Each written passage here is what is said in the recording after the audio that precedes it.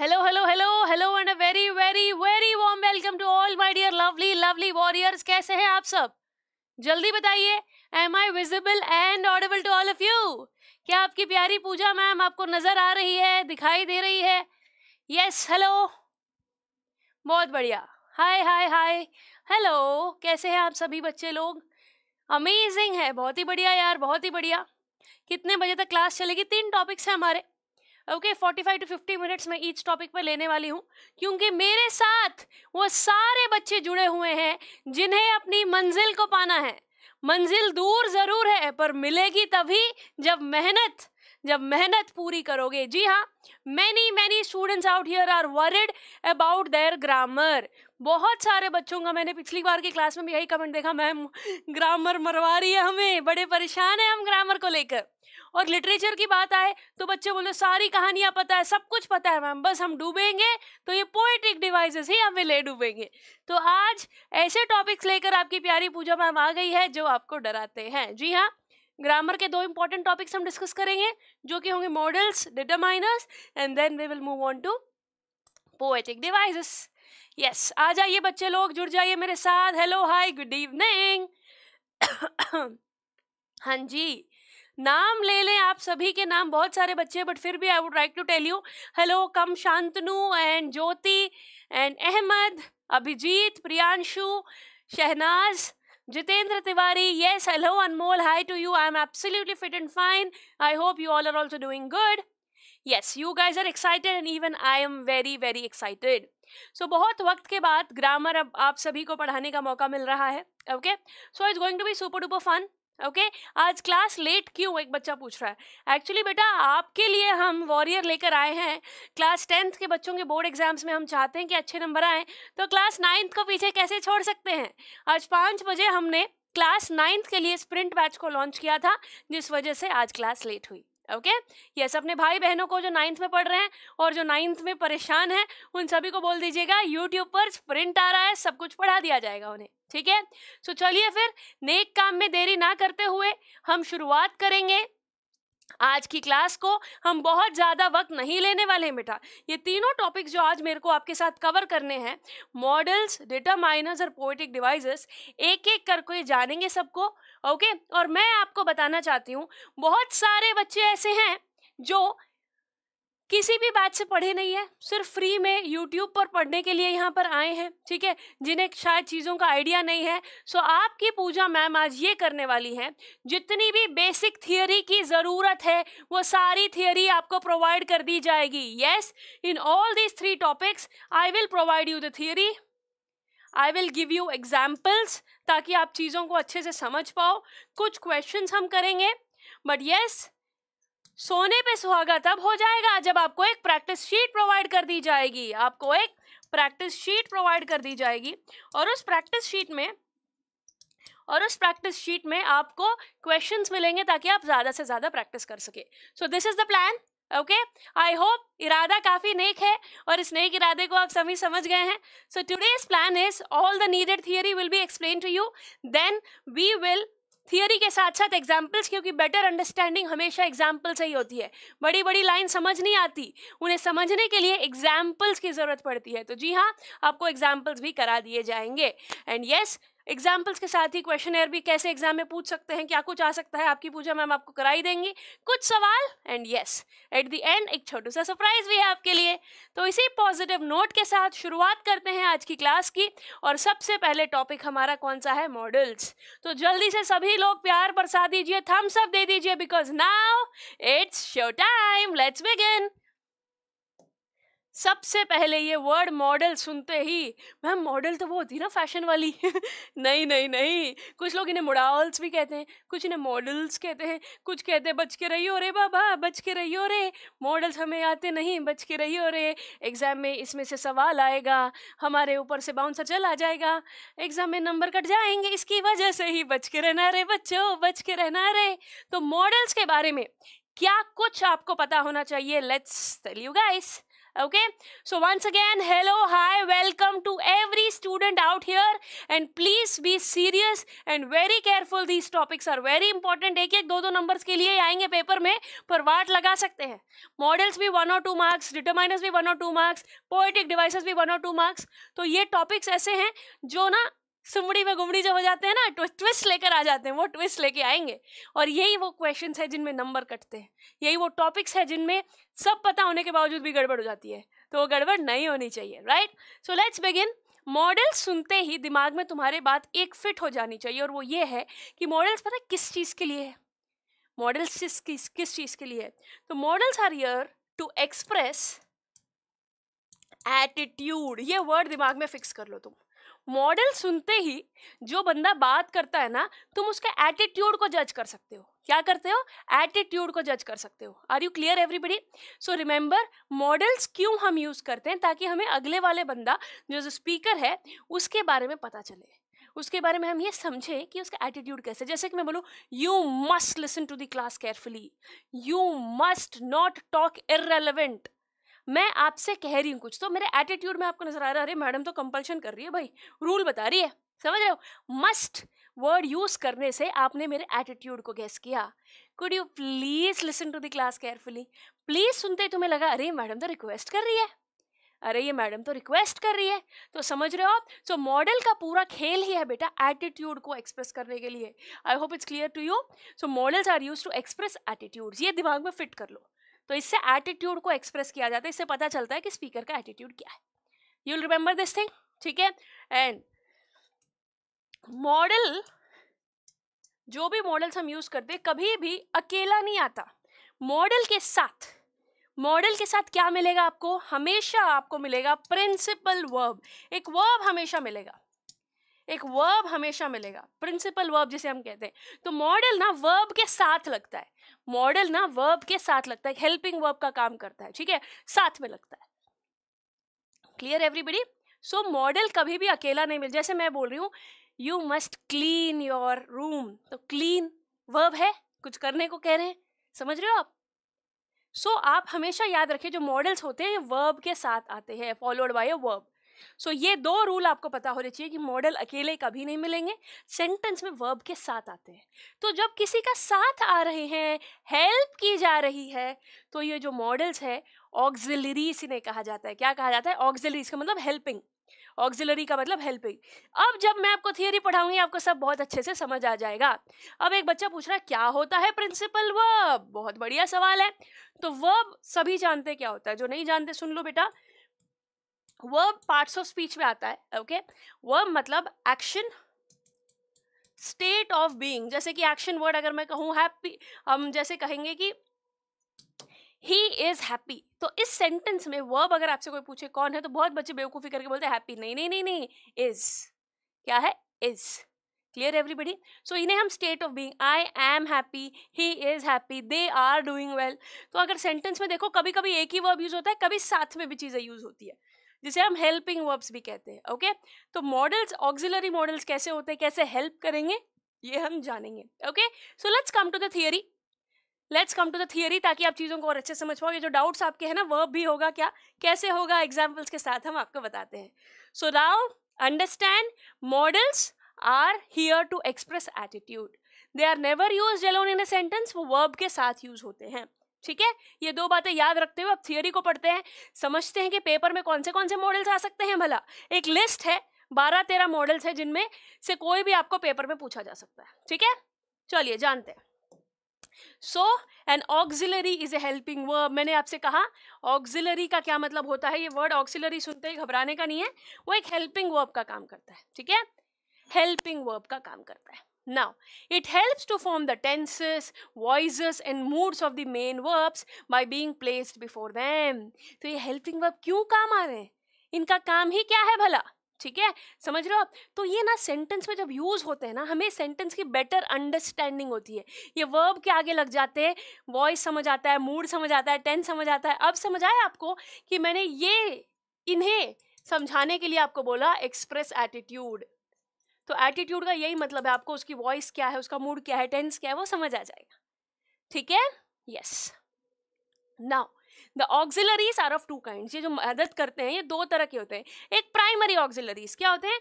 Primary auxiliaries जैसे कि अगर आप एग्जाम्पल्स देखो तो समझ जाओगे। एम इज़ आर वज वर डू फॉर्म्स जो होते हैं डू डज डिड इन्हें हम कहते हैं प्राइमरी ऑक्सिलरीज अब हमारे सिलेबस में आएँगे मॉडल ऑक्सिलरीज तो बेसिक आपको ब्रीफ पता होना चाहिए कि शुरुआत कहाँ से हुई? एक सेंटेंस में चीज़ों को समझने के लिए टेंस यूज़ होता है है ना? कब हुआ, क्या हुआ?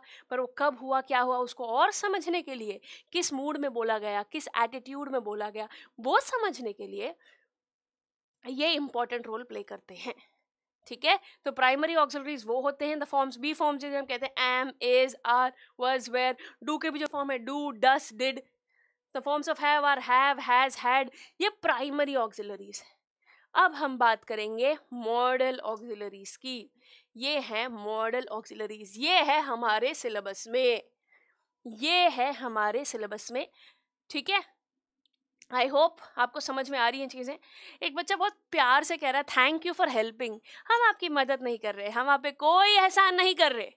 आप मुझ पे एक एहसान करना कि मुझ पर कोई एहसान मत करना। हम किसी का एहसान लेने नहीं आए बेटा।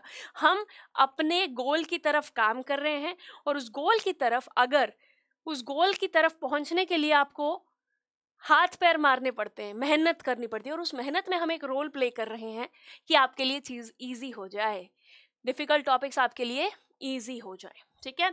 सो मॉडल ऑक्सिलरीज की अब हम बात करेंगे। तो we can express, we can express okay. जो हमारे दिमाग में एबिलिटी, पॉसिबिलिटी, जैसे कि मैंने कहा, एबिलिटी, पॉसिबिलिटी, परमिशन, ऑब्लिगेशन, ये चार वर्ड दिमाग में फिक्स करो। Ability ability, okay, possibility, obligation और परमिशन। इन चीज़ों के लिए यूज़ होते हैं ये। I hope you are getting. तो ये लिस्ट आपको नज़र आ रही है। May might can could must shall should will would और नीड डेयर यूज़ टू ये जो लिस्ट है ना, ये है मॉडल्स की लिस्ट जिसमें से आपके सवाल पूछे जाएँगे। स्क्रीन पर जो ये वर्ड्स नज़र आ रहे हैं, आप सभी ने सुन रखे हैं, सभी इन वर्ड्स के बारे में जानते हो, पहचानते हो इन्हें आप। तो ये जो वर्ड्स हैं, इन्हें मॉडल्स कहते हैं। They are use to form certain moods attitude बताने के लिए। हम इन्हें यूज़ करते हैं। तो इन्हें हमें समझना है मूड को एटीट्यूड को समझना है, इनके तरीके को समझना है। तो पता है, ऐसे पॉसिबिलिटी है कि ये कर सकता है कि नहीं एबिलिटी है कि नहीं परमिशन के लेने के लिए कौन सा वर्ड यूज़ किया जाए? ऑब्लिगेशन का मतलब होता है ज़िम्मेदारी ज़िम्मेदारी के लिए कौन सा वर्ड यूज़ किया जाए? अब हम कहेंगे कि देशवासी as a citizen of India हमारी ज़िम्मेदारी है कि हम सारे रूल्स को फॉलो करें। हमारे सारे रूल्स को हमें फॉलो करने चाहिए। अब करने चाहिए। चाहिए को इंग्लिश में क्या बोलते हैं? Should you should follow the rules समझ रहे हो आप? You should follow the rules तो ये शुड क्या आ गया? मॉडल आ गया। तो आप समझ रहे हो? इमोशन को बताने के लिए हम इन्हें यूज़ करते हैं। क्लियर एवरीबडी समझ गए हो अभी आप? बच्चे कुछ कह रहे हैं low voice don't worry repeat कह रहा है बच्चा। अरे, अभी तो पढ़ाऊँगी एक एक करके सभी मॉडल को। तो चिंता क्यों करता है? ठीक है? बिल्कुल भी चिंता करने की ज़रूरत नहीं है। जितने भी मॉडल्स हैं ना, जो अभी लिस्ट बताई मैंने आपको, ये देखिए जो लिस्ट है। May might can could must shall should will would ought need dare use to ये जो लिस्ट है, इन लिस्ट में आपको यूज़ पता होना चाहिए इनका। क्या पता होना चाहिए? यूज़ पता होना चाहिए। So my only request you guys is there are thirteen words छोटे छोटे वर्ड्स जिन्हें हम मॉडल्स कहते हैं, और सही जगह पर इन्हें यूज़ करना आना ही। बस यही काम करना है तुम्हें मॉडल्स में। इनका यूसेज पता होना चाहिए। यूसेज पता कैसे चलेगा? मैम, रटें क्या? ना जी ना। एग्ज़ाम्पल से समझ जाओगे। एग्ज़ाम्पल से समझ जाओगे। ठीक है? I hope it is clear now जो बच्चे कह रहे थे रिपीट अभी तो रिपीट करने की बात ही नहीं, अब तो शुरू होगा बेटा। अभी तक तो एक बेसिक आइडिया दिया गया है कि मॉडल्स बहुत ज़रूरी है। एटीट्यूड को शो करने के लिए एक्सप्रेस करने के लिए काम आते हैं। ठीक है? और ये हेल्प करते हैं, ये वर्ब के साथ लगते हैं ताकि हमें सेंटेंस में क्या हो रहा है अच्छे से समझ आ जाए। Okay okay? I hope now no difficulty at all. Now let's one by one discuss all the verbs. Must क्या होता है, should क्या होता है, ought to क्या है एक एक करके सबको हम डिस्कस करेंगे. Clear everybody I will try to increase my pitch समझ सकते हो बेटा, सर्दी का टाइम है. गले हमारे खराब है, रोज क्लास पे क्लास ले लेके बट फिर भी जोश is high full on actively हम पढ़ाएँगे तो मेरी आवाज़ ज़रा सा कोऑपरेट कीजिएगा ओके यस लेट्स बिगिन सबसे पहली बारी आएगी मे और माइट की। सबसे पहले बारी आएगी मे और माइट की। आपको हर चीज़, एग्ज़ाम्पल के साथ बताऊँगी, आपको मुश्किल नहीं लगेगा। ये थियोरी तुम्हें समझ आनी ज़रूरी है, बस। पेपर आराम से हो जाएगा। ठीक है एवरीबडी शुरू कर रही हूँ मैं तो मे मे और माइट बेटा, ये दोनों भाई भाई समझो आप। मे कब यूज़ होता है, माइट कब यूज़ होता है we need to know that clear everybody तो देखिएगा जरा। मे को अगर आपको as a principal verb as a main verb use करना है may I come in may I set may I listen to ये क्लास तो समझ रहे हो अब ये जो सवाल हम पूछ रहे हैं, ये जो सवाल हम पूछ रहे हैं तो आप मे यूज़ कर रहे हैं मेन वर्ब की तरह हम यूज़ कर रहे हैं यहाँ पर प्रिंसिपल वर्ब की तरह यूज़ कर रहे हैं। May I go out may I borrow ये toothbrush may I come in उसका आंसर आता है येस यू में स्कूल में आप यूज़ करते हो ना तो समझ जाओ बेटा may is use for formal permission दिमाग में इस बात को फिट कर लो। जब तू इंटरव्यू देने जाएगा जब तू एंटर करेगा कैबिन में पहले पूछेगा मे आई कम इन बैठने से पहले पूछेगा मे आई सिट अगर आपको स्कूल में टीचर से परमिशन लेके बाहर जाना है क्लास की may I go out of the class for a moment आप फॉर्मली जब परमिशन लेते हैं तो मे को यूज़ करते हैं बस इतना पता होना चाहिए आपको और कुछ नहीं। Clear everybody I hope no difficulty in this at all may का समझ गए हो अब आगे माइट का भी समझाऊँगी आपको ठीक है? एक मिनट रुकना। सो so, अगर हम बात करें मे की तो फॉर्मल परमिशन के लिए यूज़ होता है। क्लियर एवरीबडी एंड नाउ एक और चीज़ के लिए भी मे यूज़ होता है, वो है पॉसिबिलिटी जब बहुत हाई हो। तुम्हें लग रहा है कि बारिश होने वाली इट मे रेन टुडे ज़्यादा चांसेस हो तो मे कम चांसेस हो तो माइट हाई पॉसिबिलिटी के लिए मे और लेस पॉसिबिलिटी के लिए might I hope it's clear देख it may rain tonight अब आप बोलोगे, मैं मैं क्यों बोलूँ? मैं मैं तो माइट भी बोल सकता हूँ। बिल्कुल बोल सकते हो ना। It might rain tonight फ़र्क क्या है मैम? मे और माइट में फ़र्क क्या है? ओके? मे और माइट में क्या फ़र्क है? तो याद रखिएगा बेटा, मे हाई पॉसिबिलिटी के लिए और माइट लो पॉसिबिलिटी के लिए। What is the function of model? Riya Ranjan, I have told you, it is use to express attitude to find the tense, to find the voice, to find the mood. Attitude क्या है speaker का? Sentence में हो क्या रहा है ये बताने के लिए हमें मॉडल्स काम आते हैं। Clear everybody? ओके? यस। ये बच्चे कह रहे हैं, फुल एचडी क्लियर हो गया। चलो, बहुत बढ़िया। Might is use to make request एक बात याद रखना, ज़रूरी नहीं रिक्वेस्ट अगर आप करना चाह रहे हो तो मे की जगह माइट यूज़ करो। मे की जगह माइट यूज़ करो। You might make a little less noise थोड़ी सी आवाज़ कम करो यार। थोड़ी सी बकवास कम करो यार। इधर उधर की बातें थोड़ी कम करो यार। रिक्वेस्ट करने के लिए भी हम माइट यूज़ कर सकते हैं। मे की ज़रूरत नहीं है तब। यू मे स्पीक ऐसे बोल नहीं सकते। तू कम बोल भाई। मे यूज़ नहीं करना। माइट जरा सा। थोड़ा सा कम बोलो। Clear everybody okay then fine अभी तक बात आ गई समझ में, मे और माइट में फ़र्क समझ आ गया। फॉर्मल मतलब बेटा, कोई बड़ी जगह पर इंपॉर्टेंट जगह पर तो तेरी मम्मी से ये नहीं बोलेगा, mummy may I come in to the house casual बात होती है, घर में बात होती है। फॉर्मल तब यूज़ होता है, जैसे फॉर्मल लेटर्स होते हैं, जैसे ऑफ़िस होते हैं स्कूल्स प्रिंसिपल्स के साथ टीचर्स के साथ, आप इंटरव्यूअर के पास सामने जा रहे हो तो वहाँ पर आपको फॉर्मली बात करनी चाहिए। एक इज्जतदार गैदरिंग में, अरे ओ पप्पू, कैसा है तू? ऐसे बात थोड़ी करोगे यार। अच्छी जगह पर फॉर्मली बात करेंगे ठीक है? क्लियर एवरीबडी तो आई होप इट्स क्लियर ना चलो, बहुत ही बढ़िया। हाँ ओके फाइन यहाँ तक बच्चे समझ गए हैं मे और माइट में हमने पॉसिबिलिटी का भी डिफरेंस देख लिया। Okay okay. और एक चीज़ may as an auxiliary verb is use to express a wish auxiliary verb मतलब मैंने कहा बेटा हेल्पिंग वर्ब विश की तरह. May you have a happy birthday may God bless you ऐसे कहते हैं ना, आशीर्वाद देने के लिए विश करते हैं जब हम किसी को। तब हम मे को यूज़ करते हैं। तब हम मे को यूज़ करते हैं। Clear everybody clear I hope you have understood this I hope no difficulty in this at all तो बेसिक आपको बस यही फ़र्क याद रखना है मे और माइट में मे की पॉसिबिलिटी हाई होती है माइट की पॉसिबिलिटी कम होती है, ठीक है? और मे को हम विश करते हैं जब it is use to expressive wish may God bless you may fortune smile upon you May fortune smile upon you. May you have a good time. Long may you live to enjoy it. तो आप देख पा रहे हो sentence में मे समझ रहे हो मुद्दे की बात? आई होप अब अखी अभी यादव को समझ आ गया है फॉर्मल का क्या मतलब है? क्लियर एवरीबडी यस सो बेटा मे एक बहुत कॉमनली यूज़ वर्ड है। मे के लिए कुछ रिपीट रिपीट करने की ज़रूरत नहीं है। बस सोचना कि मुझे अगर किसी बड़े आदमी से बात करनी है, उसके कमरे में जाना है तो पहले मैं पूछूँगा नॉक करके मे आई कम इन तो इट्स फॉर्मल परमिशन सो इसको रटने की, याद करने की, इसकी हवा बनाने की कोई ज़रूरत नहीं है। मे मतलब फॉर्मल परमिशन के लिए यूज़ होता है, और अगर पॉसिबिलिटी की बात आए it may rain today it might rain today तो फ़र्क याद रख लो। मे मतलब हाई पॉसिबिलिटी और माइट मतलब लेस पॉसिबिलिटी इतना तो याद रखी लोगे मेरे बच्चों। हाँ क्लियर है, बच्चे कंफर्म दे रहे हैं थम्सअप दे रहे हैं। चलिए फिर, बहुत बढ़िया। आप ये बात समझे, मुझे इस बात की खुशी है। और कई बार ना, मे पर्पस के लिए भी यूज़ होता है। जैसे कि हम क्यों खाते हैं? ताकि हम जी सके। ताकि, जैसे कि मैंने कहा, रीजन क्या है? ताकि हम जी सके। मे ध्यान से सेंटेंस में देखिएगा।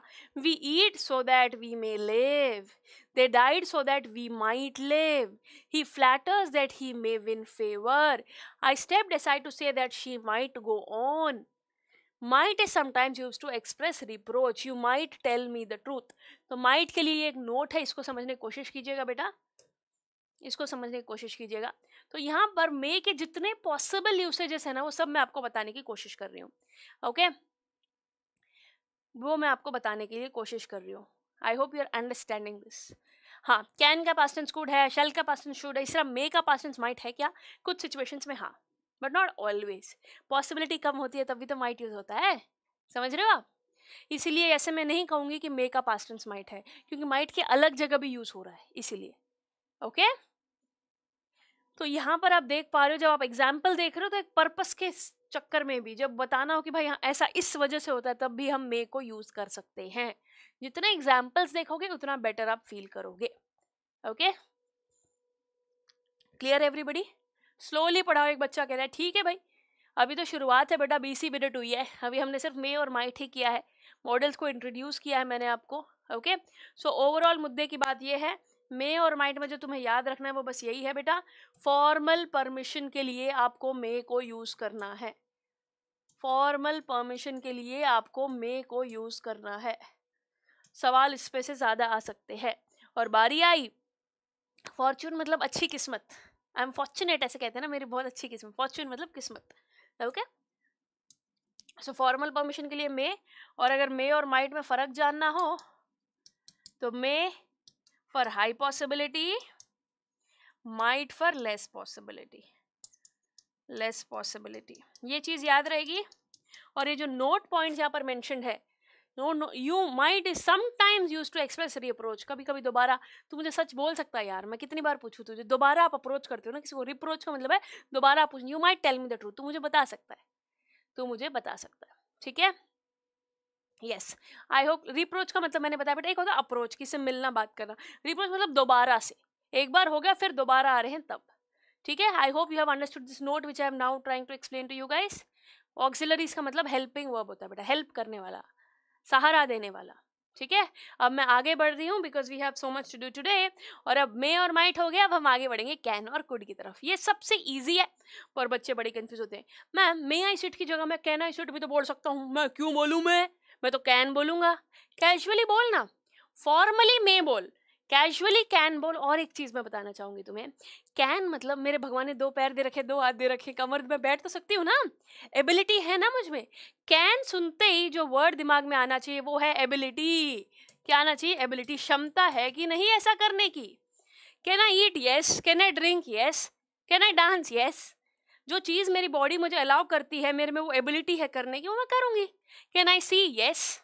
समझ रहे हो आप? तो एबिलिटी का खबर खेल है यहाँ पर। आप में पावर है क्या? आप में एबिलिटी है क्या वो करने की? I can speak English. Yes, मैंने सीख रखी है, इंग्लिश मीडियम से पढ़ी हूँ तो मैं बोल सकती हूँ। Right? He can work this machine, he can outdo every competitor. Even as a child, she could sing well. The box was so heavy that i couldn't lift it. तो could की बात जब आती है, can का past tense क्या बन जाएगा? could कैन का पास्ट टेंस क्या बन जाएगा? कुड सो कुड के लिए घबराने की ज़रूरत ज़्यादा है नहीं। आपको बस इतना याद रखना है तुम्हें कैन समझ आ गया एबिलिटी के लिए यूज़ होता है पावर के लिए यूज़ होता है तो उसका पास्ट टेंस हो जाएगा कुड वो चीज़ पास्ट में की हो तो हम कुड यूज़ कर सकते हैं। क्लियर एवरीबडी आई होप आप समझ रहे हो बेटा चीज़ों को। सो so, जितने एग्जाम्पल्स देखोगे जो चीज़ आप कर सकते हो आप में पावर है आप में एबिलिटी है करने की तो आप वो कर सकते हो। ठीक है? अब मेरे में बहुत हैवी बॉक्स था, मैं उसे लिफ्ट ही नहीं कर पाई। तो कभी कभी negative sentence the box was so heavy so I could not lift it could के आगे नॉट लग गया। क्या लग गया कुड के आगे? नॉट लग गया। आई होप आप अच्छे से मैं पढ़ाने की आपको कोशिश कर रही हूँ विथ एग्जाम्पल्स इसे समझने की कोशिश कीजिएगा। ठीक है? कई बच्चे दो मॉडल्स को कंपेयर कर रहे हैं। अभी के लिए one by one you understand फिर मैं आपको कंपैरिजन भी बताऊँगी। पहले एक एक तो समझो यार। एक एक तो समझो। ठीक है? यस तो आई होप ये आप एग्ज़ाम्पल समझ गए हो। अब could I could run very fast when I was young जब मैं छोटा था ना, मैं बड़ा तेज तेज भागता था। I could run very fast when I was young तो कैन का पास्ट टेंस कुड पहले की बात हो रही है ना? तो कुड ज़्यादातर पास्ट की सिचुएशंस में यूज़ होगा। We couldn't use computers in nineteen century हम नाइनटीन सेंचुरी में कंप्यूटर्स यूज़ नहीं कर पा रहे थे। She couldn't get a job anywhere उसे कहीं भी नौकरी नहीं मिल पाई।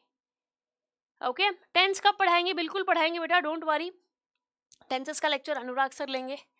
ओके? यस सो जैसे कि मैंने यहाँ पर कहा आपको कैन का मतलब it is use as a principal verb to express power और एबिलिटी ये बात समझ गए हैं? हम एबिलिटी है करने की तो हम कैन यूज़ करेंगे एबिलिटी का मतलब हिंदी में क्या है मैडम मैंने कभी जाना ही नहीं एबिलिटी मुझे तो नहीं पता। तो लिख लो, क्षमता। क्या है? क्षमता। एबिलिटी इज़ नथिंग बट क्षमता। I hope now you have understood आगे बढ़ू बेटा? थम्स अप दे दीजिए अगर आगे बढ़ना है तो। बेटा, नहीं समझने के लिए कोई मुश्किल बात ही नहीं है। तुम ऐसी बात कर रहे हो कि मैं ना, फॉर एग्ज़ाम्पल तुम्हारा नाम राजेश है और तुम्हें घर पे बिट्टू बुलाते हैं, ठीक है? तो तुम आप बोलो कि तुम्हारे सामने क्लास में, ऑडिटोरियम में, अगर स्कूल के ऑडिटोरियम में हम Bittu come on to the stage बोलेंगे, नहीं ना, please Rajesh come on, formally हम नाम लेके बोलेंगे। तो वैसे ही फॉर्मली को हम मैं यूज़ करेंगे फॉर्मल सिचुएशन में। इतनी मुश्किल बात है नहीं जितनी तुमने बना रखी है। ओके? और बात आई कैन की, अगर तुम में क्षमता है कुछ करने की तो आप बोलोगे, yes I can play football for three hours तुम में अगर क्षमता है तो बहुत बढ़िया भाई। नहीं है I can not play I could play football for three hours but now I can not play समझ रहे हो? आई होप आप समझ गए हो कैन और कुड विथ एग्जाम्पल्स बहुत बढ़िया। जो भी बच्चे बोल रहे हैं, मैम राइटिंग स्किल्स कब होगा? मैम, ये चीज़ कब होगी? वो चीज़ कब होगी? तुम्हें सब कराएँगे। बच्चे की जान लोगे क्या? एक ही दिन में सब कुछ कैसे करा दें? और इंग्लिश तो है इतना बड़ा, मेरे हाथ कम पड़ रही इतना बड़ा है इंग्लिश एक दिन में सब नहीं हो सकता बच्चों। थोड़ा सबर करो। रुको ज़रा, सबर करो। एक एक करके सब कुछ होगा। अब जो करा रहे हैं, उस पर फोकस करो तो मॉडल्स पे फोकस करो। And now let's we let us move forward ठीक है? अब जैसे एक बच्चा कह रहा था, मैम, मैं मे की जगह कैन भी तो बोल सकता हूँ, बिल्कुल बोल सकते हो। परमिशन वहाँ पर मे और कैन में फ़र्क देखना। मे, में फॉर्मल परमिशन का ज़िक्र था और यहाँ पर कैन के आगे मैं लिख रही हूँ सिर्फ़ permission. You can go now तुझे परमिशन दी गई, तू जा। Stop you can do that you can't play hockey in that park today it's Sunday can I go to the cinema tonight no you can't can I see your telephone directory can I have the dictionary please इन सवालों में आप देख रहे हो permission लेने के लिए हम पूछ रहे हैं। परमिशन लेने के लिए हम पूछ रहे हैं। और अब वहाँ पर फॉर्मल परमिशन की बात थी, यहाँ पर जैसे, भाई यार, दोस्त अंकल आंटी कॉलोनी वाले, ऐसे हम नॉर्मली बात कर सकते हैं। मैं यहाँ खेल लूँ क्या? मैं यहाँ खेल लूँ क्या? ऐसे, समझ रहे हो आप? तो can I play here you can't play hockey here वो ऐसे वरना कर रहा है, ठीक है? फिर could I go now please could you lend me a dictionary please I should carry that for you समझ रहे हो I could carry that for you sorry तो मैं तुम्हारे लिए कर सकता हूँ। सिचुएशंस को समझते हुए एग्जाम्पल्स को देख के आपको चीज़ें समझनी हैं। Clear everybody? आई होप अब कैन और कुड में आप चीज़ों को कैन एबिलिटी के लिए यूज़ होता है, परमिशन के लिए यूज़ होता है, ठीक है? कैन का पास्टेंस कोड है। यहाँ तक आप समझ गए हैं, अब आगे बढ़ते हैं। आगे बढ़ते हैं, मस्ट की तरफ़ चलते हैं। तो may, might, can, could. Is it clear till now? May respect के लिए, जी हाँ कोई इज्जतदार जगह पर, ढंग की जगह पर जाओगे फॉर्मली बात करनी है तो हम करें। हाँ अब आप टीचर से बात करें तो yes you should use may may I sit may I come in may I go to washroom may I eat lunch ठीक है? अब मैं आगे बढ़ रही हूँ मस्ट ये तो सबसे गजब है must you must do this you must not do any nonsense in the class ओहो, डर मत जाना। भावनाओं को समझ जाओ बस। Must is use to express compulsion और स्ट्रॉन्ग मॉरल ऑब्लिगेशन मैं कंपल्सरी कर रही हूँ। तुम्हें तो ये करना ही पड़ेगा। तुम्हें तो ये करना ही पड़ेगा। समझ रहे हो कि नहीं? तुम्हें तो ये करना ही पड़ेगा। एग्ज़ाम्पल देखो we must keep our promise जो वादा किया वो निभाना पड़ेगा। जी हाँ हमने किसी से वादा किया है तो हमें वो पूरा करना चाहिए। We must keep our promise we must obey the laws of the country हमें संविधान में जो लॉस दे रखे हैं उन्हें फॉलो करना चाहिए। उन्हें फॉलो करना चाहिए। यस yes, बिल्कुल, समझ गए हम लोग। आगे बढ़िए। We must not tell lies बहुत मुश्किल है ना आपके लिए ये? झूठ नहीं बोलना, बहुत मुश्किल है। We must not tell lies पर कई बच्चे बोलते हैं, मैम, झूठ बोले बिना काम ही नहीं चलता। आटे में नमक जितना झूठ चलता है, आटे जितना झूठ नहीं चलता। याद रखना ये बात। नो झूठ। मैं तो नहीं बोलती झूठ। मुझे पता है डर क्या लगता है? अगर एक बार झूठ बोल दिया ना, फिर उसको छुपाने के लिए और और और और और बोलते रहो बोलते रहो, इज़्ज़त ही खत्म हो जाती, बेइज्जती हो जाती बड़ी। तो झूठ बोलने का इच नहीं। सच बोलो, खुश रहो, कुछ याद नहीं करना जो है वो दिल से बोल दो, बस, ओके? और अगर ऐसी नौबत आएगी, तुम फंस सकते हो तो चुप रहो। Better than telling a lie you can keep quiet ठीक है, झूठ बोलने से अच्छा चुप रहो। क्या कहते हो? राइट सो मस्ट का मतलब आप समझ गए हो कोई कंपल्शन के लिए। ऑब्लिगेशन का मतलब ज़िम्मेदारी होती है, बेटा, वो अब आएगा तो हम डिस्कस करेंगे। ठीक है? तो अभी के लिए समझ गए हो मस्ट किस चीज़ के लिए है? ओके? यस ड्यूटी के लिए भी, कोई ज़िम्मेदारी, कोई ड्यूटी तुम्हारी को तुम्हें फुलफिल करनी है। जैसे कि ए जज मस्ट बी अपराइट एक जज झूठा थोड़ी हो सकता है जज गलत डिसीज़न थोड़ी ले सकता है, उसको सही का फैसला लेना होता है, सही का साथ देना चाहिए तो ए जज must be upright a soldier must fight for his country soldier डरपोक थोड़ी हो सकता है, ना जी ना, मैं नहीं चला रहा बंदूक। ऐसे थोड़ी बोल सकता है सोल्जर नहीं, उसको फेस करना पड़ेगा। He must fight for his country उसको बनाया है, बनाया ही इसीलिए गया है soldier right? Every one must do his duty. हर व्यक्ति को अपनी अपनी ड्यूटी करनी चाहिए। हाँ है ना?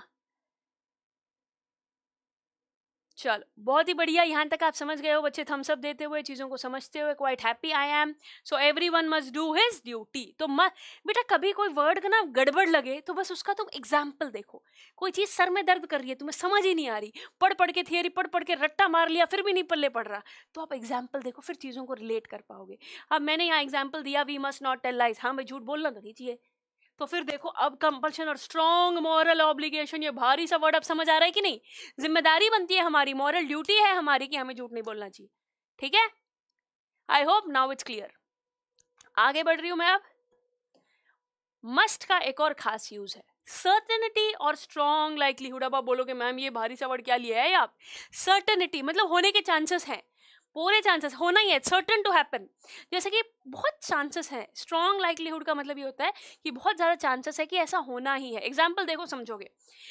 He must be up by this time. He must have reached home by this time. Your father must be nearly 80 now. They must have missed the train. You must be hungry after your long walk. They must have been enjoying themselves. हर sentence को अगर हम समझने की कोशिश करें जहाँ पर मस्ट यूज्ड है अब बेटा एक आदमी है ठीक है रोज शाम को इतने बजे घर जाता है तो he must have reached home by this time पता ही है पूरे चांसेस है कि ऐसा हो। He must be up by this time मतलब इतने बजे तो रोज उठ जाता है तो आज भी उठ गया होगा। They must have miss the train late पहुँचेंगे तो ट्रेन तो मिस होगी ही right you must be hungry after बहुत चल के दूर से आया, थक गया तो भूख तो लगेगी ना। यू मस्ट बी हंग्री पूरे चांसेस है। अब आप बोलोगे, नहीं मैम बीच में खाना खा के आ गया होगा वो। तो वो तो हो, खा भी सकता है, नहीं भी खा सकता है पैसे हो भी सकते हैं, नहीं भी हो सकते are you understanding my dear students तो जब बहुत ज़्यादा चांसेस हो कि ऐसा हो, जब कोई मेहनत करके आए, बहुत दूर से चल के आए तो थक जाएगा, भूख लग सकती है। तो जिसके चांसेस बहुत ज़्यादा हो, तब हमें नहीं यूज़ करेंगे ठीक है? बहुत बढ़िया, एक बच्चा कह रहा we must respect our parents clear everybody so I hope इसका मतलब समझ गए हो आप। सर्टेनिटी और स्ट्रॉन्ग लाइकलीहुड कोई चीज़ होने के बहुत ज़्यादा चांसेस हैं। तुम मेहनत करोगे तो तुम्हारे रिज़ल्ट आने का भी बहुत ज़्यादा चांसेस हैं। You must score well after your wonderful preparation अच्छी सी प्रिपरेशन होगी तो स्कोर तो अच्छा करोगे ही। ठीक है? बाकी कुछ लोग की किस्मत खराब होती है, गंदी हैंड राइटिंग में लिख के आ जाते हैं पेपर में, वो नहीं होना चाहिए। ओके अगला must is also use for inevitability ये भारी वर्ड जो चीज़ इनएविटेबल है मतलब पक्का ही है। जैसे कि वी मस्ट ऑल डाई तुम कोई अमृत पी के आए हो क्या? मैडम, मैं बच्चों का रहूँगा, बाकी सब मर जाएँगे। ऐसा नहीं होता ना वी मस्ट ऑल डाई कोई चीज़ होनी ही है। जैसे कि मैंने कहा सर्टनली पूरे चांसेस है कि होगी ही होगी।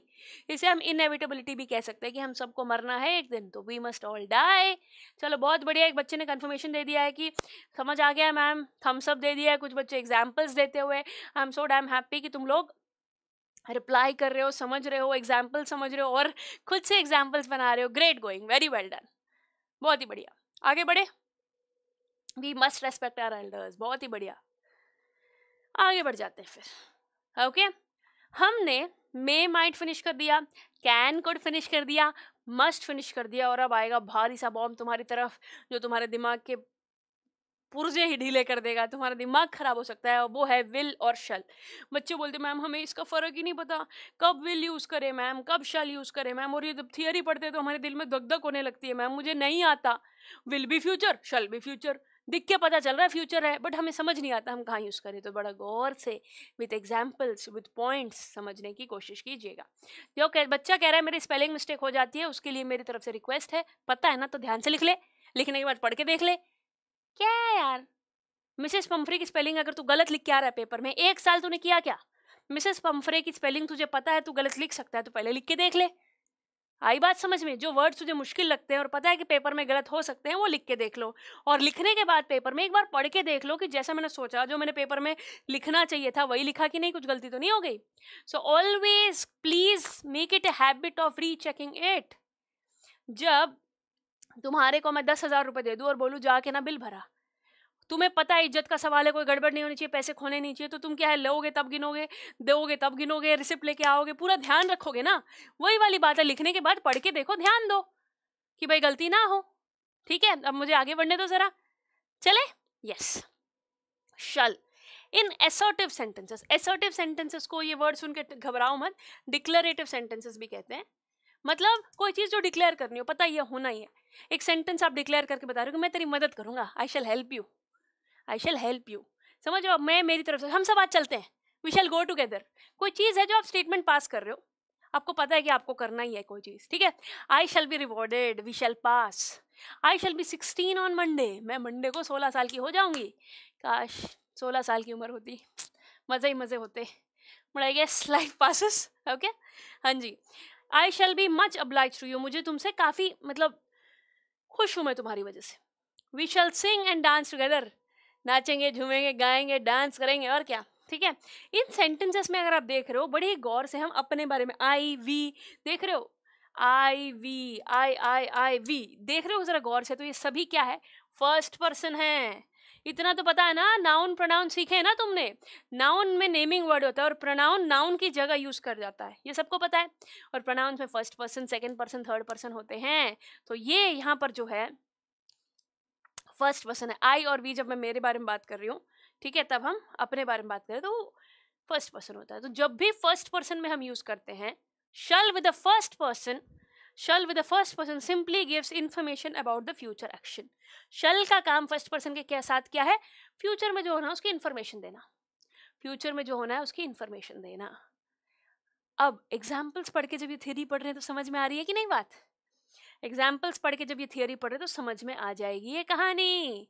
मुश्किल कहानी को आसान करना है तो पूजा मैम की ज़ुबानी बस एक ही बात समझ लो। जब कोई चीज़ मुश्किल लगे तो उसके एग्जाम्पल्स देखो, उसको प्रैक्टिस करो, बोल के देखो बात बन जाएगी। ठीक, आगे बढ़ते हैं। शल, अब आपने बोले, मैम, आपने तो फ़र्स्ट पर्सन ही बताया सेकेंड और थर्ड पर्सन का क्या होगा? बताता हूँ ना। सेकेंड एंड थर्ड पर्सन को कैसे हम यूज़ करें शल के साथ? ध्यान से सुनिएगा। एसर्टिव नहीं समझ आया। एसर्टिव का मतलब होता है डिक्लेरेटिव सेंटेंस बेटा। डिक्लेयर करना, कोई चीज़ ऐसे होगी, मैं करना चाहता हूँ, ऐसे बताना। ठीक है? यस चलिए, आगे बढ़ रही हूँ मैं। शल को सेकेंड पर्सन और थर्ड पर्सन के साथ जब यूज़ होता है तो क्या बनता है? सबसे पहले एक promise you shall have a holiday tomorrow you shall have a medal if you win he shall be rewarded if he stand first in English तो कोई ऐसी चीज़ जब हम प्रॉमिस करते हैं कि भाई, तू मेहनत अच्छी करना, मैं तुझसे मिलूँगी। हाँ? He shall be rewarded if he stand first in English अगर तू इंग्लिश में अच्छा स्कोर करेगा, तुझे रिवॉर्ड देंगे हम।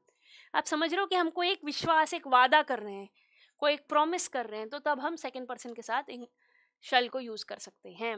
समझ रहे हो आप? Clear everybody easy peasy lemon squeezy अब आप बोलोगे सिर्फ़ प्रॉमिस कमांड भी you shall obey my orders तुम्हें मेरी बात सुननी पड़ेगी। You are commanded to obey my orders he shall go at once he is commanded to go at once he shall not lie he is commanded not to lie तो जब हम एक command दे रहे हैं, कोई एक ऑर्डर दे रहे हैं कमांड को हम ऑर्डर भी कह सकते हैं। तो जब हम ऑर्डर दे रहे हैं, तब हम शल को यूज़ कर सकते हैं। सेकेंड पर्सन या थर्ड पर्सन के साथ। क्लियर एवरीबडी और कभी कभी धमकी के तौर पे भी। If you do this you shall be dismissed तो हम कहते हैं ना if you use bad words abusive language foul language in the class में कमेंट्स में you will be blocked you shall be blocked समझ रहे हो आप यहाँ पर? कोई चीज़ होनी ही है। हम मौका देते हैं तुम्हें। एक बार, दो बार बट जब ज़्यादा होता है तो यू शैल बी ब्लॉग्ड ऐसा कह देते हैं, है ना? एरर कैसे करें? बताते हैं, ईशु गुप्ता, ज़रूर बताते हैं आपको। ठीक है? यस एक बच्चा बार बार अरविंद कुमार, क्या सुनूं बेटा आपकी मैं? क्या सुनूं? बताइए। अब बाकी बच्चे बोलेंगे, इसी की सुनोगे, मेरी नहीं सुनोगे? तो इससे अच्छा है कि मैं मुद्दे की बात करती हूँ और आगे बढ़ती हूँ, ठीक है?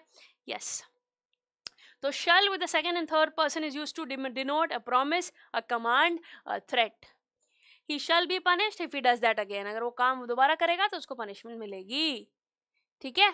यस बेटा, बच्चे कह रहे पोल करवा दो। बेटा, सच बताऊँ तो क्योंकि मैं चाहती हूँ कि बच्चे रिकॉर्डेड लेक्चर देखें।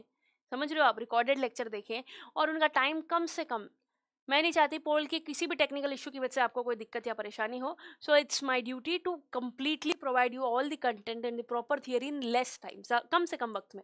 छः घंटे में पढ़ाना हो तो आराम से करते हैं ना, पोल पोल खेलते हैं बट हमें जल्दी करना है ना बेटा। Okay so second person third person के साथ हमने बताया शल कैसे यूज़ होता है? अब शल डिटर्मिनेशन की तरह भी और कंपल्शन की तरह भी। देखो डिटर्मिनेशन मतलब तुम्हें वहाँ कोई चीज़ में निष्ठा से मैं करना चाहता हूँ। देखो you shall go there he shall obey me you shall apologize for that मतलब उसको करना पड़ेगा। उसको करना पड़ेगा। समझ रहे हो आप सिचुएशन की डिमांड को? डिटर्मिनेशन के साथ कर रही हूँ मैं। पूरा मन लगा के, ज़ोर लगा के कर रही हूँ। Compulsion, you shall come at, to school at 10 member shall pay their fees by the 10th of every month तो अब आप बोलोगे, मैम मस्ट में भी कंपल्शन था शल में भी कंपल्शन है। जी हाँ हो सकता है। अगर तुम्हें कुछ समझ नहीं आ रहा तो तुम चिंता मत करो। पहले तुम थियरी पढ़ो एग्जाम्पल्स देखो लास्ट में समराइज वे में शॉर्ट वे में पॉइंट वाइज बता दूँगी, ये ये ये है। बट बेटा जिन्होंने अभी तक पढ़ा ही नहीं है, जिनको मॉडल्स क्या होते हैं पता ही नहीं, उनको सिर्फ़ थियरी मैं मतलब ऐसे दे के छोड़ नहीं सकती ना। समझ रहे हो आप इस बात को? थियरी करनी पड़ेगी। थियरी करनी पड़ेगी। आगे बढ़ते हैं अब। इंट्रोगेटिव सेंटेंसेस में शल यूज़ होता है। इंट्रोगेटिव सेंटेंसेस में भी शल यूज़ होता है। कैसे देखिए? Shall we go out Shall I open the window? Shall I be wasting in despair? Shall we carry the box into the room for you? Shall I thread the needle for you? तो तुम्हें अगर कुछ पूछना है कि तेरे लिए मैं ये करूँ क्या तेरे लिए मैं ये करूँ क्या shall I thread needle for you समझ रहे हो मैं तुम्हारे लिए कोई काम करूँ क्या तब ऐसे शल हम यूज़ कर सकते हैं विल और शल में डिफरेंस बताऊँगी बेटा, पहले एक बार शल फिनिश कर ले, फिर विल आ जाएगा, ठीक है तो shall indicate simple futurity in second person shall का मतलब यही है फ्यूचर में अगर हम बात करें सिंपल फ्यूचर में सेकेंड पर्सन का shall you go there simple future के टर्म में हम यूज़ कर सकते हैं। ठीक है? आई होप यूर अंडरस्टैंडिंग जितने एग्जाम्पल्स देखोगे, उस तरीके से आप चीज़ों को समझ पाओगे। I hope this is getting clear for you now. So interrogative sentences maybe shall indicate simple futurity, permission or desire of a person spoken to in the first person. तो क्या है ना बेटा first person second person third person ये जो चीज़ें हैं ज़्यादा रटने की ज़रूरत नहीं है सिचुएशन के हिसाब से जो मोस्ट ज़्यादा सूटेबल रहेगा वो आपके काम आएगा कोई भी आपसे ये थियरी पेपर में नहीं पूछेगा ये सिर्फ़ और सिर्फ़ बेटर अंडरस्टैंडिंग के लिए है ये बात समझ जाओ डरो मत इसको देखकर। मैम, ये सब याद करना पड़ेगा क्या? रटना पड़ेगा क्या? थियरी है, समझ लो, बाद में समझने के बाद दिमाग लगाकर जो बेस्ट सूटेबल है वो यूज़ करेंगे। ठीक? आगे बढ़ते हैं। शल एक्सप्रेस द कमांड और desire of the person spoken to in the third person अब थर्ड पर्सन के केस में shall he go shall the porter carry your box upstairs तो शल ही गो में डू यू विश और command him to go तुम order दे रहे हो क्या उसको जाने के लिए? समझ रहे हो आप? तो सेंटेंस को समझने की कोशिश करो, उसके पीछे का भाव, उसका एटीट्यूड उसका एक्सप्रेशन समझने की कोशिश करो okay shall the messenger wait do you want the messenger तुम चाहते हो कि वो तुम्हारा वेट करे, तब हम ऐसे शल करेंगे, ठीक है? विलिंगनेस मतलब चाहकर, अब आएगा विलिंगनेस शल के बाद जब हम विल को समझेंगे, तब हम जानेंगे, ठीक है? अब ना शल तुम्हें समझ आ गया शल का बिल्कुल ऑपोजिट होता है विल शल में क्या होता है ना, बेटा, कोई चांसेस होने के बहुत ज़्यादा बढ़ जाते हैं, पर विल में इच्छा। I will become a doctor one day बनेंगे, नहीं बनेंगे, मुझे नहीं पता, मेरी चाहत है कि मैं बन जाऊँ। विलिंगनेस चाहत। विल का मतलब होती है चाहत। मैं करना चाहता हूँ ऐसे वो होगा नहीं होगा, पता नहीं। He will win the first prize मेहनत करेगा अच्छा करे तो फ़र्स्ट प्राइज जीत जाएगा। Right you will be able to do it in no time तुम ऐसे चुटकियों में कोई काम कर लो अब अगला करे, ना करे, पता नहीं, हमें तो लगता है कि वो कर लेगा। Okay anyone will tell you the way to the Taj if you ask किसी से पूछ लो ताज का रास्ता बता देंगे। तो बहुत कॉमनली हम कह रहे हैं, हमें जो ज्ञान है उस हिसाब से हम बोलते हैं, ऐसा हो जाएगा, वैसे हो जाएगा। Will in the first person is use to denote अब देख। First person second person third person का जो लॉजिक शल में था ना, उसका ऑपोजिट विल में। अब देखो, सबसे पहले मैंने बताया कि विल वहाँ पे जो फ़र्स्ट पर्सन के साथ शल जैसे यूज़ हो रहा था, वैसे विल यहाँ सेकेंड और थर्ड पर्सन के साथ यूज़ हो रहा है। ही यू एनी वन देख पा रहे हो आप यहाँ पर? सिंपल फ्यूचर वहाँ फ़र्स्ट पर्सन के साथ सिंपल फ्यूचर आ रहा था। यहाँ सेकंड थर्ड पर्सन के साथ सिंपल फ्यूचर आ रहा है। अब आ रही है बात समझ में? देख रहे हैं कैसे ऑपोजिट है चीज़ें यहाँ पर। अब सेम वही चीज़ डिटर्मिनेशन थ्रेट वो जो हमने पढ़ा था ना, वही यहाँ पर भी आएगा। देखना। तो फ़र्स्ट पर्सन में कैसे? जैसे वहाँ पर सेकेंड और थर्ड पर्सन में, वहाँ यहाँ पर फ़र्स्ट पर्सन में। Determination I will do as I like we will not submit I will succeed और डाई इन द अटेम्प्ट तो मेरे में डिटर्मिनेशन है कोई चीज़ करने की, चाहत है कोई चीज़ करने की। यस एक बढ़िया बच्चा कह रहा है I become an I S officer भगवान करे ऐसा ही हो। याद है? प्रॉमिस थ्रेट डिटर्मिनेशन जो चीज़ें वहाँ थी, वो यहाँ भी है अब। देखो I will help you I will behave better next time तो मैं ये कह रही हूँ कि मैं प्रॉमिस करती हूँ कि मैं ऐसे करूँगी। अब होगा, नहीं होगा, मेरी इच्छा है करने की। तो तुम्हें यहाँ रटने की, डरने की टेंशन की ज़रूरत ही नहीं है। विल और शल दोनों ही फ्यूचर में यूज़ होंगे, पर विल में चाहत आ जाती है और शल में होगा ही ऐसा हमें लगता है। ठीक है? चाहत आ जाती है। So threat I will exposure मैं इसका पर्दाफाश कर दूँगी। सीरियल में नाटक में नहीं बोलते। अब होगा, नहीं होगा, उसकी इच्छा है करने की। I will dismiss you if you come late again अगली बार तू लेट आया ना तो मैं तेरे को डिसमिस कर दूँगी। ऐसे बोल बोल के बोल बोल के कितनी बार बोल देते हैं? है ना? धमकी दे देते हैं। समझ रहे हो कि नहीं? Yes I will punish you if you don't behave yourself बता रही हूँ मैं तुम्हें बोरिंग बोरिंग बोला है ना तो I will punish you boring है तो करे क्या? पेपर में आ रहा है ये. सिलेबस में है अपने ये. इंग्लिश में बोलने में बेजती हो जाएगी फिर, ये पता नहीं है तो. मैडम एक बच्चे आपसे इंग्लिश में बात करते और तुम बोलते हो, इल्ला आई डोंट नो तो मतलब क्यों? जब टीचर पढ़ा रही थी ना ये तो मैं बोला बोरिंग और मैं बढ़िया इंस्टा पे रील देख रहा था, इसीलिए मैं बात नहीं कर सकता अब। मुझे ये नहीं पता विल और शल में डिफरेंस क्या है? क्योंकि जब टीचर पढ़ा रही थी, मैं बोरिंग बोरिंग बोल के कट लिया था। तो बेटा जी सॉरी टू से बोरिंग हो या आसान? मुश्किल हो या बहुत मुश्किल? जो ज़रूरी है वो तो करना पड़ेगा, है ना?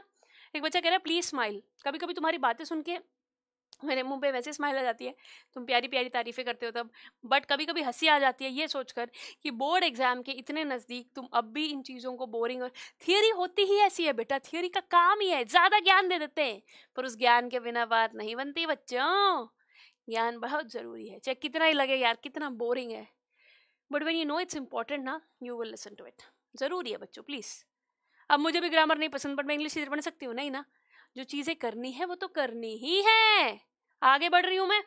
विलिंगनेस जैसे कि मैंने कहा, मेरे में इच्छा है I will lend you my pen मैं देती हूँ तुझे मेरा मैं पढ़ाऊँगी तुझे पूरा ज़ोर लगा के। मैं I will teach you well ऐसे। I will do this for her sake उस बच्चों के लिए हम करते हैं, बुरी सी बुरी चीज़ भी हम करते हैं। समझ रहे हो? बुरी इन द सेंस, मुश्किल, बोरिंग, अनइंटरेस्टिंग चीज़ें भी हम करते हैं आपके लिए। ओके? तेरे लिए हाँ तेरे लिए, पढ़ा देते हैं तेरे लिए, मुश्किल आए तो भी टिके रहते हैं तेरे लिए। जी हाँ एक एक बच्चा जो यहाँ जुड़ा हुआ है, जिसकी ग्रामर की हालत ख़राब है, उसको थियरी प्रोवाइड तो करना ही पड़ेगा। तो जिसे समझ नहीं आ रहा, जो मैंने अभी आपको समझाया है correct usage of will and shall correct usage of will and shall तो फ़र्क जैसे कि मैंने आपको बताया यहाँ पर, आपको सेंटेंसेस के साथ मुद्दे की बात यही है। आपको मैं ये कहना चाहूँगी, आपको मैं ये कहना चाहूँगी कि विल के लिए आप याद रखो चाहत।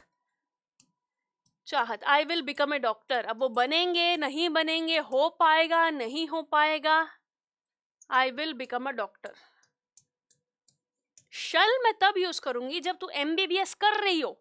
और पता है कि ये होगा। She shall become a doctor जब भाई लग रहा है हाँ ये लड़की कर रही है, मेहनत कर रही है, क्योंकि एम तो हो गई तो पास तो हो ही जानी है she shall become a doctor समझ रहे हो आप? रिपोर्टेड स्पीच भी कराएँगे बेटा, बिल्कुल कराएँगे, चिंता मत करो। लेटर भी कराएँगे एनालिटिकल पैराग्राफ भी कराएँगे, बिल्कुल कराएँगे। आगे बढ़ रहे शुड शुड शल का पास्ट इन शुड विल का past in word clear everybody shall का पास्ट इन शुड विल का पास्ट इन शुड तो ये बात आपने को पता होना चाहिए। और बेटा, शुड को याद रखना टू एक्सप्रेस जैसे कि मैंने कहा it is the past form of shall it is the past form of shall और कई बार ड्यूटी को एक्सप्रेस करने के लिए ज़िम्मेदारी बतानी। You should listen to the class carefully you should not talk irrelevant things मैं आपको बता रही हूँ कि तुम्हें ऐसा नहीं करना चाहिए। समझ रहे हो आप? यस. तो yes we should help the poor we should obey the laws of the country तुम्हें ऐसा करना चाहिए। ओके? Okay? एडवाइस जब हम देते हैं तो शुड यूज़ करते हैं। अपनी तरफ़ से जब एडवाइस देते हैं, तब हम शुड यूज़ करते हैं। और कोई ऐसी ड्यूटी हो जो पास्ट में आपको ऐसा करना चाहिए देख I should have attended the meeting yesterday but I forgot all about it मुझे ना मीटिंग अटेंड कर लेनी चाहिए थी। I should have done that past में कोई काम है तो पास्ट टेंस में जैसे कि मैंने कहा शल का पास्ट टेंस शुड है तो पास्ट में आप उसको कर सकते हैं।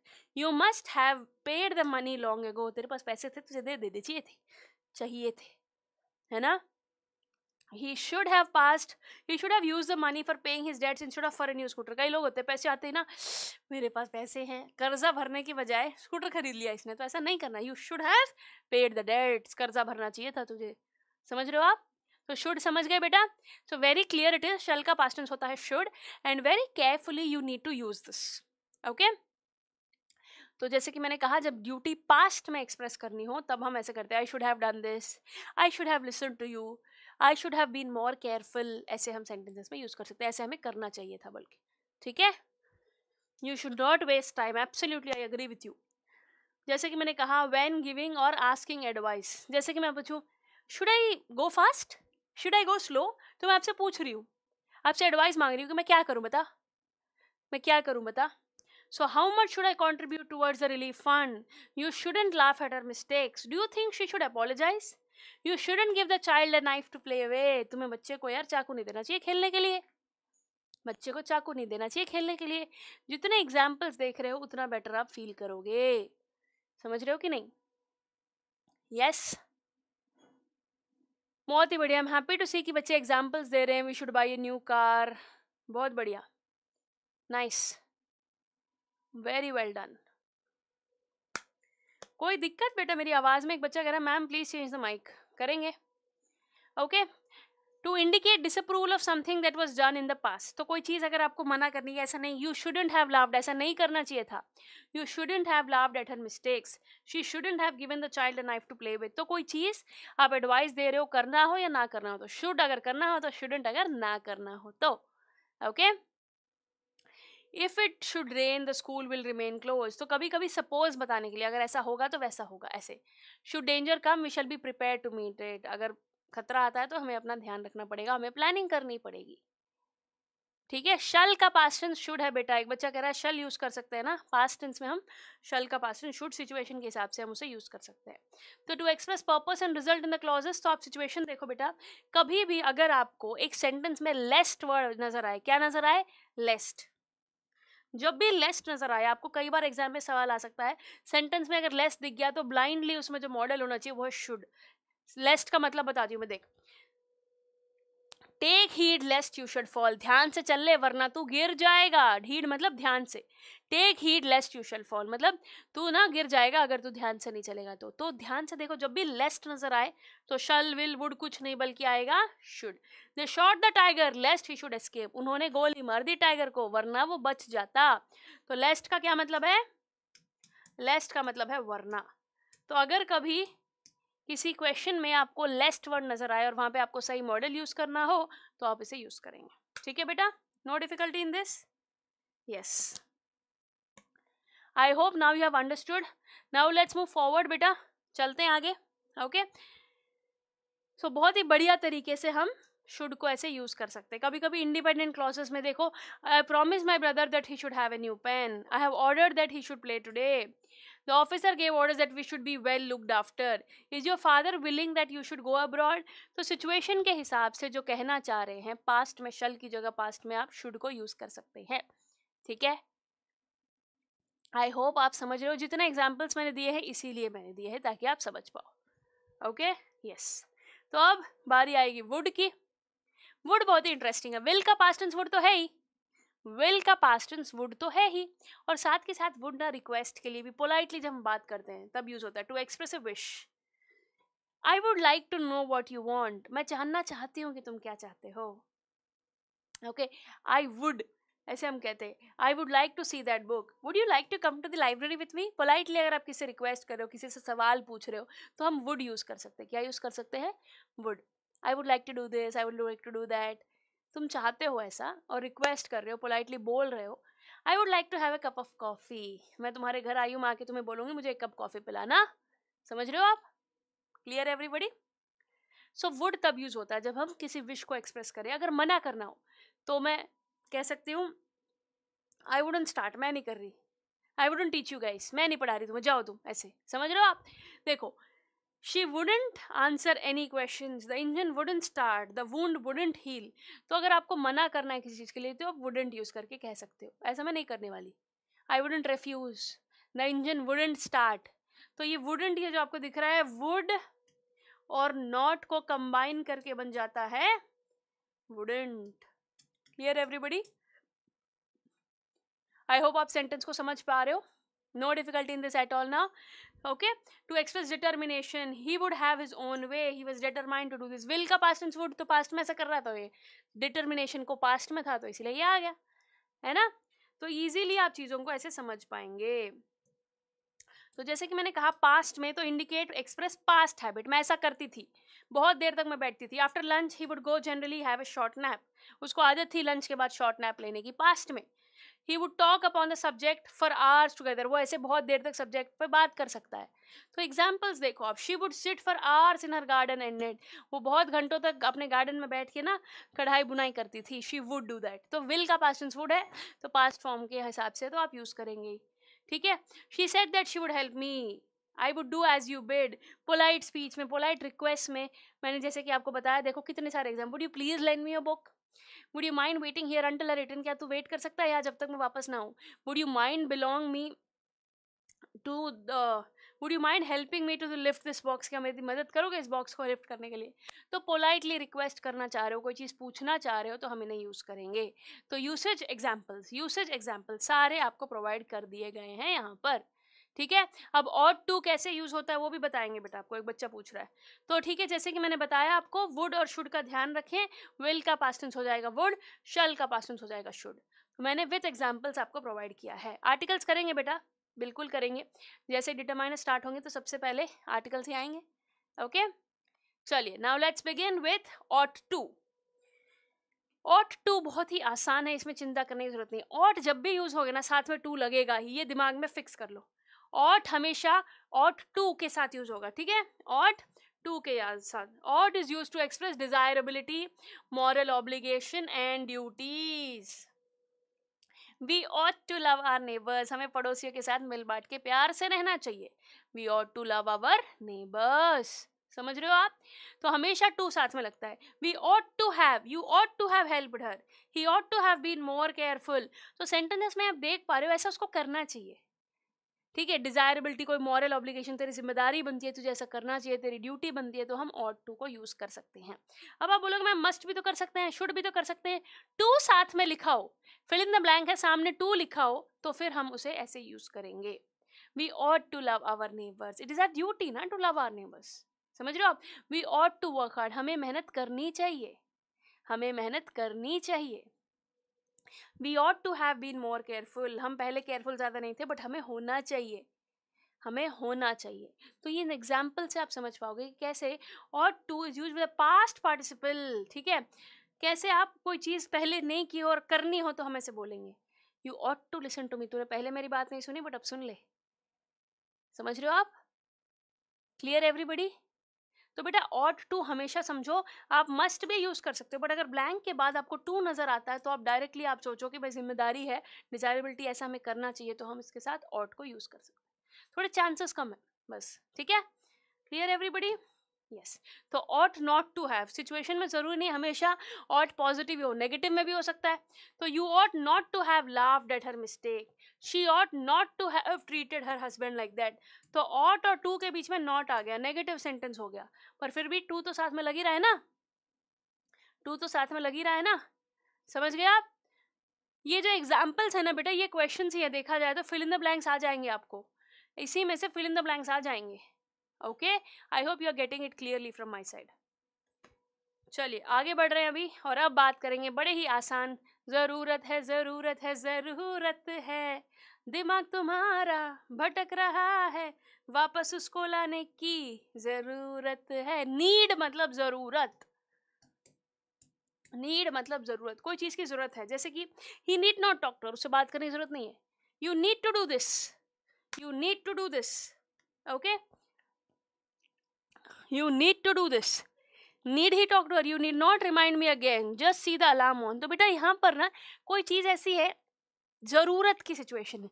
हिंदी में नीड को ज़रूरी कहेंगे। ऐसा करना चाहिए या नहीं करना चाहिए? You need not talk to me तुम्हें मुझसे बात करने की ज़रूरत नहीं है। समझ रहे हो आप? तब हम नीड को यूज़ करते क्लियर एवरीबडी क्वेश्चंस होंगे बेटा? चैट सेक्शन में आप आंसर दोगे, बिल्कुल दोगे। कुछ बच्चे कह रहे, फास्ट पढ़ा है कुछ बच्चे कह रहे, स्लो पढ़ा है सब कुछ कंटेंट आपको देंगे, जो भी इंपॉर्टेंट है, मैं मेरी पेज में आपको पढ़ाऊँगी। फास्ट वाले स्पीड बढ़ा लेना बाद में और स्लो वाले स्पीड घटा लेना और रिकॉर्डेड सेक्शन में देख लेना, ठीक है? अभी के लिए समझिए कि जितना बच्चों के साथ में चल सकती हूँ, उस हिसाब से मैं चलूँगी, ठीक है? He did not have return such a detailed essay I do not need to write him anything I won't need to attend the court तो सिचुएशन के हिसाब से नीड के आगे टू भी लगाना पड़ सकता है बट ज़रूरी नहीं कि हर बार लगे ही लगे। ज़रूरी नहीं कि हर बार लगे ही लगे। समझ रहे हो आप? नेगेटिव सेंटेंस में you need not play with me you need not do this तो बहुत आसान है आपको सिचुएशन में सेंटेंसेस में देखकर, अगर ज़रूरी फील हो रहा है। सेंटेंस पढ़ के तुम्हें लग रहा है कि भाई नीड है, ज़रूरत है, तब हम इसे यूज़ करेंगे। वी नीड टू स्टडी सही बात है, बिल्कुल सही बात है। I need to work hard बहुत बढ़िया बच्चे एग्जाम्पल्स भी बना रहे हैं। Very good guys very good very good और अब बारी आ जाएगी हैव टू की। हैव टू तो बहुत आसान है आई होप सबको पता है है ना? हैज़ हैव हैड बचपन में सीखा है तुमने? जनरली हैज़ सिंगुलर के लिए यूज़ होता है हैव प्लूरल के यूज़ होता है, और इन दोनों का पास्ट टेंस है हैड और इन दोनों का पास्ट टेंस है हैड क्लियर एवरीबडी एग्जाम्पल्स और लाओ। हर एक के साथ चार चार, पाँच पाँच एग्जाम्पल्स है बेटा, अगर देखा जाए तो।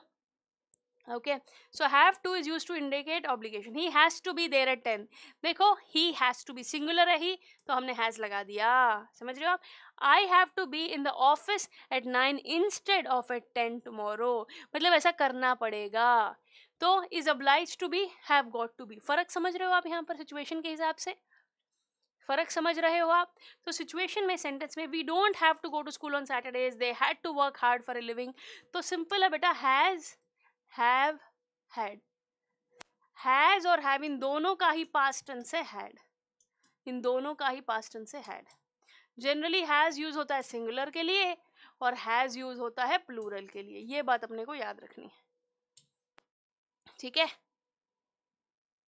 और फ़र्स्ट पर्सन के केस में आपको ध्यान रखना देखो I have to attend her wedding तो आई है सिंगुलर होने के बावजूद भी, क्योंकि फ़र्स्ट पर्सन है और यहाँ पर हम सिचुएशन ऐसी है तो हम ऐसे यूज़ कर रहे हैं। Clear everybody? सेंटेंसेस में एग्जाम्पल्स देखोगे तो समझोगे। As main verb you need to understand बेटा, कि सिचुएशन में कैसे हमें नहीं we don't have to go to school on Saturdays.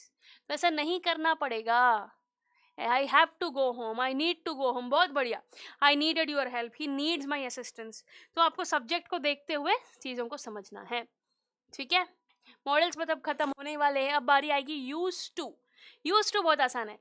You used to listen to the class carefully you used to कोई चीज़ पहले करते थे। यूज़ टू मतलब पास्ट और यूज़ हमेशा टू के साथ लगेगा, ये याद रखना। It is always used with to के साथ लगेगा there used to be a building here before the war जंग से पहले यहाँ पर बिल्डिंग थी। समझ रहे हो? जंग से पहले यहाँ पर बिल्डिंग थी। She used to play chess before her marriage शादी से पहले वो खेलती थी चेस यूज़ टू ऐसा होता था। Okay I used to teach chemistry on P W earlier समझ लो आप कोई चीज़ हम करते थे ऐसे। I am used to taking tea in the morning मुझे आदत है सुबह सुबह चाय पीने की। आदत! यूज़ टू पहले तभी करोगे ना जब उसकी आदत हो। I am not used to hot climate मैं साउथ में रही हुई हूँ। वो भाई साहब नॉर्थ की ठंडी मुझे आदत नहीं है। समझ लो I I am not used to a cold climate I am not used to a hot climate he is used to reading newspaper with morning tea इसको आदत है रोज़ सुबह चाय पीने की न्यूज़ पेपर के साथ में। थी। अब नहीं है he is used to okay he is used to clear everybody समझ रहे हो आप? तो यूज़ टू मतलब पास्ट हैबिट्स के लिए कोई चीज़ अगर ऐसा होता था पहले और अब नहीं होता है तो हम यूज़ कर, जल्दी बताइए। यूज़ टू समझ गए हो थम्स अप दीजिए मुझे क्या जल्दी से। I used to love you ma'am oh, क्यों? पहले करते थे, अब नहीं करते? अच्छा तुम्हें पतली मैम पसंद थी, मोटी नहीं पसंद। ये कहना चाह रहे हो तुम। तुमने पहले जब मेरा बेबी हुआ ताज़ा ताज़ा तब मुझे देखा नहीं, मैं जम्बो हो गई थी अब तो फिर भी ठीक हूँ पता है क्या? So if you used to love me I am happy I hope you love you love me आगे भी। चलो आगे बढ़ते हैं। यस yes, बच्चों प्यार बरसाते हुए बच्चे थम्सअप देते हुए बच्चे। हाँ जी। और जिन बच्चों को लग रहा है कि मैम हमें थोड़ा मुश्किल लग रहा है उनको मैं एक ही बात कहना चाहूँगी कि तुम मॉडल्स किसी भी किताब में खोल के देख लो इंग्लिश की क्योंकि अपने लिटरेचर में तो है नहीं टेक्स्ट बुक में तो। टॉपिक ग्रामर टॉपिक होगा, समझ रहे हो आप? तो आप किसी भी बीबीसी कंपैक्टा ले लो अरिहंत की बुक ले लो प्रैक्टिस बुक ले लो, जहाँ पे अपने को समरी पीडब्ल्यू की हमारी बुक ले लो, हर जगह बस ये है कि तेरह वर्ड्स हैं और उन तेरह वर्ड्स के यूसेज दे रखे बस एग्ज़ाम्पल के साथ। Thirteen words with usage and examples thirteen words with usage and examples बस। समझ रहे हो आप? आपको इतना ही जानना है। सेंटेंस आपको दिया जाएगा ब्लैंक को आपको फिल करना है कि कौन सा मॉडल सूटेबल है। और उसके लिए आपको थियोरी पढ़नी है एग्जाम्पल्स देखने थियोरी पढ़नी है एग्जाम्पल्स देखने, बस। चलो बहुत ही बढ़िया बच्चे बताते हुए कि भाई हाँ हमें समझ आ रहा है हम सब दे रहे हैं।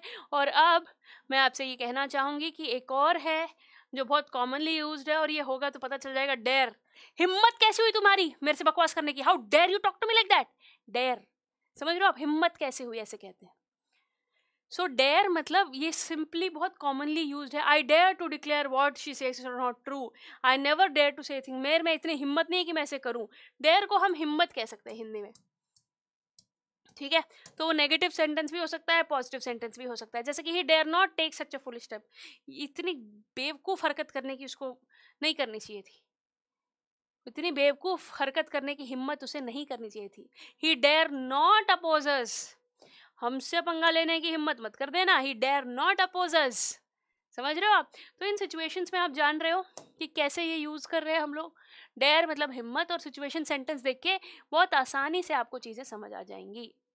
बहुत आसानी से आपको चीज़ें समझ आ जाएँगी। Clear everybody? यस, एक बच्चा exam, how dare you touch my face? किसमें इतनी हिम्मत है बेटा? बिल्कुल। डेयर समझ रहे हो बेटा, बहुत आसान है। ठीक है, नेगेटिव सेंटेंस के साथ भी यूज़ हो सकता है, पॉजिटिव सेंटेंस के साथ भी यूज़ हो सकता है। वहीं यहाँ पर एग्ज़ाम्पल के साथ आपको टेक्निकल टर्म भी यहाँ पर दे रखा है कि कैसे डेयर मतलब करेज, यानी कि हिम्मत। ओके? पास्ट टेंस में अगर हम बात करें they dare not stay such things the roads were covered with ice yesterday they dare not take their car out they were afraid of an accident they dared not go very fast बहुत कम use होता है, पर past tense में dare का dared D A R E D ठीक है? सब मिक्स हो रहा है। बिल्कुल सही कहा बेटा आपने, सब मिक्स होना ही पड़ेगा, क्योंकि पेपर में भी सब मिक्स ही होगा, है ना? डेयर और नीड में बहुत फ़र्क है। डेयर हिम्मत आ जाती है नीड ज़रूरत आ जाती है। ठीक है? और इंट्रोगेटिव सेंटेंस में how dare you do such thing how dare you speak against your teacher how dare you ऐसे। How dare you ride a cycle without brakes क्या होगा भगवानी मालिक है फिर? How dare you do this है ना? क्लियर एवरीबडी एक बच्चा how dare you comment down अच्छा जी कमेंट करने के लिए तो हिम्मत नहीं, बस हाथ में फ़ोन और दिमाग में थॉट होना चाहिए, कोई भी कुछ भी बोल सकता है। कमेंट के लिए तो हिम्मत चाहिए ही नहीं किसी को, कुछ भी बोल सकता है, कोई भी बच्चा, कभी भी। और हम सराखों पर लेते हैं इन चीज़ों को राइट सो so, बेटा अब मॉडल्स को अगर हम देखें इस इमेज को दिमाग में रखो।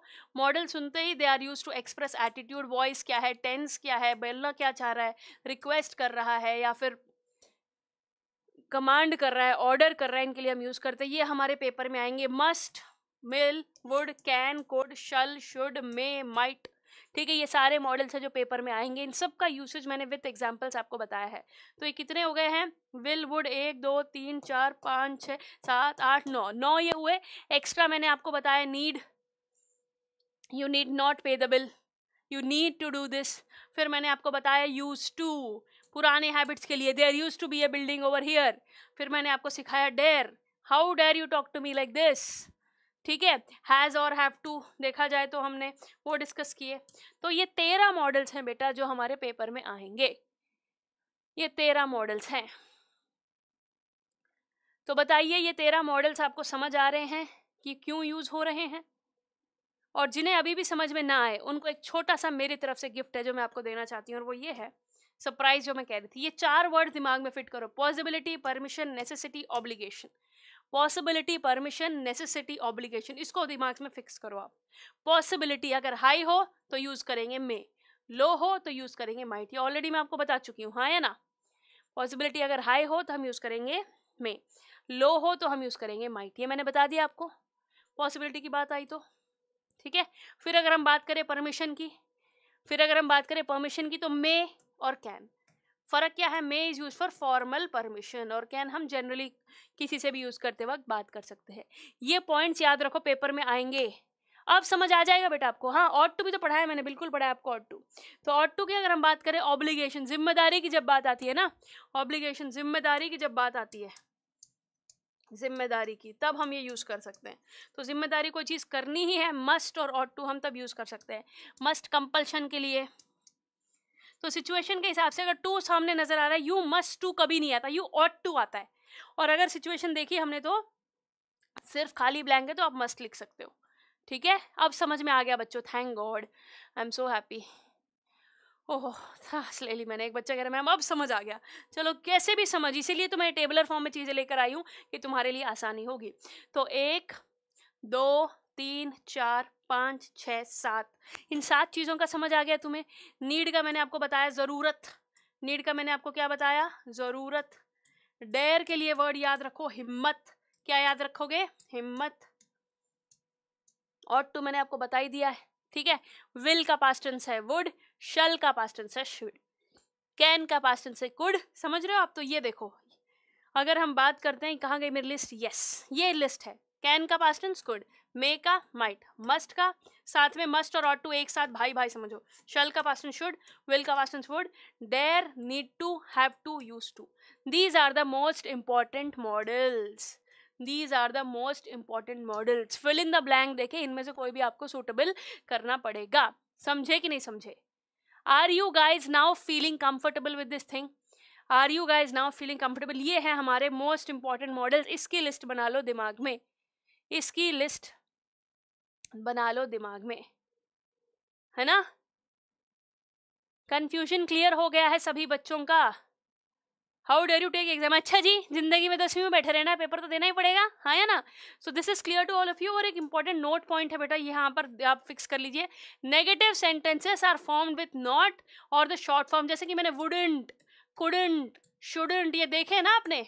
ये वुड नॉट की जगह एन का ऐसे हम लिख देते हैं शुडेंट तो ये बात आई होप पता होगी, जिसको नहीं पता वो मैंने पॉइंट फॉर्म में यहाँ पर नोट करके बता दिया है। एक और point model verbs have only one form they have no ING और ईडी एक बात याद रखना, कभी भी शुडिंग समझ रहे हो आप?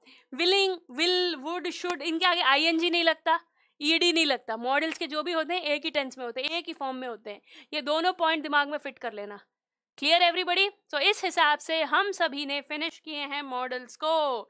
इस हिसाब से हम सबने फिनिश किए हैं मॉडल्स को। और अब तुम्हारा बड़ा मन था मैम पी वाई क्यू कराओ, सवाल कराओ। और जिसको लगता है कि मुझे आ गया है, उनको सवालों में पता चल गया ठीक से आ गया कि नहीं। और जिसको लगता है कि नहीं समझ आया है, वो जब आप क्वेश्चन देखोगे पेपर में कैसे आएँगे, उससे समझ आ जाए। Are you ready for the question are you ready for the questions quickly let me know हाँ जी। नाइन्टी परसेंट समझ आ गया। ठीक है, बाकी ten percent I am happy कि इतने कम वक्त में, साल के एंड में मैं करा रही हूँ आपको आपको नाइन्टी परसेंट समझ आ गया तो लेट्स सी अच्छी बात है, टेन परसेंट प्रैक्टिस से आ जाएगा क्वेश्चन की प्रैक्टिस से आ जाएगा। Okay yes thank you ma'am for your kindness well done you are willing to do this yes let's answer some question repeat must must तो बेटा, कोई चीज़ कंपल्शन याद रखो मस्ट के लिए, करना ही पड़ेगा। मस्ट बिल्कुल कंपल्शन है, और टू उसका छोटा भाई है। और टू छोटा भाई, जैसे कि वी और टू ओबे आर एल्डर्स करना चाहिए, वैसे तो अब करे ना करो। अब तुम्हारा पापा की बात तुमने सुना, गुस्से में यू मस्ट लिसन टू भी बोलता है। एक हम जनरली बोलते हैं वी मस्ट समझ रहे हो अब you ought to listen to your parents तो मस्ट और ऑट टू दोनों का मतलब एक ही है। तो अगर ब्लैंक के बाद टू नज़र आए तो ऑट लिख सकते हो, और अगर टू नहीं है तो आप मस्ट लिखना। सिचुएशन को पढ़ के देखना कितनी ज़्यादा कंपल्शन है, उस हिसाब से मस्ट या फिर ऑट टू डिसाइड करना। ठीक है? चले फिर yes you are ready so first question on your screen confuse करने के लिए बहुत परेशान करेंगे आपको अलग अलग एमसीक्यूज में, आपको फिल इन द ब्लैंक्स में दे सकते हैं, आपको एरर करेक्शन में दे सकते हैं। तो सबसे ज़्यादा जो कन्फ्यूज़न क्रिएट होता है, वो होता है एमसीक्यूज में। तो कुछ एमसीक्यूज लाई हूँ मैं आपके लिए। पहला सवाल आपकी स्क्रीन पर ये रहा। The dress suits her style she dash like it the dress suits her style she dash like it option A can, option B could, option C will, option D may. चार options है, सवाल आपके screen पर है तो आप सभी को मैं बताना चाहूँगी, जैसे ही आप एक मल्टीपल चॉइस क्वेश्चन देखो, चारों ऑप्शंस को पढ़े बिना आंसर को डिसाइड कभी मत करो। चारों ऑप्शंस को पढ़े बिना आंसर को डिसाइड नहीं करना है। हमें थोड़ा सा सोच समझ कर सही तरीके से चीज़ों को लेना है, सारे ऑप्शंस को लगा के देखना है सब्सिट्यूट करके क्या सूटेबल लग रहा है। जैसे ही तुम लगा के देखोगे, तुम समझ जाओगे कि अरे, ये तो गलत है। जैसे समझ के गलत है तो उसको एलिमिनेट कर दो, ठीक है? और फिर जो आपको बेस्ट सूटेबल लग रहा है, उनमें से सोच समझ कर आंसर करो। देखो, the this dress suits her style, she can definitely like it. She could definitely like it she will definitely like it या she may definitely like it अब ज़रा स्कोर से अगर हम देखें बेटा मे पॉसिबिलिटी के लिए यूज़ होता है या फिर परमिशन के लिए यूज़ होता है? और यहाँ पर दोनों ही नहीं हो रहा है। देखा जाए तो। पूरे चांसेस है कि अगर उसकी स्टाइल को सूट करे उसको पसंद आएगी ही आएगी। She will definitely like it हमें फ्यूचर की बात करनी है यहाँ पर।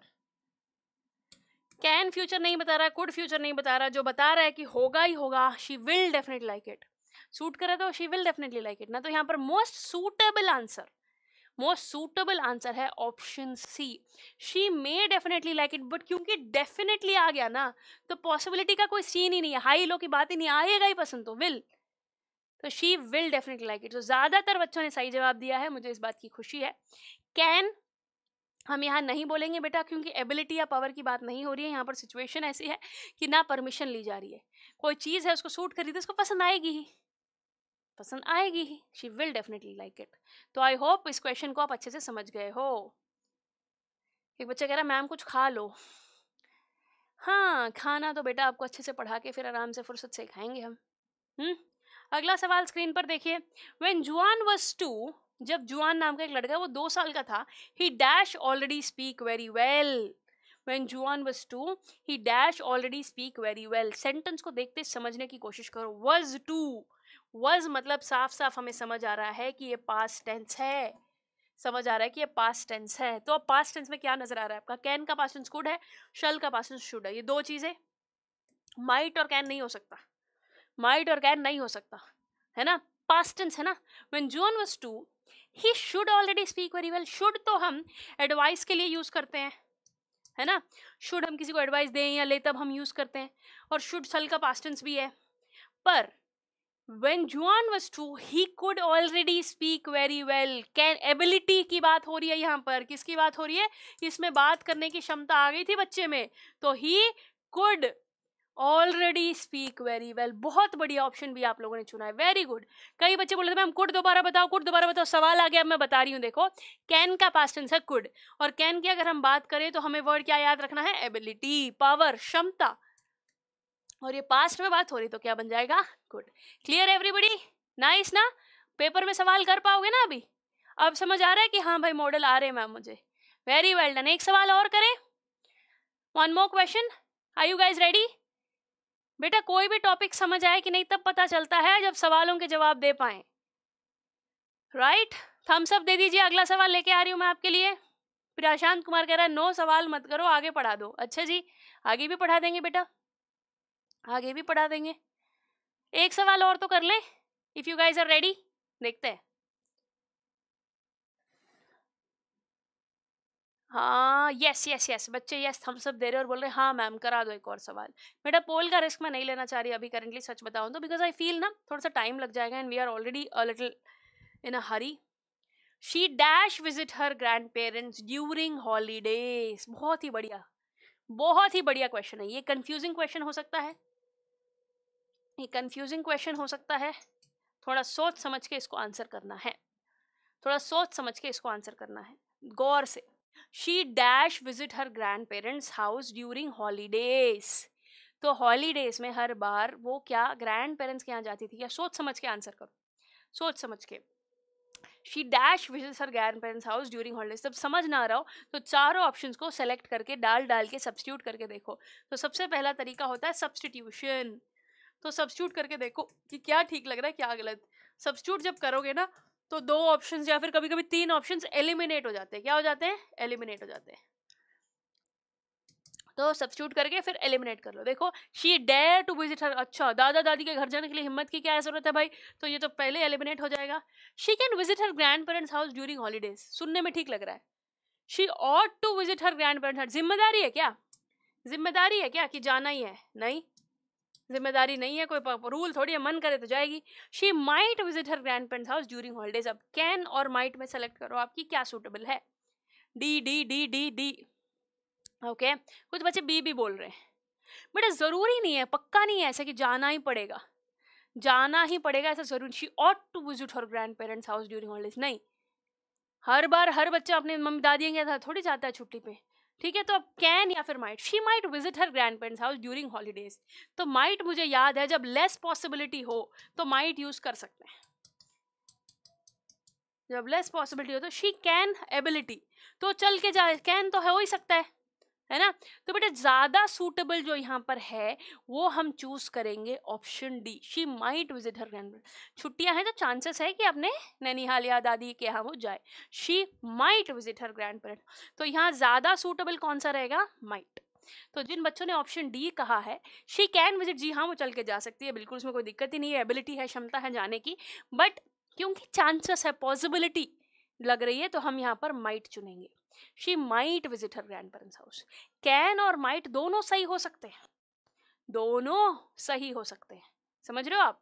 बट मोर सुटेबल की अगर हम बात करें she can visit her grandparents house during holidays yes तुम अगर वो तुमसे क्वेश्चन पूछ रही है कैन आई विज़िट तो जी हाँ शी कैन विज़िट बट अगर जनरल स्टेटमेंट है तो शी माइट विज़िट एक पॉसिबिलिटी है कि ये जा सकती है। ठीक है बेटा? Yes yes. एक सवाल और, बहुत ही बढ़िया तरीके से। एक आखिरी सवाल आज के लिए। Dash I talk to the manager dash I talk to the manager question है यहाँ पर। किसी चीज़ के बारे में क्वेश्चन किया जा रहा है। क्वेश्चन बार दिखा। Dash I talk to the manager देखे तो परमिशन मांगी जा रही है यहाँ पे। Might I talk to the manager may I talk to the manager could I talk to the manager या shall I talk to the manager अब बताओ इसका सही जवाब क्या है? अब बताओ इसका सही जवाब क्या है? जल्दी बताओ। एक और क्वेश्चन ले आई हूँ मैं आपके साथ। बेटा, जब फॉर्मल परमिशन की बात हो, आपसे कुछ पूछा जा रहा हो कि may I talk to the manager क्या मैं मैनेजर से बात कर सकता हूँ? तो हम यहाँ पर could I talk shall I talk might I talk तो पहले माइट को एलिमिनेट कर दो। शल को एलिमिनेट कर दो। May I talk could I talk बात तो कर ही सकते हो। बात तो कर सकते हो। एबिलिटी है पास्ट में थोड़ी। अभी हमें करनी है, हम परमिशन ले रहे हैं तो हम चुनेंगे ऑप्शन बी को। May I talk to the manager अभी फॉर एग्ज़ाम्पल तुम ना सेल्स एक दुकान में गए और जो ये सेल्स करने वाला ना बंदा ठीक नहीं है, उसने कुछ गड़बड़ कर दी, तुम मैं talk to the manager manager को बुलाओ तुम, उससे बात करूँगा मैं। ऐसे पूछते हैं हम लोग, ठीक है? यस बहुत ही बढ़िया। एक सवाल और आखिरी, और फिर हम चलेंगे अगले टॉपिक की तरफ़। आखिरी सवाल मॉडल्स है और फिर अगले टॉपिक की ओर चलेंगे। क्वेश्चन पढ़िए। During peak hours it dash take more than two hours अच्छा सवाल है ये। ये वन ऑफ़ दी मैं कह सकती हूँ गूगली है आपके लिए। आपके लिए गूगली है, देखते हैं आप इस गूगली में। मतलब आप आउट, डक आउट हो जाते हो या फिर सिक्सर मारते हो। It during peak hours, it dash take more than two hours. Peak hours हैं तो कितना वक्त लगेगा? सोच समझ के। It shall take more than two hours, it should take more than two hours, it can take more than two hours, या फिर it will take more than two hours. सोच समझ के आंसर दीजिए। यहाँ पर बेटा आपका काम ही है। मतलब एग्जामिनर क्वेश्चन ही ऐसा बनाएगा कि आप कंफ्यूज हो जाए। एग्जामिनर क्वेश्चन ही ऐसा बनाएगा कि आप कंफ्यूज हो जाएँ बट आपको कंफ्यूज होना नहीं है। During peak hours it dash take more than two hours तो जल्दी बताइए पीक आवर्स है मतलब ऑब्वियसली बहुत ज़्यादा भीड़ होगी ही तो वक्त भी ज़्यादा लगेगा ही। लगेगा ही। तो अब ध्यान से देखो it should take more than two hours it shall take more than two hours it will take more than two hours it can take more than two पूरे चांसेस है, पूरे चांसेस है कि ऐसा होगा। यहाँ पर हम एबिलिटी की बात नहीं कर रहे हैं। It will take more than two hours ऐसा मुझे लगता है कि दो घंटे ज़्यादा लग ही जाएँगे। ज़्यादा पॉसिबिलिटी किस चीज़ की है? ए या फिर डी ज़्यादातर बच्चे इसी में कंफ्यूज हो रहे it should take more than two hours भी हम नहीं बोलेंगे, ठीक है? शल टेक मोर शल और शुड को हम रहने देते हैं, यहाँ पर ज़्यादा सुटेबल है नहीं। ए और डी में सोचो it can take more than two hours it will take more than two hours पक्का श्योर है क्या हम लोग? पक्का श्योर है क्या हम लोग? बताओ।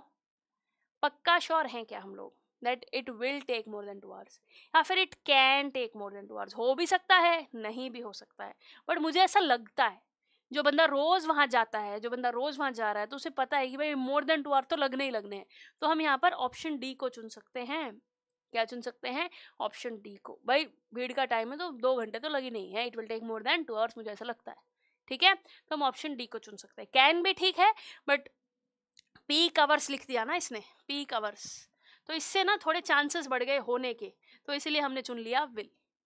इसलिए हमने चुन लिया विल। ठीक है बेटा जी? चलें फिर आगे बढ़े। अगला टॉपिक हमारा, अब हम शुरू करने वाले हैं डिटरमाइनर्स तो all my students quickly tell me models we have done for today practice sheet में मॉडल्स है और क्वेश्चन है पी वाई क्यूज और मैं आपको भेज रही हूँ, चिंता मत करो. प्रैक्टिस जितनी करोगे, उतनी कंफर्टेबल फील करोगे. तो प्रैक्टिस शीट में आपको प्रोवाइड कर दिए जाएँगे. प्रोवाइड कर दिए जाएँगे. क्या प्रोवाइड कर दिए जाएँगे? मॉडल्स में और भी प्री वाई क्यूज ठीक है? तो अब जल्दी से आगे बढ़े। पी और बेटा बहुत सारे हम कर सकते हैं, बहुत प्रैक्टिस कर सकते देखा जाए तो हर एग्ज़ाम्पल एक सवाल है। हर एग्ज़ाम्पल एक सवाल है। हाँ या ना? क्लियर एवरीबडी तो अब हम आगे बढ़े और अब हम पढ़ाएँगे आपको डिटरमाइनर्स क्या पढ़ाएँगे हम? डिटरमाइनर्स तो शुरू करें। यस एक बच्चा बहुत सही कह रहा है कि कॉमन सेंस होना चाहिए। कई बार कुछ बच्चे बिना थियोरी करे, बिना ग्रामर पढ़े, बिना रटे, बिना प्रैक्टिस करे जाकर बेसिक कॉमन सेंस से चीज़ों को आंसर कर लेते हैं। बट ज़रूरी नहीं कि हर बार कॉमन सेंस साथ दे। बट ज़रूरी नहीं कि हर बार कॉमन सेंस साथ दे। समझ गए आप इस बात को? ठीक है तो अगर थियोरी करके जाओगे तो गलती होने के चांसेस ना के बराबर हो जाते हैं। बिना कुछ पढ़े रिस्क नहीं ले सकते ना बेटा राइट सो डिटरमाइनर्स को शुरू हम करने वाले हैं बेटा, ठीक है? डिटरमाइनस को, शल मतलब पूरे चांसेस कि हो जाएगा, विल मतलब चाहत, ठीक है? शल मतलब हंड्रेड परसेंट, विल मतलब कि तुम्हें लगता है कि हो जाएगा, बट हो ना हो, पता नहीं, ठीक है? So now we are going to start determiners तो सेवन ट्वेंटी फोर हुआ है तो मैं आपको फाइव मिनट्स का ब्रेक देना चाहूँगी सेवन थर्टी पे हम मिलेंगे और फिर डिटरमाइनर्स को हम शुरू करेंगे। तो सारे बच्चे आ जाइएगा, मेरे साथ जुड़ जाइए। ठीक है? पाँच मिनट बाद पानी वानी पी लीजिए सभी को। जो भी आप करना चाहो कर सकते हो। पाँच मिनट बाद हम मिलने वाले हैं। ठीक है everybody so your time starts now and I request you all बेटा जी डिटरमाइनर्स बहुत क्रिटिकल टॉपिक है। इसमें भी एरर करेक्शन कराऊँगी, सवाल करवाऊँगी, बहुत सारे एग्जाम्पल्स होने वाले हैं। बहुत सारे वर्ड्स हम डिस्कस करेंगे तो बहुत इंपॉर्टेंट है। ठीक है?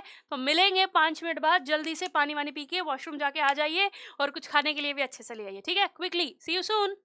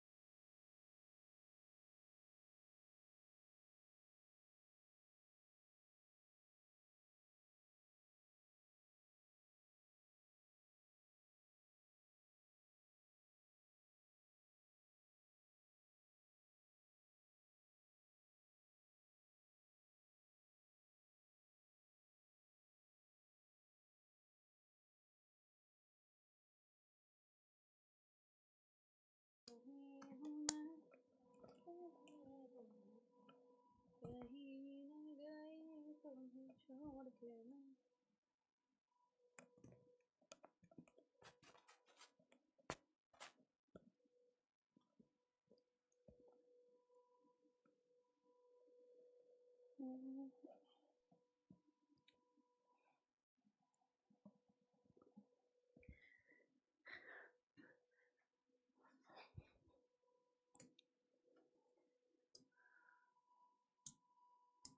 so guys am I audible and visible to you हाँ जी। आ जाइए जल्दी। कितने प्यार से मुझे एक बच्चा बोल रहा है, आजा मोटी। ओह सो स्वीट ये तुम्हारा प्यार है मेरे लिए हाँ। ठीक है भाई, घर में ही बोला जाता है ऐसे। कोई नहीं अब बोल रहे हो तो ठीक है। एक बच्चा कह रहा है, जेठालाल, आजा पागल। अरे बेटा, जो लाइफ में कामयाब होते हैं, वो पागल होते ही हैं। बिल्कुल। ओह शिट मेरा गाना सुन गया क्या तुम्हें?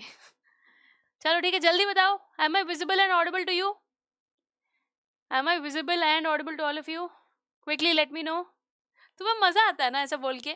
अगर तुम खुश हो ना यार, मुझे तुम्हारी खुशी चाहिए। अगर तुम्हें कुछ ऐसा बोल के खुशी मिल रही है, ज़िंदगी में कामयाबी मिल रही है तो खुल के, कोई दिक्कत नहीं है।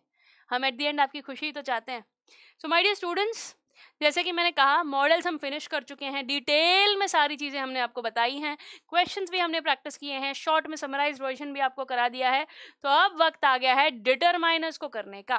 किसको करने का? डिटरमाइनर्स तो ये वर्ड डिटरमाइन फिक्स करना डिटर्मिनेशन में क्या होता है कि हम दिल से चाह कर हम कुछ करें, है ना? सो डिटरमाइनर डिटरमाइन समथिंग किसको डिटरमाइन करता है? देखो जरा नाउन जो होता है ना नाउन नाउन क्या होता है, हम सभी जानते हैं noun is nothing but a naming word आप सभी ने नाउन्स क्या होता है, बहुत बार बचपन में आपने एक गेम खेला था? Name place animal thing name place animal thing कई बार हम बच्चे ना बोल, भूल जाते हैं कि नाउन क्या होता है, बड़े हो जाते हैं और नाउन क्या है, ये तो भूल ही गए मैम हम तो. नाउन मतलब नेमिंग वर्ड ये जानते हो भी कई बार बच्चे? ऐसे कैसे? जैसे हम बचपन में गेम खेलते थे. मनी मन A B C D F G H I J K L M Q R S T W X Y Z से फास्ट फास्ट बोलते थे। सामने एक बंदा बोलता था स्टॉप और जैसे ही स्टॉप बोलता था, जो लेटर आता था, उससे हमें जल्द से जल्द नेम प्लेस एनिमल थिंग बताना होता था। जितनी जल्दी बताएँगे, वो जीत जाएगा। सो फॉर एग्ज़ाम्पल अब मैं आपको बोल रही हूँ, आप मुझे स्टार्ट बोलो, एक लेटर में चून करती हूँ। स्टॉप पी पी ठीक है? तो पी से नाम पी से प्लेस पी से एनिमल पी से थिंग तो दिस इज़ नथिंग बट एक तरीके से हम कह सकते हैं कि ये नाउन्स है। किसी का भी नाम और nothing but noun so P से नाम बताइए पी से और किसी का नाम मैं क्यों लिखूँ? भला मेरा प्यारा सा नाम जो मेरे पापा ने इतने प्यार से रखा, वही लिख देती हूँ। पूजा, ओके? फिर बारी आई पी से प्लेस। भगवान करे मैं एक दिन ज़रूर जाऊँ यहाँ पर, पेरिस कहते बहुत सुंदर शहर है। हम्म पी से एनिमल, जो बहुत ही बोलता रहता है मेरी तरह, पैरेट। और पी से थिंक की अगर हम बात करें तो जिससे मैं लिख रही हूँ, पेन। समझ रहे हो आप? तो बेटा ये nothing but these are nouns determiner क्या करता है? इन नाउन के आगे लगता है। ये नाउन्स के आगे लगता है, उसे हम कहेंगे डिटरमाइनर। क्यों लग रहा है नाउन के आगे? ठीक है, क्यों लग रहा है ये नाउन के आगे लग जाता है यहाँ पर डिटरमाइनर। अब आप बोलोगे, डिटरमाइनर अगर हमेशा नाउन के आगे लगता है तो नाउन तो हर जगह यूज़ होते हैं। और नाउन के आगे डिटरमाइनर लगता है तो डिटरमाइनर भी बहुत ज़रूरी हो गया। समझ गए ना? डिटरमाइनर भी बहुत ज़रूरी हो गया। So my dear students determiner वो होता है जो नाउन के पहले आता है। तो अगर हम बात करें स्टेज पे, हमने बोला let's all welcome Pooja ma'am. तो जो पहले बोल रहा है ना, वो डिटरमाइनर है। एंकर जो होता है, जो स्टेज पे बुलाता है किसी ना किसी को, रोहित शर्मा को स्टेज पे बुलाया जाए तो जो बोल रहा है वो डिटरमाइनर है और रोहित शर्मा नाउन है समझ गए आप? तो डिटरमाइनर हमेशा नाउन के आगे लगता है। क्यों लगा रहे हो भाई? क्यों? It fixes the meaning of a noun it fixes the meaning of a noun ये नाउन के बारे में हमें अच्छे से बताता है। डेफिनेट करता है, हम समझ जाते हैं। जैसे कि अब लिखा है पेन, कौन सा पेन भाई? This pen. तो दिस लगाने से ये समझ गए हैं अच्छा इसकी बात हो रही है क्या? अच्छा इसकी बात हो रही है। समझ गए आप? यस। सो, नाउन को ज़्यादा बेहतर समझने के लिए हम डिटरमाइनर को यूज़ करते हैं। डिटरमाइनर हमेशा नाउन के आगे लगता है। Clear everybody? तो what is a determiner it introduces the noun it fixes the meaning of a noun I hope अब आप ये बात अच्छे से समझ गए हैं। अब शुरू करते हैं पढ़ना। Determiners are those words that are prefixed before nouns मतलब नाउन के आगे लगते हैं या फिर इंट्रोड्यूसेस द नाउन भी लिख सकते हो आप। बात एक ही है। क्यों? टू डिटरमाइन दर मीनिंग ताकि उसकी मीनिंग्स को फिक्स कर सके, ताकि हम उन्हें बेहतर तरीके से समझ सके। क्या सभी लोग ये समझ गए हैं? डिटरमाइनर क्या होता है? Everybody out here thank you so much Anushka. Really really thank you so सब समझ गए इस बात को? डिटरमाइनर के बारे में ये दो पॉइंट नाउन के आगे लगता है नाउन की मीनिंग को फिक्स करता है, इसीलिए हम इसे डिटरमाइनर कह देते हैं। ग्रेट गोइंग चलो, बहुत ही बढ़िया। अब अलग अलग टाइप के डिटरमाइनर्स है जो हमें पढ़ने पड़ेंगे। अलग अलग टाइप के डेटा माइनस हैं। सबसे पहले, सबसे कॉमन सभी जानते हैं आर्टिकल्स ए एन और द फिफ्थ क्लास से आर्टिकल सीखते आ रहे हो। An apple a chair the Mahabharata सीख रहे हैं ना हम लोग? ए एन द फिर बारी आएगी demonstratives this pen that boy these days those days समझ रहे हो तो डेमोन्स्ट्रेटिव्स में आ जाते हैं दिस दैट दीज और दोस फिर बारी आएगी पोजेसिव्स की। जो मेरा है वो तेरा है। जो तेरा है वो मेरा, उनका क्या है? उसका क्या है? ये किसका है? तो ये इसका, उसका कौन, किसका? ये जो वर्ड्स है ना बेटा these are nothing but possessives मैं, मेरा, उसका, इसका ओनरशिप दिखाने वाली चीज़ें। तो ये क्या बन जाएँगे?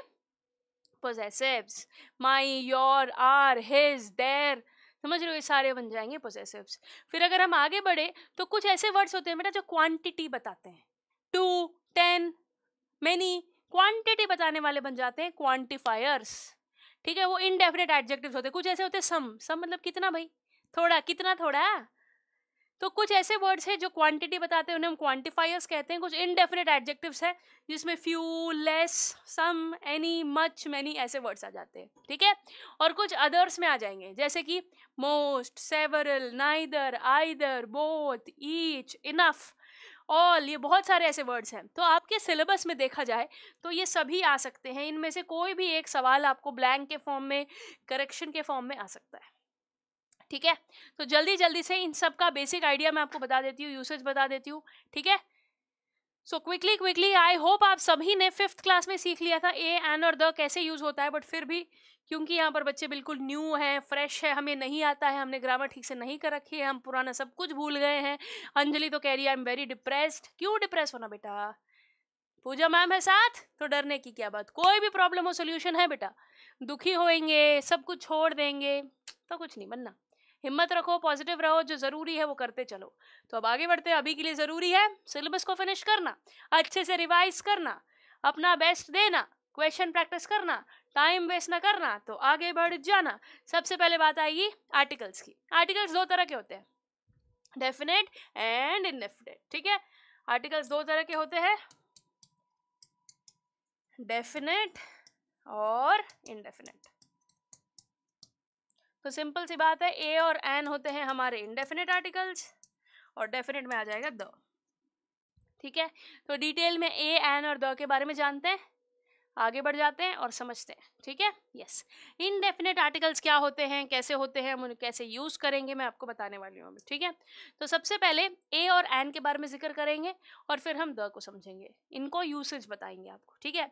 सबसे पहले बेटा बात सुनिएगा, जब भी ए और एन यूज़ करना तो याद रखो सिंगल चीज़ होनी चाहिए a chair a box an apple an orange तो ए और एन हमेशा सिंगुलर चीज़ के लिए यूज़ होगा। किसके लिए? Singular cheese. Always remember a and an is use for a singular countable noun एक सिंगल चीज़ जिसको हम गिन सके, जिसको दिखा सके, वही उसके साथ हम ए या फिर एन को यूज़ करते हैं। क्लियर ये बात? सिंगुलर चीज़ होनी चाहिए। और फिर दूसरी बात सिंगुलर तो होनी चाहिए और आपको उसके साउंड का ध्यान रखना है। किसका ध्यान रखना है? साउंड का। साउंड का मतलब जैसे कि एप्पल, अ, ए साउंड आ रहा है मतलब वोवल साउंड आ रहा है। अब आप बोले मैम, वोवल्स कौन से बचपन में सीखे थे? भूल गए भूल गए क्या?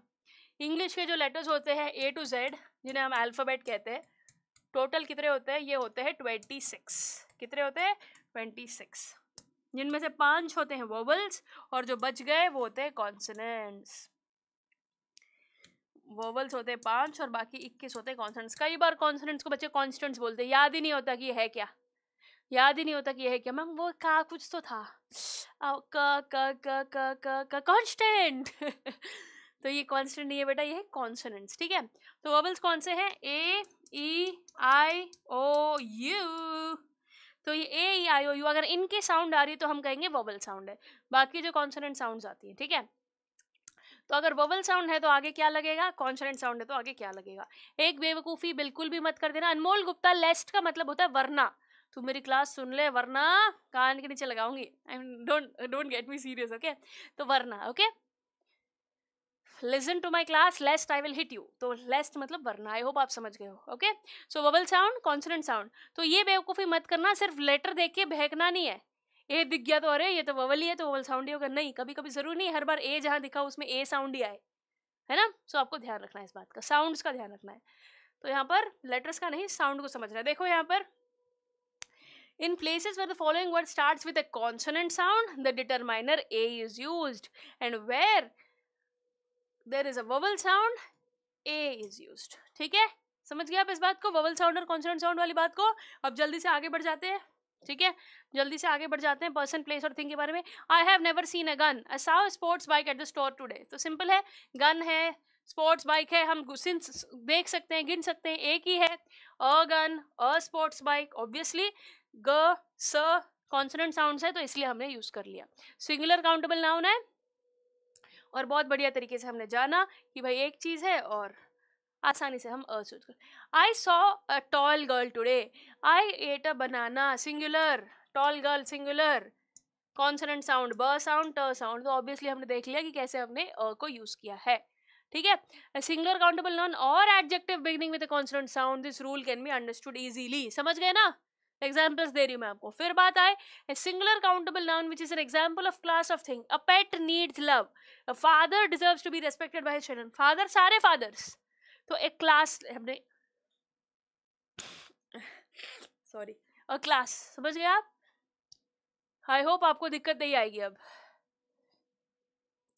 A pet needs love a father deserves to be respected by his children तो हम देख रहे हैं क्लास ऑफ़ थिंग्स पेट सभी पेट्स हो गए फादर सभी फादर्स हो गए तो क्लास ऑफ़ थिंग्स में भी हम कैसे अ लगा सकते हैं? Okay okay? आगे बढ़ते हैं। कभी कभी the noun to express a quantity हमें a dozen a couple of books okay a dozen a couple कुछ क्वांटिटी बताने के लिए भी हम I need to buy a couple of books I need a dozen banana. तो ये जो क्वांटिटी है ना कपल डजन अ कपल मतलब दो, डजन मतलब बारह। ठीक है? इन केसेस में भी हम यूज़ कर सकते हैं। आई होप एग्जाम्पल्स देख रहे हो तो आप चीज़ों को समझ रहे हो। ठीक है? आगे बढ़ते हैं। अगर कोई यूनिट्स है, जैसे कि thirty five kilometres, five hundred rupees ऐसी कोई क्वांटिटीज़ है, कोई यूनिट्स है, उन्हें भी हम सिंगुलर ही कंसिडर करते हैं। बस तुम्हें यही समझना है बेटा कि कब किस चीज़ को सिंगुलर कंसिडर करना है और किस चीज़ को प्लूरल कंसिडर करना है। समझ रहे हैं बात को? Yes this bike gives thirty five kilometres a litre इसकी एवरेज इतनी है। थर्टी फाइव किलोमीटर अब बोलोगे, मैम, ये तो प्लूरल है ना, पर इसको सिंगुलर कैसे कंसिडर कर रहे हो? जो यूनिट्स होती है ना, इनको हम एक क्वांटिटी कंसिडर कर सकते हैं। You can run a mile in just five minutes mile में बहुत सारे किलोमीटर्स होते हैं, पर हम उसको एक कंसिडर कर रहे हैं। क्या कंसिडर कर रहे हैं? एक अ माइल ठीक है? और बात करें हम यहाँ पर कुछ मॉनिटरी यूनिट जैसे कि मैंने कहा hundred rupees I want to earn a billion a hundred rupees million dollars by the age of forty. तो आप समझ रहे हो, भगवान करे ऐसा ही हो।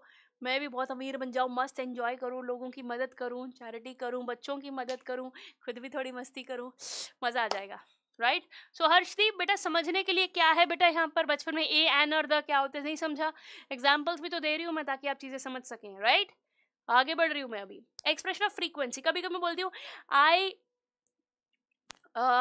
brush my teeth twice a day wash your face three times a day तो ये थ्राइस ट्वाइस ये जब बात आ रही है तो हम फ्रीक्वेंसी जब बता रहे तो देखो twice a day thrice a day twice a three times a day तो आप समझ रहे हो, जब फ्रीक्वेंसी आती है तो हम इस तरीके से अ को यूज़ कर रहे हैं। क्लियर एवरीबडी सो पॉइंट आपको बताया एग्ज़ाम्पल समझाया। पॉइंट आपको बताया एग्ज़ाम्पल समझाया। बहुत ही बढ़िया। नाइस गोइंग आगे बढ़ते हैं। कुछ एक्सक्लेमेटरी एक्सप्रेशन होते हैं। What a beautiful day what a cute dog what a beautiful girl समझ रहे हो आप? तो हम एक्सप्रेशन में भी इन्हें यूज़ कर सकते हैं और कैसे यूज़ कर सकते हैं, मैंने बताया। थैंक यू प्रैंकस्टर कन्फर्म कर रहा है कि ये तो बहुत ईजी है मैम है ना? बढ़िया। आगे बढ़ते हैं, कुछ इंपॉर्टेंट रूल्स है बेटा, जहाँ पर बच्चे गलती करते हैं, और वो है जैसे यूनिवर्सिटी यूनिवर्सिटी में यू दिख रहा है मैम मुझे तो तो अ यूनिवर्सिटी आएगा या एन यूनिवर्सिटी आएगा? कॉन्सोनेंट साउंड पे जाऊँ या फिर वोवल लेटर पे जाऊँ? तो वो पता होना चाहिए, यहाँ पर देखिएगा ज़रा आप। A union a one rupee note यहाँ पर साउंड देखिए आप, समझ रहे हो कि नहीं? An honest man an honour अब आप बोलोगे एच तो कॉन्सोनेंट है मैम एच तो कॉन्सोनेंट है। यू तो वोवल है, ओ तो वोवल है। फिर आप उल्टा क्यों यूज़ कर रहे हो? आप तो कह रहे थे कि, अ चेयर कॉन्सोनेंट साउंड के साथ ए लगेगा, यहाँ पर ववल के साथ क्यों लग गया? क्योंकि साउंड में फ़र्क है। साउंड में फ़र्क है, समझ रहे हो कि नहीं? Is it clear everybody German is a good magician बहुत बढ़िया जा रहे हो, बहुत बढ़िया जा रहे हो बेटा। नाइस सो आप समझ गए, यहाँ पर एन ऑनेस्ट मैन में हमने एन इसलिए लगाया क्योंकि एच जो है, वो साइलेंट है और साउंड साइलेंट मतलब ऑनेस्ट, ओ साउंड आ रही है, ववल साउंड आ रही है, इसीलिए हमने एन चुना। और यहाँ पर union, one rupee coin, vowel letter तो दिख रहा है, पर साउंड ववल वाली नहीं आ रही, इसीलिए। समझ गए सभी लोग? यस मैम आई अंडरस्टूड बहुत ही बढ़िया। ये इंपॉर्टेंट रूल्स है जो इंडेफिनेट डिटरमाइनर्स के ए और एन के, जो तुम्हें पता होना चाहिए, बेवकूफ़ी पेपर में मत कर देना। ऐसा ही सवाल पेपर में देंगे तुम्हें कन्फ्यूज़ करने के लिए। एक ही नंबर का सवाल आएगा आर्टिकल्स में से। और तुम डूब जाओगे ना तो कान के नीचे लगाऊँगी खर्चा पानी दे दूँगी मैं तुम्हें। इतना ईजी है, फिर भी नंबर कट के आए तो। ठीक है? आगे बढ़ू। Okay, just a second. मेरे नाक के पानी को जरा सा मैं let me take a breath okay तो जैसे कि मैंने आपको बताया indefinite determiners are mostly prefix before the noun that does not refer to any particular person a cat a boy an are समझ गए ना हम? एग्ज़ाम्पल जितने देखेंगे, उतनी आसानी हो जाएगी। ठीक है? Same doubt I had I hope बच्चे ने अब समझ में आ गया है।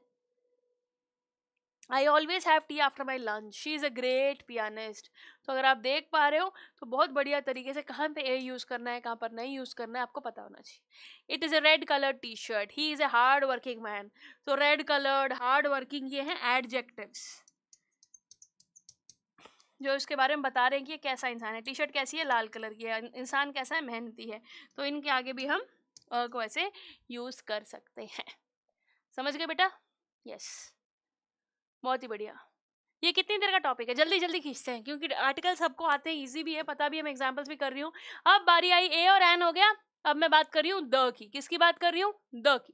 ओके यस डेफिनेट डिटरमाइनर है द ए और एन इनडेफिनेट डिटरमाइनर्स थे और अब जब द की बात करेंगे तो बहुत आसान है। यूनिक चीज़ों के लिए, खास चीज़ों के लिए जो वन इन अ काइंड है, एक ही चीज़ है, तब हम इन्हें यूज़ करते हैं। ठीक है?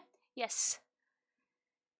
A singular noun when it refers to a particular class or group the rule can be understood with the help of the following देखो the luxury car is a rich man's vehicle my brother has joined the and ये जो singular noun होता है एक चीज़ होती है जो खास होती है यूनिक होती है उनके लिए हम ऐसे यूज़ कर सकते हैं ठीक है और names of rivers the Ganga river the Jamuna river the Andaman and Nicobar islands the Titanic the Shivalik range of mountain जैसे कि मैंने कहा rivers ranges of mountains gulf seas oceans island ships जो भी यूनिक चीज़ें हैं, खास हैं, उनके लिए हम यूज़ कर रहे हैं। ठीक?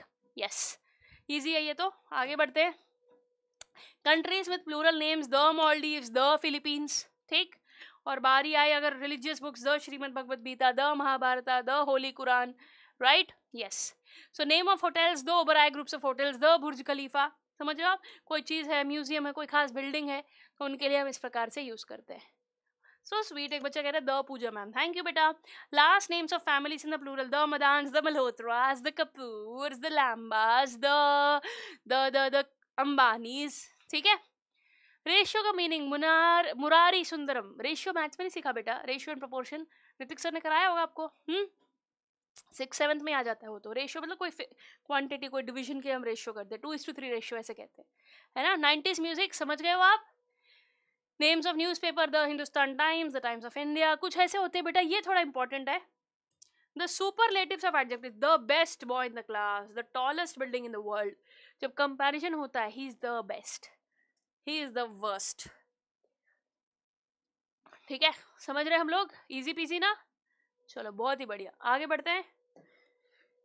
The working class the middle class the Hindu the Christian all the colleagues both the sisters तो अलग अलग एक्सप्रेशन में सिचुएशन के हिसाब से समझने के लिए आपको ये लिखना है। ठीक?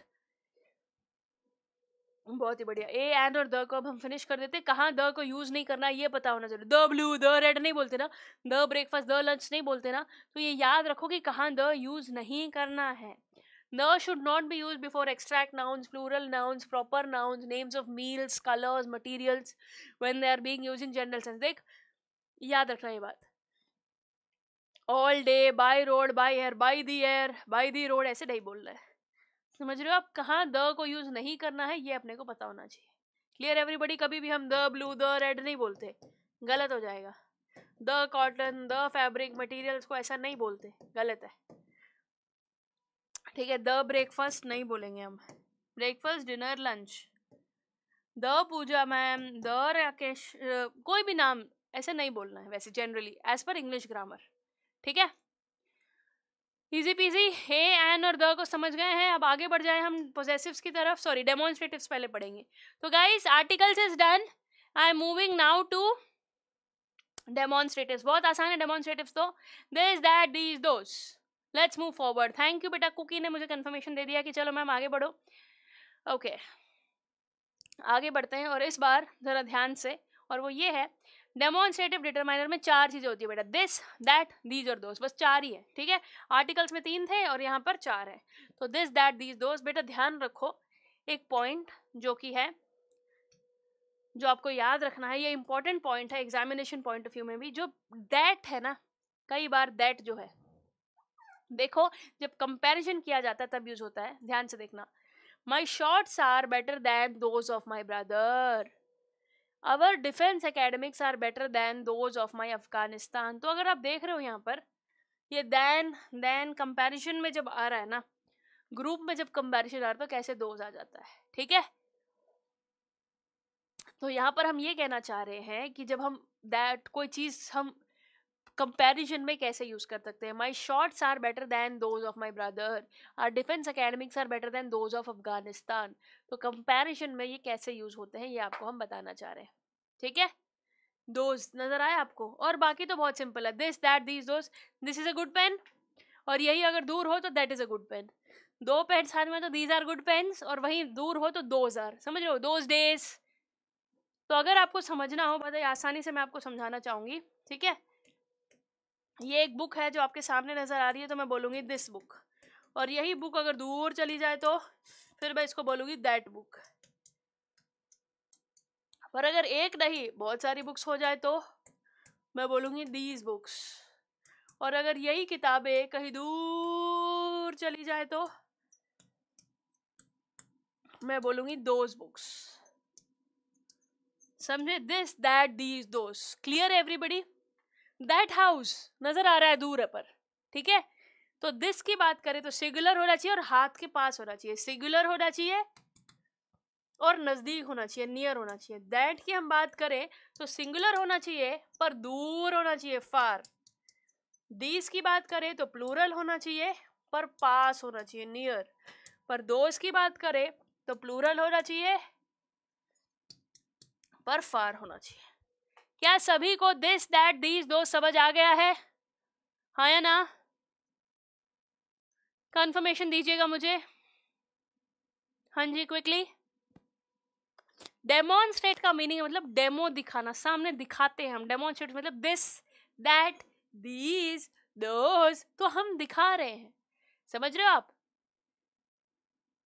बहुत ही बढ़िया। क्या आप समझ गए बेटा? क्लियर एवरीबॉडी डेमोन्स्ट्रेटिव डन है? टाइगर गेमिंग तो अगर मेरी तारीफ़ करना चाह रहा है आप बहुत आशी हो क्यों लिख रहा है? अच्छी की स्पेलिंग तो ठीक लिख? सॉरी इंग्लिश टीचर उन्हें यार गलतियाँ जल्दी नज़र आती है।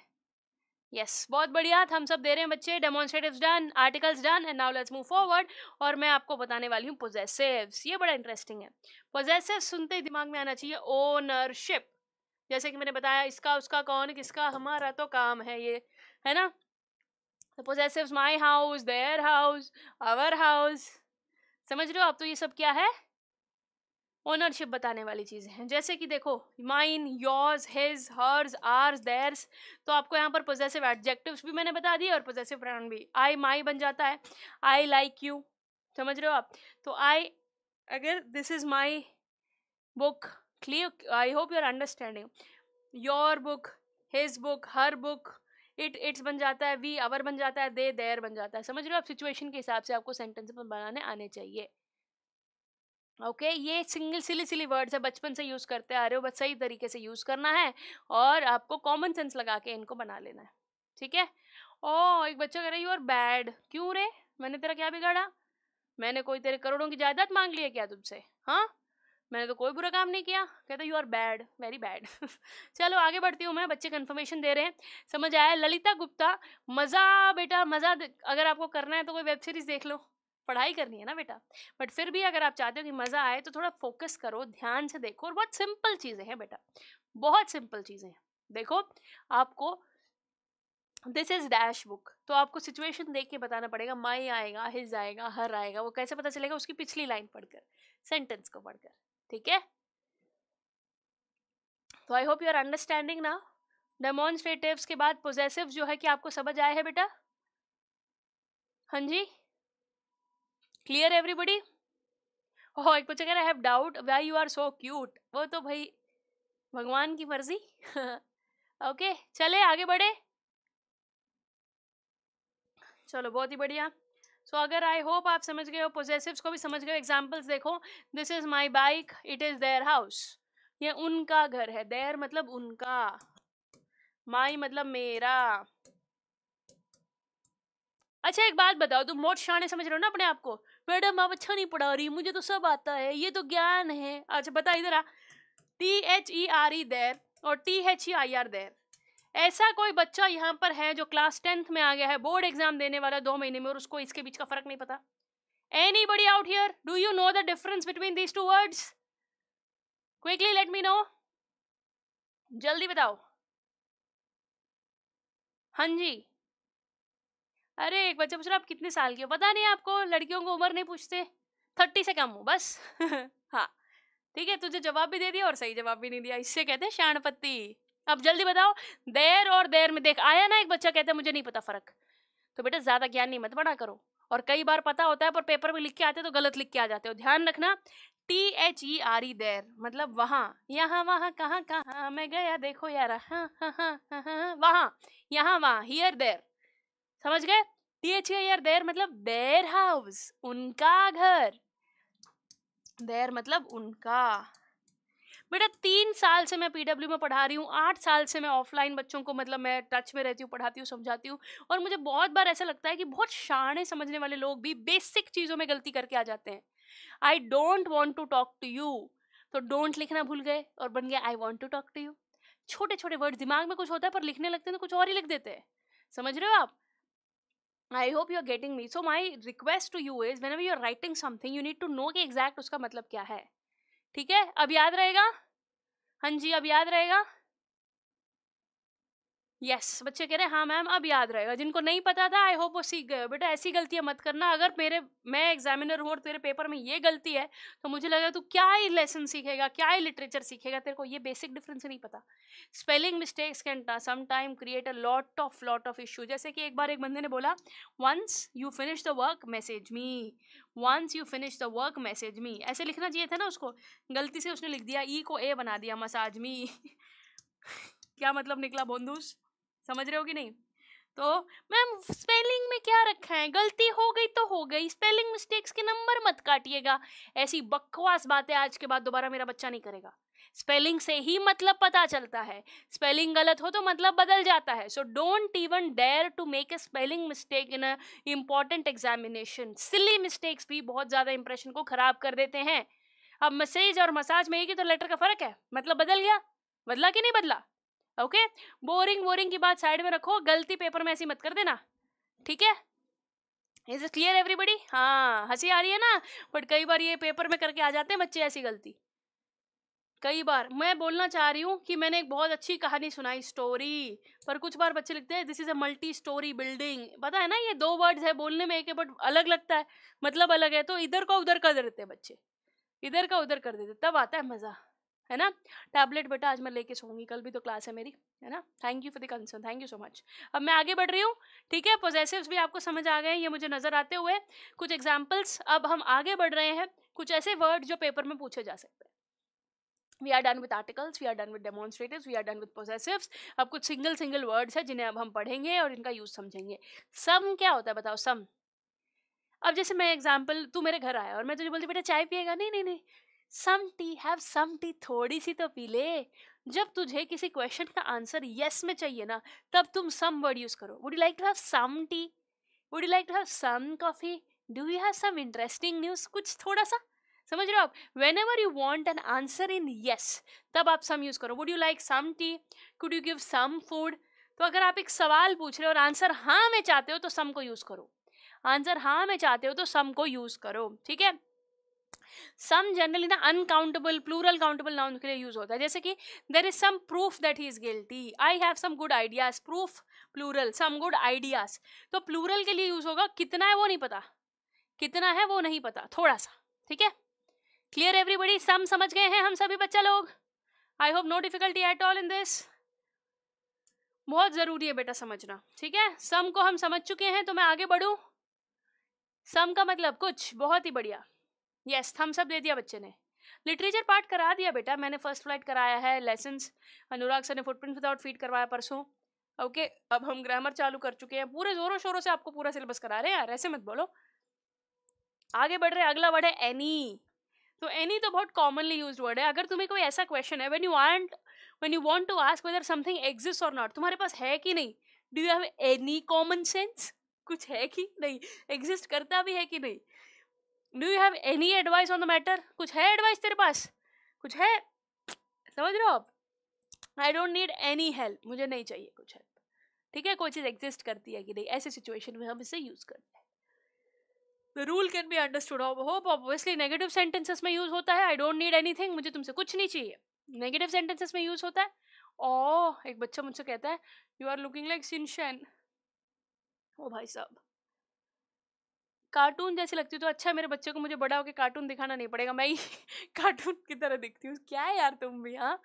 चलो, आगे बढ़ते हैं। अब you can stop at any point you like समझ रहे हो आप? It is also use in affirmative sentences before plural nouns and uncountable nouns when it refers to quantity or something which may or may not exist कुछ चीज़ ऐसी होती है जो हो भी सकती है, नहीं भी हो सकती है, ऐसी सिचुएशन में। You can stop at any point कहीं भी कहीं भी कर ले, कहीं भी रुक जा। समझ रहे हो आप?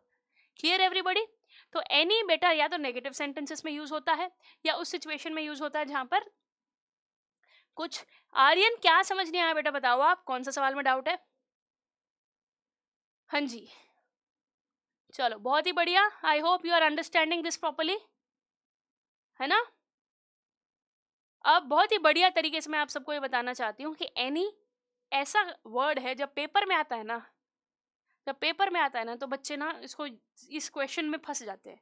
तो नेगेटिव सेंटेंस में you don't need any advice ऐसे सिचुएशन में डोंट के साथ लग सकता है, ठीक है? या फिर पॉजिटिव सेंटेंस में नॉर्मली भी do you have any advice क्या तुम्हारे पास कुछ है ये जानने के लिए? एनी समझ में आ गया बेटा, बहुत ज़रूरी है। खुशबू आई होप अब आप समझ गए हो। एनी दो सिचुएशंस में यूज़ होता है नेगेटिव सिचुएशंस में और या फिर कोई ऐसी चीज़ में जब तुम ये जानना चाहते हो, कुछ है भी कि नहीं? Do you have any advice do you have any sugar at your home कुछ है तुम्हारे घर में चीनी okay do have any sweet at home ऐसे अब बारी आएगी, बहुत ही ईजी पर फिर भी बच्चे कन्फ्यूज़ हो जाते हैं लिटिल और मच में। लिटिल और मच अब बोले मैम लिटिल की जगह सम यूज़ कर लेते हैं, मैं लिटिल क्यों यूज़ करूँ? सम में क्या है ना, बेटा, गिन नहीं सकते बट लिटिल में गिन सकते हैं। ध्यान से देखना यहाँ पे। These are use to refer to amount और क्वांटिटी लिटिल मतलब कम और मच मतलब ज़्यादा। है ना? लिटिल तब यूज़ होता है जब हमें स्मॉल अमाउंट के लिए यूज़ करना हो और मच कब यूज़ होता है where as much is use for emphasising on large quantities little some और मच लार्ज क्वांटिटीज अब ये देखो both of them are use with uncountable noun जैसे कि मैंने कहा, कोई ऐसी चीज़ जो हम गिन नहीं सकते। ऐसी चीज़ जो हम गिन नहीं सकते। समझ रहे हो आप? Yes yes. अगर आपको इसको समझना है I want to spend a little time in दुनिया थोड़ा वक्त बिताना है। लिटिल मतलब थोड़ा। और मच मतलब ज़्यादा।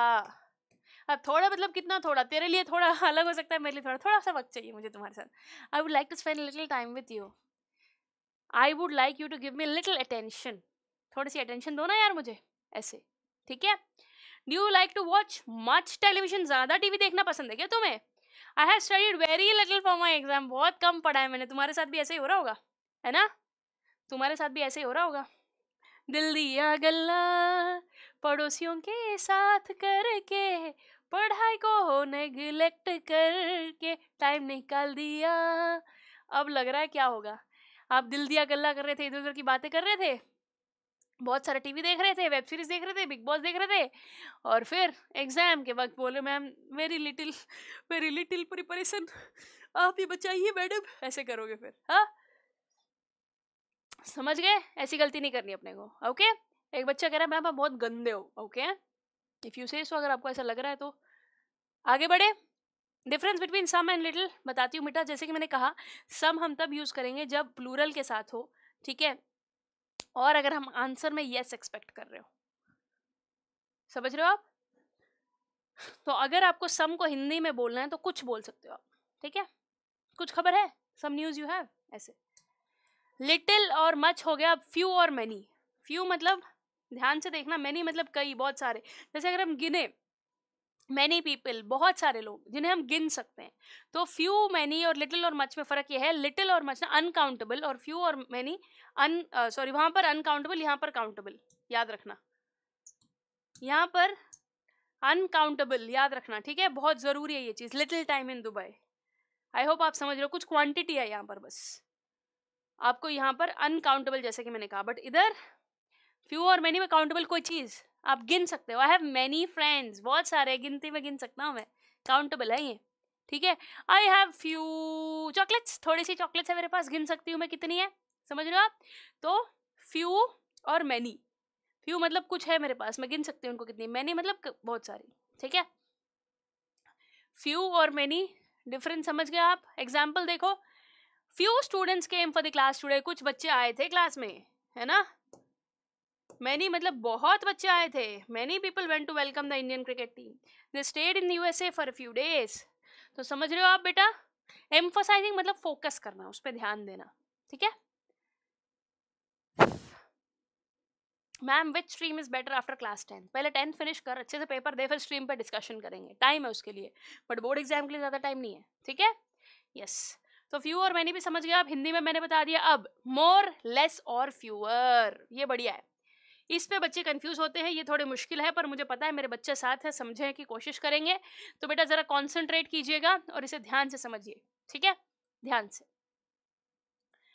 और बड़ा ही इंपॉर्टेंट टॉपिक है ये मोर का क्या मतलब? जैसे कि one more additional one more मतलब हम कुछ ज़्यादा चाहिए, ये दिल मांगे मोर मोर एंड मोर प्यार, जैसे हम कहते हैं ना मोर मतलब तो ज़्यादा चाहिए मुझे कुछ, ठीक है? He does much more cardio than I do बहुत ज़्यादा। है ना? मोर मतलब जब कोई चीज़ हम बहुत ज़्यादा करें, एक्स्ट्रा करें तो हम मोर यूज़ करते हैं, right? So they are mostly use as comparative determiners, इन्हें हम कंपेरेटिव के लिए हम यूज़ करते हैं। मोर का मतलब जैसे कि मैंने बताया, it is use for plural and uncountable noun to refer a quantity or amount which is greater than another quantity or amount. दो चीज़ों में कंपेरिजन है। She is much more smarter than me. समझ रहे हो? ऐसे कंपेयर कर रहे हो आप। मच मोर, ऐसे मेरे से ज़्यादा शाणे हैं, ज़्यादा बोंदू है, कुछ भी ऐसे आप कर सकते हो। ठीक है? ओके? okay? क्लियर एवरीबडी और देखिए जरा the poor have less access to cleanliness poor मतलब ज़्यादा लेस कंपैरिजन में करते हैं, जो गरीब लोग होते हैं ना, उनको बेचारे को कम एक्सेस होता है है ना? There are fewer cars here जब कंपैरिजन होता है ना, दो चीज़ों में, तब हम फ्यूअर यूज़ करते हैं कि इसमें यहाँ पर कम गाड़ियाँ यहाँ पर कम गाड़ियाँ एग्ज़ाम्पल देख रहे हो तो आप समझ जाओगे। फ्यू रुपी नहीं होता बेटा। आई हैव फ्यू रुपी बिल्कुल नहीं। ओके आई होप आप चीज़ों को समझ रहे हो।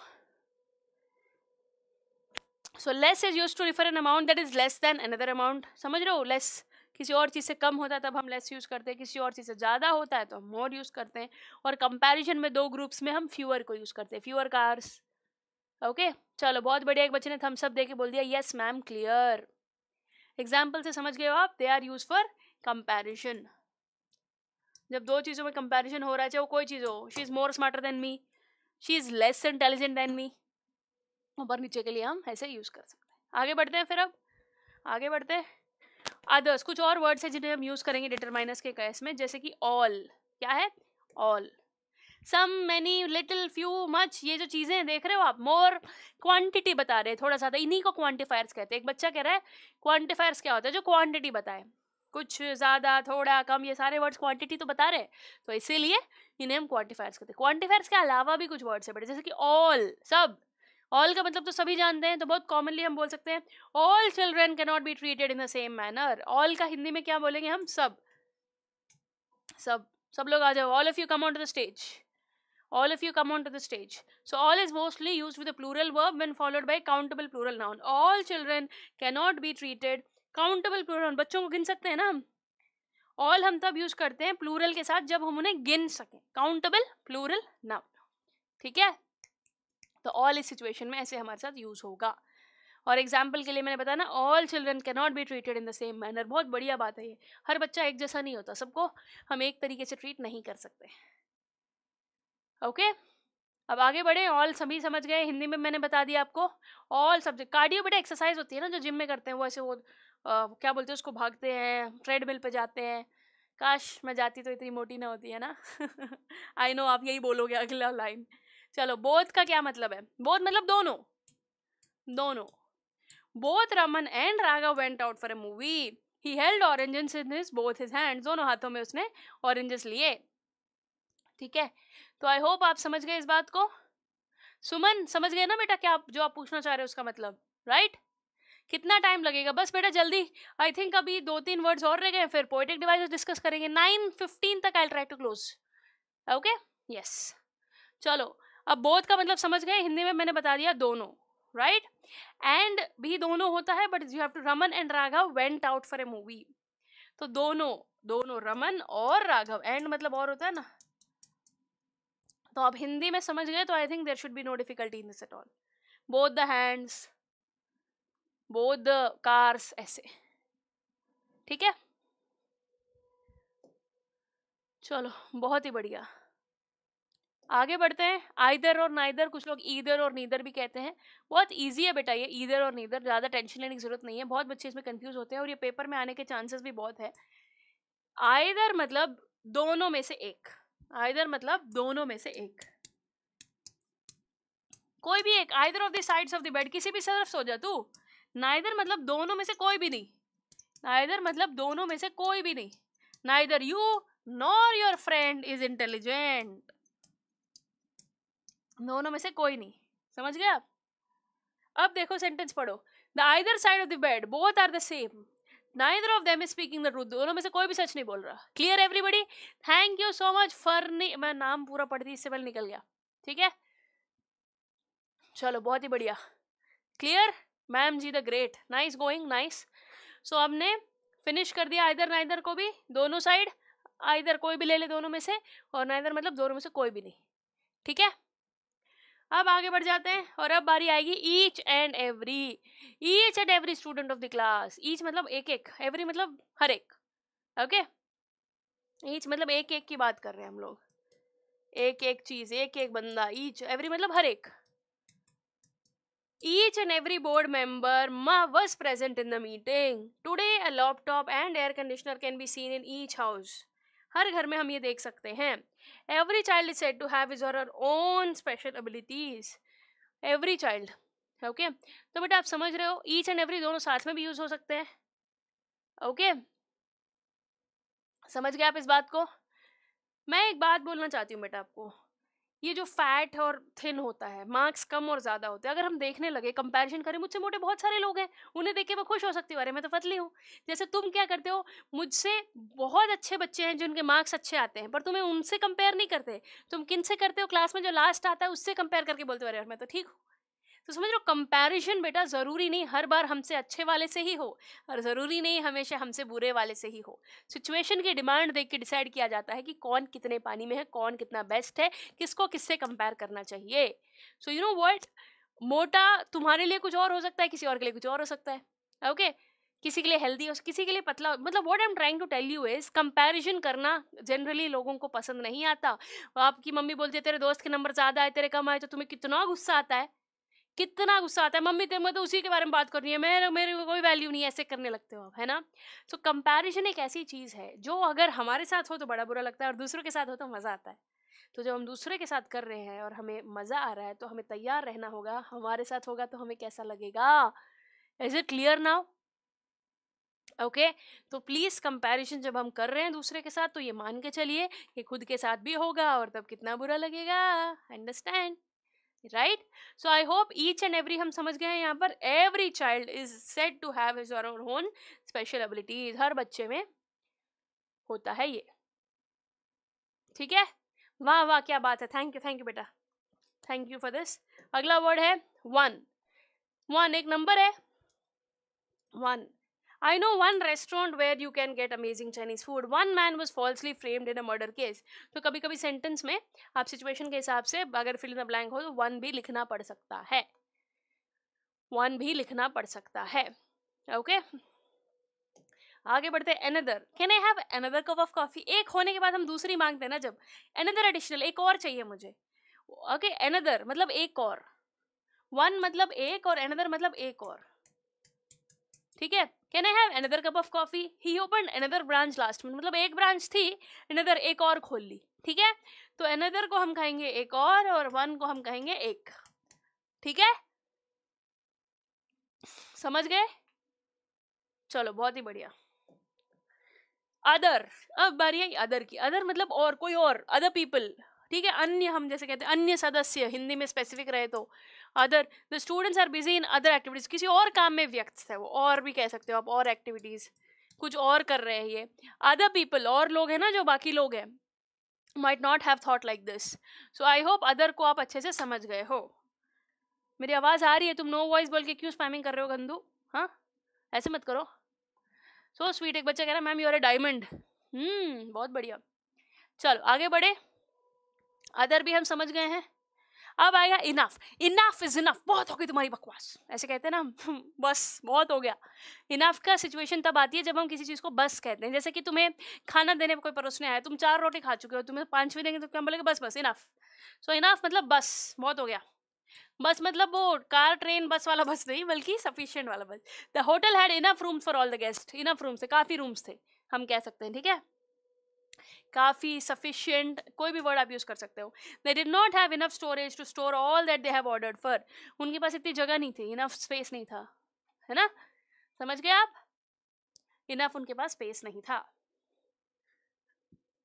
जल्दी बताओ इनफ समझ गए हैं हम? Is it clear everybody reported speech कराएँगे बेटा, बिल्कुल कराएँगे। अगली ग्रामर की क्लास जब होगी रिपोर्टेड स्पीच की होगी। ठीक है, चिंता ना करें, बिल्कुल भी। सो अब हम इनफ को भी समझ गए हैं कोई चीज़ सफिशियंट होना ज़रूरत जितनी है उतनी है, जितनी नीड है उतनी है। Sufficient as much I need मेरे को जितना चाहिए था मैंने खा लिया, मुझे बस। इनफ चलो, बहुत बढ़िया बच्चे समझ गए हैं ये थम्सअप भी दे रहे हैं। और एक आएगा मोस्ट मोस्ट मतलब ज़्यादातर। मोस्ट मतलब ज़्यादातर। Most of the people do not recover from this fatal disease most of the people in India are working class तो जब आप एक ना ज़्यादा अमाउंट मतलब करना चाह रहे हो, ठीक है? तब हम इसे यूज़ करते हैं।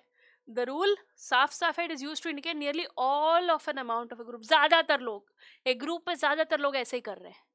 ज़्यादातर लोग ऐसे ही कर रहे हैं। ठीक है? सब करवा दिया मैम ने। थैंक यू सो मच बेटा। थैंक यू मोस्ट भी समझ गए अब हम। आई थिंक एक आखिरी, जो पेपर में गूगली की तरह आपकी तरफ़ आ सकता है, आखिरी डिटरमाइनर जो है वो है सेवरल सेवरल का क्या मतलब है? हिंदी में मैं कहूँ तो कई, बहुत सारे। बहुत सारे, जैसे कि there were several deaths during the floods in UP there were several cases of fraud pending against in the court बहुत सारे, कई है ऐसे, ठीक है? बहुत सारे, कई। तो आई होप आप समझ गए हैं, कोई दिक्कत नहीं है। सेवरल मतलब हिंदी में हम कहेंगे कई, बहुत सारे। क्लियर एवरीबडी सो सारे इंपॉर्टेंट जो एग्जामिनेशन पॉइंट ऑफ़ व्यू में ज़रूरी है, वो सारे डिटरमाइनर्स मेरे आपके साथ डिस्कस कर लिए हैं। Okay okay? So, are you guys now comfortable with the determiners? Quickly let me know. कुछ क्वेश्चंस करें अगर आप कहते हो तो। समझ में आ गए बेटा सारे? एक बार इनको पढ़ के इनके एग्जाम्पल्स देख लेना। नोट्स आपको प्रोवाइड कर दी जाएगी प्रैक्टिस शीट भी दी जाएगी।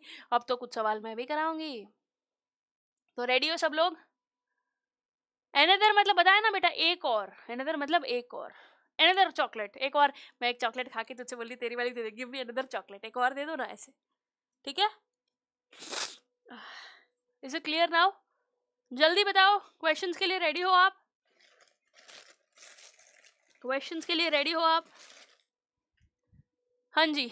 Yes yes yes thumbs up देते हो बच्चे। मुझे एक सेकंड देना बेटा।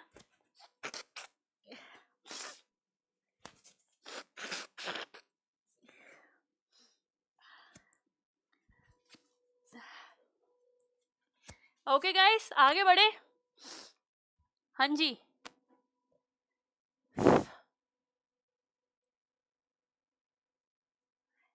Is it clear everybody crystal clear बच्चे कह रहे हैं, बहुत बढ़िया। बाबू कैसा है? मेरा बेटा बढ़िया बेटा।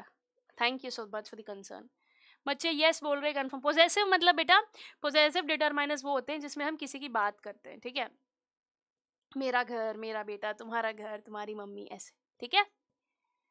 Few is use for countable जी हाँ फ्यू चॉकलेट्स जिन्हें हम गिन सकते हैं। Few boys few chocolates few things okay बढ़िया। Okay then let's go on with some questions then. मुझे पोइटिक डिवाइसेस आते हैं आते हैं पर पेपर में नहीं हो पाते हैं। अब प्रैक्टिस शीट जो देगी उसमें पोइटिक डिवाइसेस पर सवाल है, देखते तुम कर पाओगे कि नहीं। अब बच्चों ने थम्स अप दे दिया है तो let's go with the questions now पहला सवाल आपकी स्क्रीन पर ये रहा। Dash house is not mine तुम्हें फिल इन द ब्लैंक दे दिया, कोई एमसीक्यू नहीं, कोई ऑप्शंस नहीं, कुछ नहीं। Simple fill in the blank with suitable determiner ऐसे कह दिया गया तो तुम क्या करोगे? Okay okay? ऐसे कह दिया गया तो इसकी जगह जल्दी से आंसर बताओ क्या लिखोगे यहाँ पे? मोस्ट सूटेबल डिटरमाइनर कौन सा है आपके लिए यहाँ पर? Yes warrior batch is absolutely enough सब कुछ करा रहे हैं बेटा आपको। जान निकाल के देना रह गया बाकी सब करा दिया करा रहे हैं आई I मीन mean, कराते हैं। तभी तो अच्छा रिज़ल्ट आता है। पिछले वॉरियर से आप पूछ के देखना। They are so happy with the way देखते हो आप कई बार आपके सीनियर्स भी आते हैं लाइव क्लासेस में मिलने हाय हेलो करने। अभी भी बच्चे सीनियर्स बहुत थैंक करते हैं हमें कि आपने सपोर्ट किया। गुड वन आंसर बच्चे देते हुए। Dash house is not mine this house is not mine या फिर दैट हाउस दोनों में से कोई भी चलेगा। दिस और दैट कुछ भी लिखोगे तो नंबर आपको मिल जाएँगे। This house is not mine ये घर मेरा नहीं है। दिस या फिर दैट दोनों चलेंगे, कोई दिक्कत नहीं। ठीक? अरे वाह, तुम तो शाणे हो गए यार। समझ आ गया तुम्हें सब कुछ? वेरी वेल डन सिंगुलर है ना हाउस सिंगुलर है। डेमोन्स्ट्रेटिव यूज़ करेंगे हम यहाँ पर। तो हमने कौन सा यूज़ किया है? डेमोन्स्ट्रेटिव डिटरमाइनर हमने यूज़ किया है। डेमो दिखा रहा है सामने दिखा रही है कि ये हमारा नहीं है। डेमोन्स्ट्रेटिव डिटरमाइनर हमने यूज़ करिए बहुत ही बढ़िया। अगला सवाल देखते हैं। I have dash more files to complete अच्छा सवाल। I have dash more files to complete तो बताओ, क्या लिखोगे यहाँ पर? क्या है मोस्ट सूटेबल यहाँ पर? जल्दी बताओ।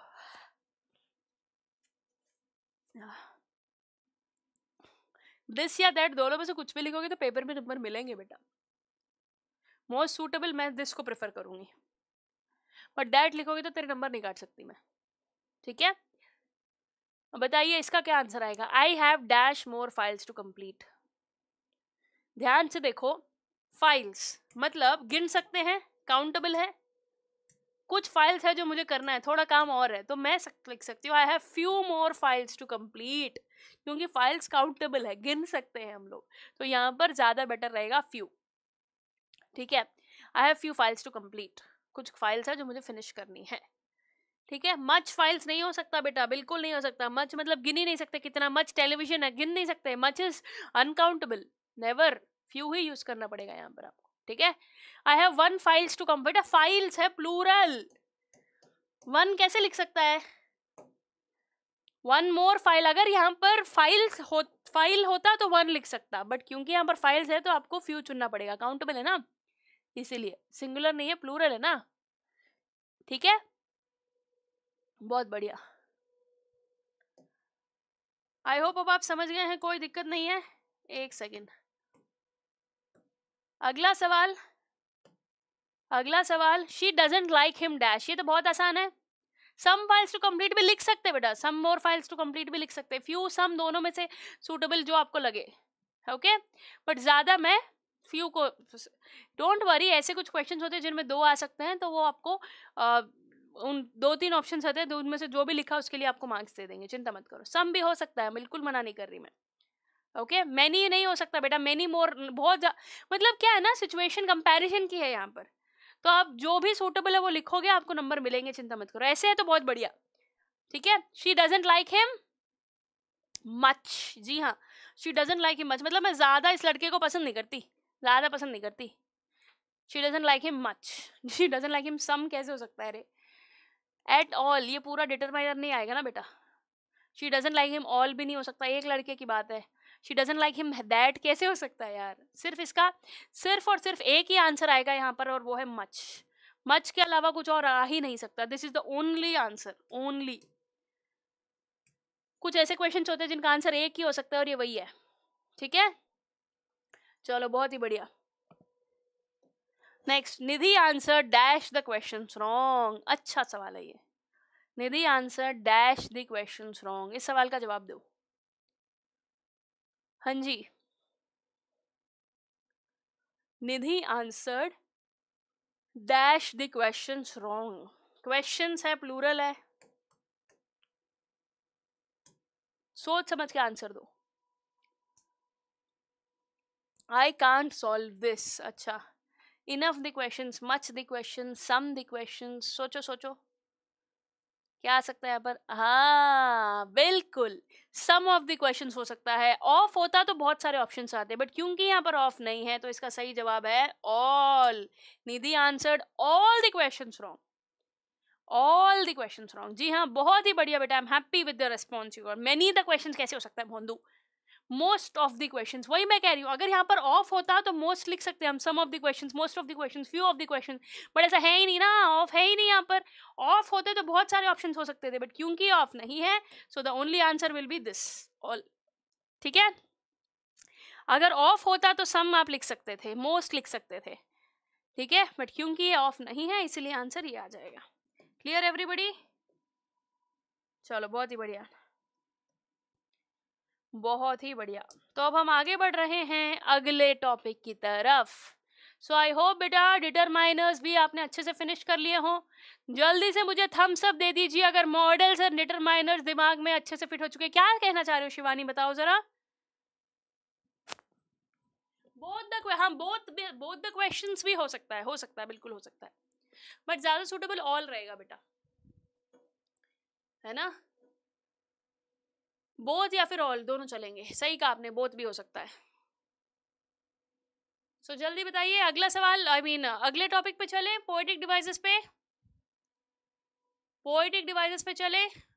और क्वेश्चंस बेटा प्रैक्टिस शीट में कर लेना बेटा क्योंकि टाइम भी कम है ना अपने पास। सारे पोएटिक डिवाइसेस भी तो कवर करने हैं। Yes ma'am clear thumbs up देते हुए। थोड़ी एनर्जी ले लो बेटा सब लोग जोश को बढ़ाओ। मैं भी पानी पीती हूँ। और जल्दी अपने अपने थम्स अप मुझे दे दो ताकि मैं आगे बढ़ूँ।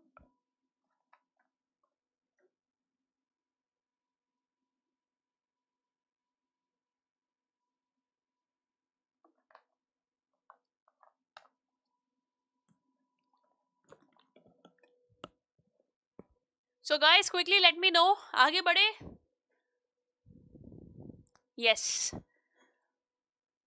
थम्स अप आ चुका है, बच्चे आगे बढ़ने को कह रहे हैं और अब बारी आई है पोएटिक डिवाइसेस की, ठीक है?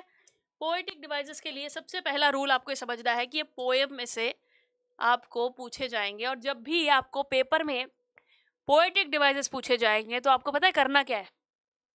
आपको टेंशन नहीं लेनी है, घबराना नहीं है, क्योंकि स्टैंडा प्रोवाइड किया जाएगा। ये रूल है बेटा विदाउट स्टैंडा आपको नहीं पूछ सकते पोएटिक डिवाइस या तो राइम स्कीम पूछेंगे तो स्टैंडा देंगे। और अगर कोई एक लाइन देंगे तो एक लाइन में से पूछेंगे तो वो लाइन आपको प्रोवाइड किया जाएगी ठीक है? ऐसे आपको सब रटना नहीं पड़ेगा कि हर, कुछ बच्चे होते हैं, मैम, हर पोएम की राइम स्कीम रटेंगे हम? ना जी ना, कोई ज़रूरत नहीं है रटने की। बिल्कुल भी रटने की ज़रूरत नहीं है। ठीक है? ममता कुमारी मोटिवेशन डाउन करने की बिल्कुल ज़रूरत नहीं है बेटा, क्योंकि मैं आपसे ये कहना चाहूँगी एक्सट्रैक्ट बेस्ड क्वेश्चन जो आएँगे पोएम में से जब सवाल आएँगे, मैं नहीं चाहती तुम्हारे लिटरेचर में एक भी नंबर कटे। इतनी मेहनत करके पूरा लिटरेचर पढ़ने के बाद अगर ऐसा लगेगा ना कि नंबर कट गया तो बड़ा बुरा लगेगा। तो पोएटिक डिवाइसेस में बच्चे बहुत बार नंबर कटवा के आते हैं और मैं नहीं चाहती कि आपके साथ ऐसा हो। सो ये बात समझ जाओ आप कि पोएटिक डिवाइसेस बहुत ज़रूरी है और हमें कवर करने पड़ेंगे। बहुत ज़्यादा वक्त मैं नहीं लगाऊँगी, बहुत बढ़िया तरीके से, सिंपल से सिंपल भाषा में समझ में आ जाए, इस तरीके से कराऊँगी। पोएटिक डिवाइसेस को लोग बहुत सारे अलग अलग नाम भी बुलाते हैं figure of speech figures of speech भी बोलते हैं। लिटरेरी डिवाइसेस भी बोलते हैं। लिटरेचर में यूज़ होते हैं, इसलिए लिटरेरी डिवाइसेस। लिटरेचर में पोएम में यूज़ होते हैं स्पेसिफिकली इसलिए पोएटिक डिवाइसेस और इनका मेन मुद्दा ये है कि ये जो भी लिटरेचर, जो कंटेंट लिखा हुआ है ना, उसको सुंदर बनाने के लिए, उसको बेहतर बनाने के लिए, उसको इंटरेस्टिंग बनाने के लिए अट्रैक्टिव बनाने के लिए इन्हें यूज़ किया जाता है।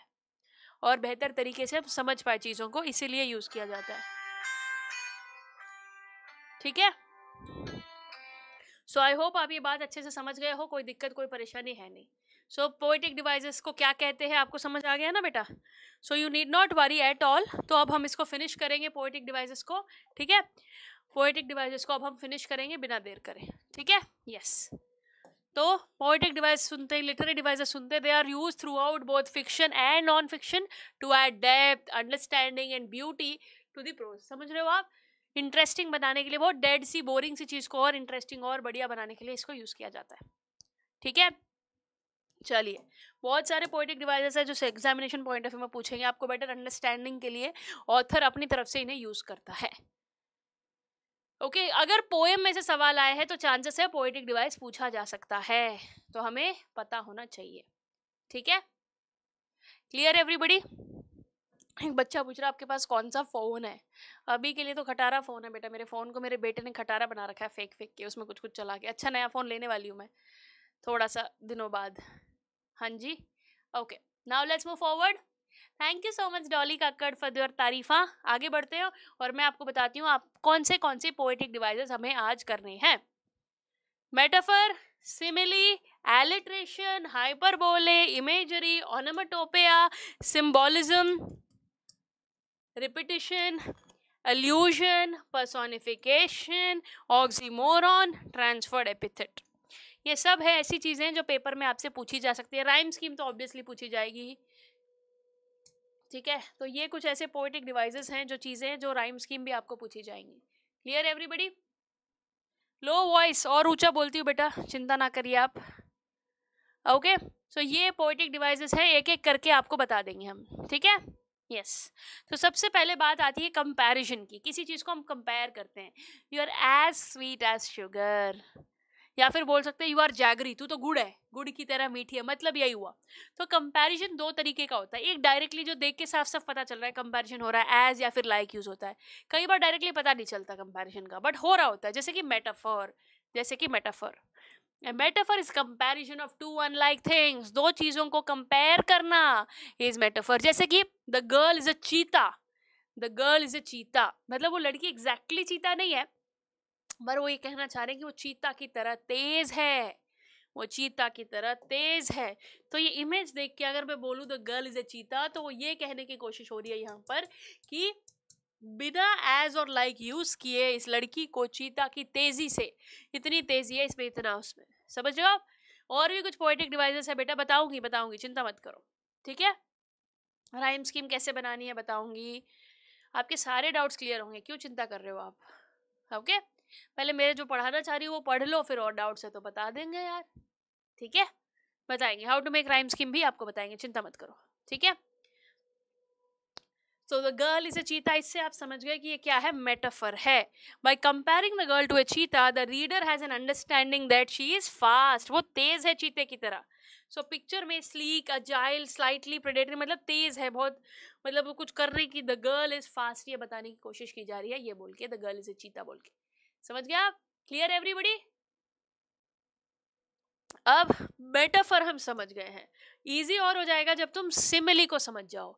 जब तुम सिमिली को समझ जाओ। She is as big as an ox she is as big an as an ox मतलब ये भी कंपैरिजन के लिए यूज़ होता है बट यहाँ पर एज या लाइक like यूज़ कर लेते हैं, जिससे साफ़ साफ़ पता चल जाता है कि एक ऑक्स की तरह ही समझ रहे हो आप? She is as big as an ox अब आप कंपेरिजन समझो। डिफरेंस समझो दोनों में सिमिली और मेटाफर में। यहाँ पर एज या फिर लाइक like यूज़ होता है, ठीक है? It is similar to a metaphor यहाँ पर भी कंपैरिजन होता है बट यहाँ पर लाइक like या फिर एज यूज़ होता है। तब हम इसे कहते हैं सिमिली तो रीडर को साफ़ साफ़ ये समझाने की कोशिश करें कि इतनी बड़ी क्लियर एवरीबडी सो सभी बताइए सिमिली और मेटाफर में फ़र्क समझ गए? Yes smooth like butter sweet as sugar है ना? समझ रहे हैं आप? तो सिमिली और मेटाफर में फ़र्क तो दोनों ही यूज़ होते हैं कंपैरिजन के लिए। दोनों ही यूज़ होते हैं कंपैरिजन के लिए। कंपैरिजन सिमिली भी मेटाफर भी, दोनों कंपैरिजन के लिए यूज़ होते हैं। हाँ प्लीज़ मेरा बेटा रिक्वेस्ट है एग्ज़ाम में, अगर कोई पोएटिक डिवाइस तुम्हें पूछा जाए, उसका आंसर सिमिली हो तो स्माइल लिख के मत आ जाना। स्माइल लिख के मत आ जाना। ठीक है? समझ रहे हो बात को? स्माइल लिख के मत आ जाना। तो सिमिली में क्या होता है एज या फिर लाइक like यूज़ होता है। मेटाफर में भी कंपैरिजन हो रहा है, पर एज या फिर लाइक like यूज़ नहीं हो रहा है।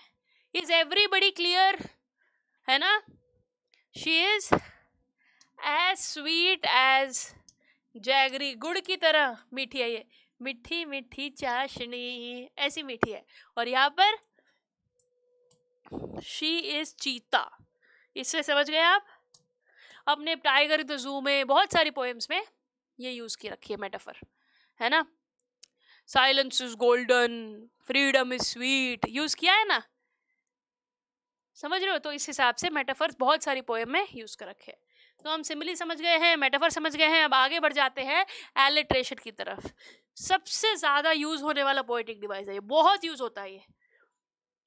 तो रिपीटेशन ऑफ़ सेम लेटर और sound at the beginning of a string of connected word जैसे कि शुरुआत में सेम साउंड आ जाए, तब हम उसे यूज़ करते जैसे कि by repeating the C sound आप समझ रहे हो, बहुत सारे से से आ जाता है कई बार। बहुत बार इलेक्ट्रिशियन यूज़ हुआ है जब शुरुआत में ही आप उन्हें यूज़ करते हो। जैसे अपने पोएम्स में बहुत जगह एलिट्रेशन यूज़ है। Some say the world will end in fire some say in ice तो सम स स साउंड है कि नहीं? तो वो एलिट्रेशन कहलाएगा। क्या कहलाएगा? एलिट्रेशन तो बहुत कॉमनली यूज़ है बेटा एलिट्रेशन समझ गए आप? तो अगर आपकी बात करें, अब इसकी आँखें की, आपकी बिल्ली की आँखों की बात कर रहे हैं यहाँ पर देखिए ज़रा। Though the winter was cold a number of crafty crimson cats cuddled on the covered pouch तो ये सी साउंड देख रहे हो आप, कैसे रिपीट हो रही है बार बार शुरुआत में ही। शुरुआत में ही। तब हम उसे क्या कहेंगे? Alliteration is everybody clear alliteration क्या होता है? कोई दिक्कत? एलिट्रेशन समझ गए हो बेटा? बताइएगा ज़रा। Quickly let me know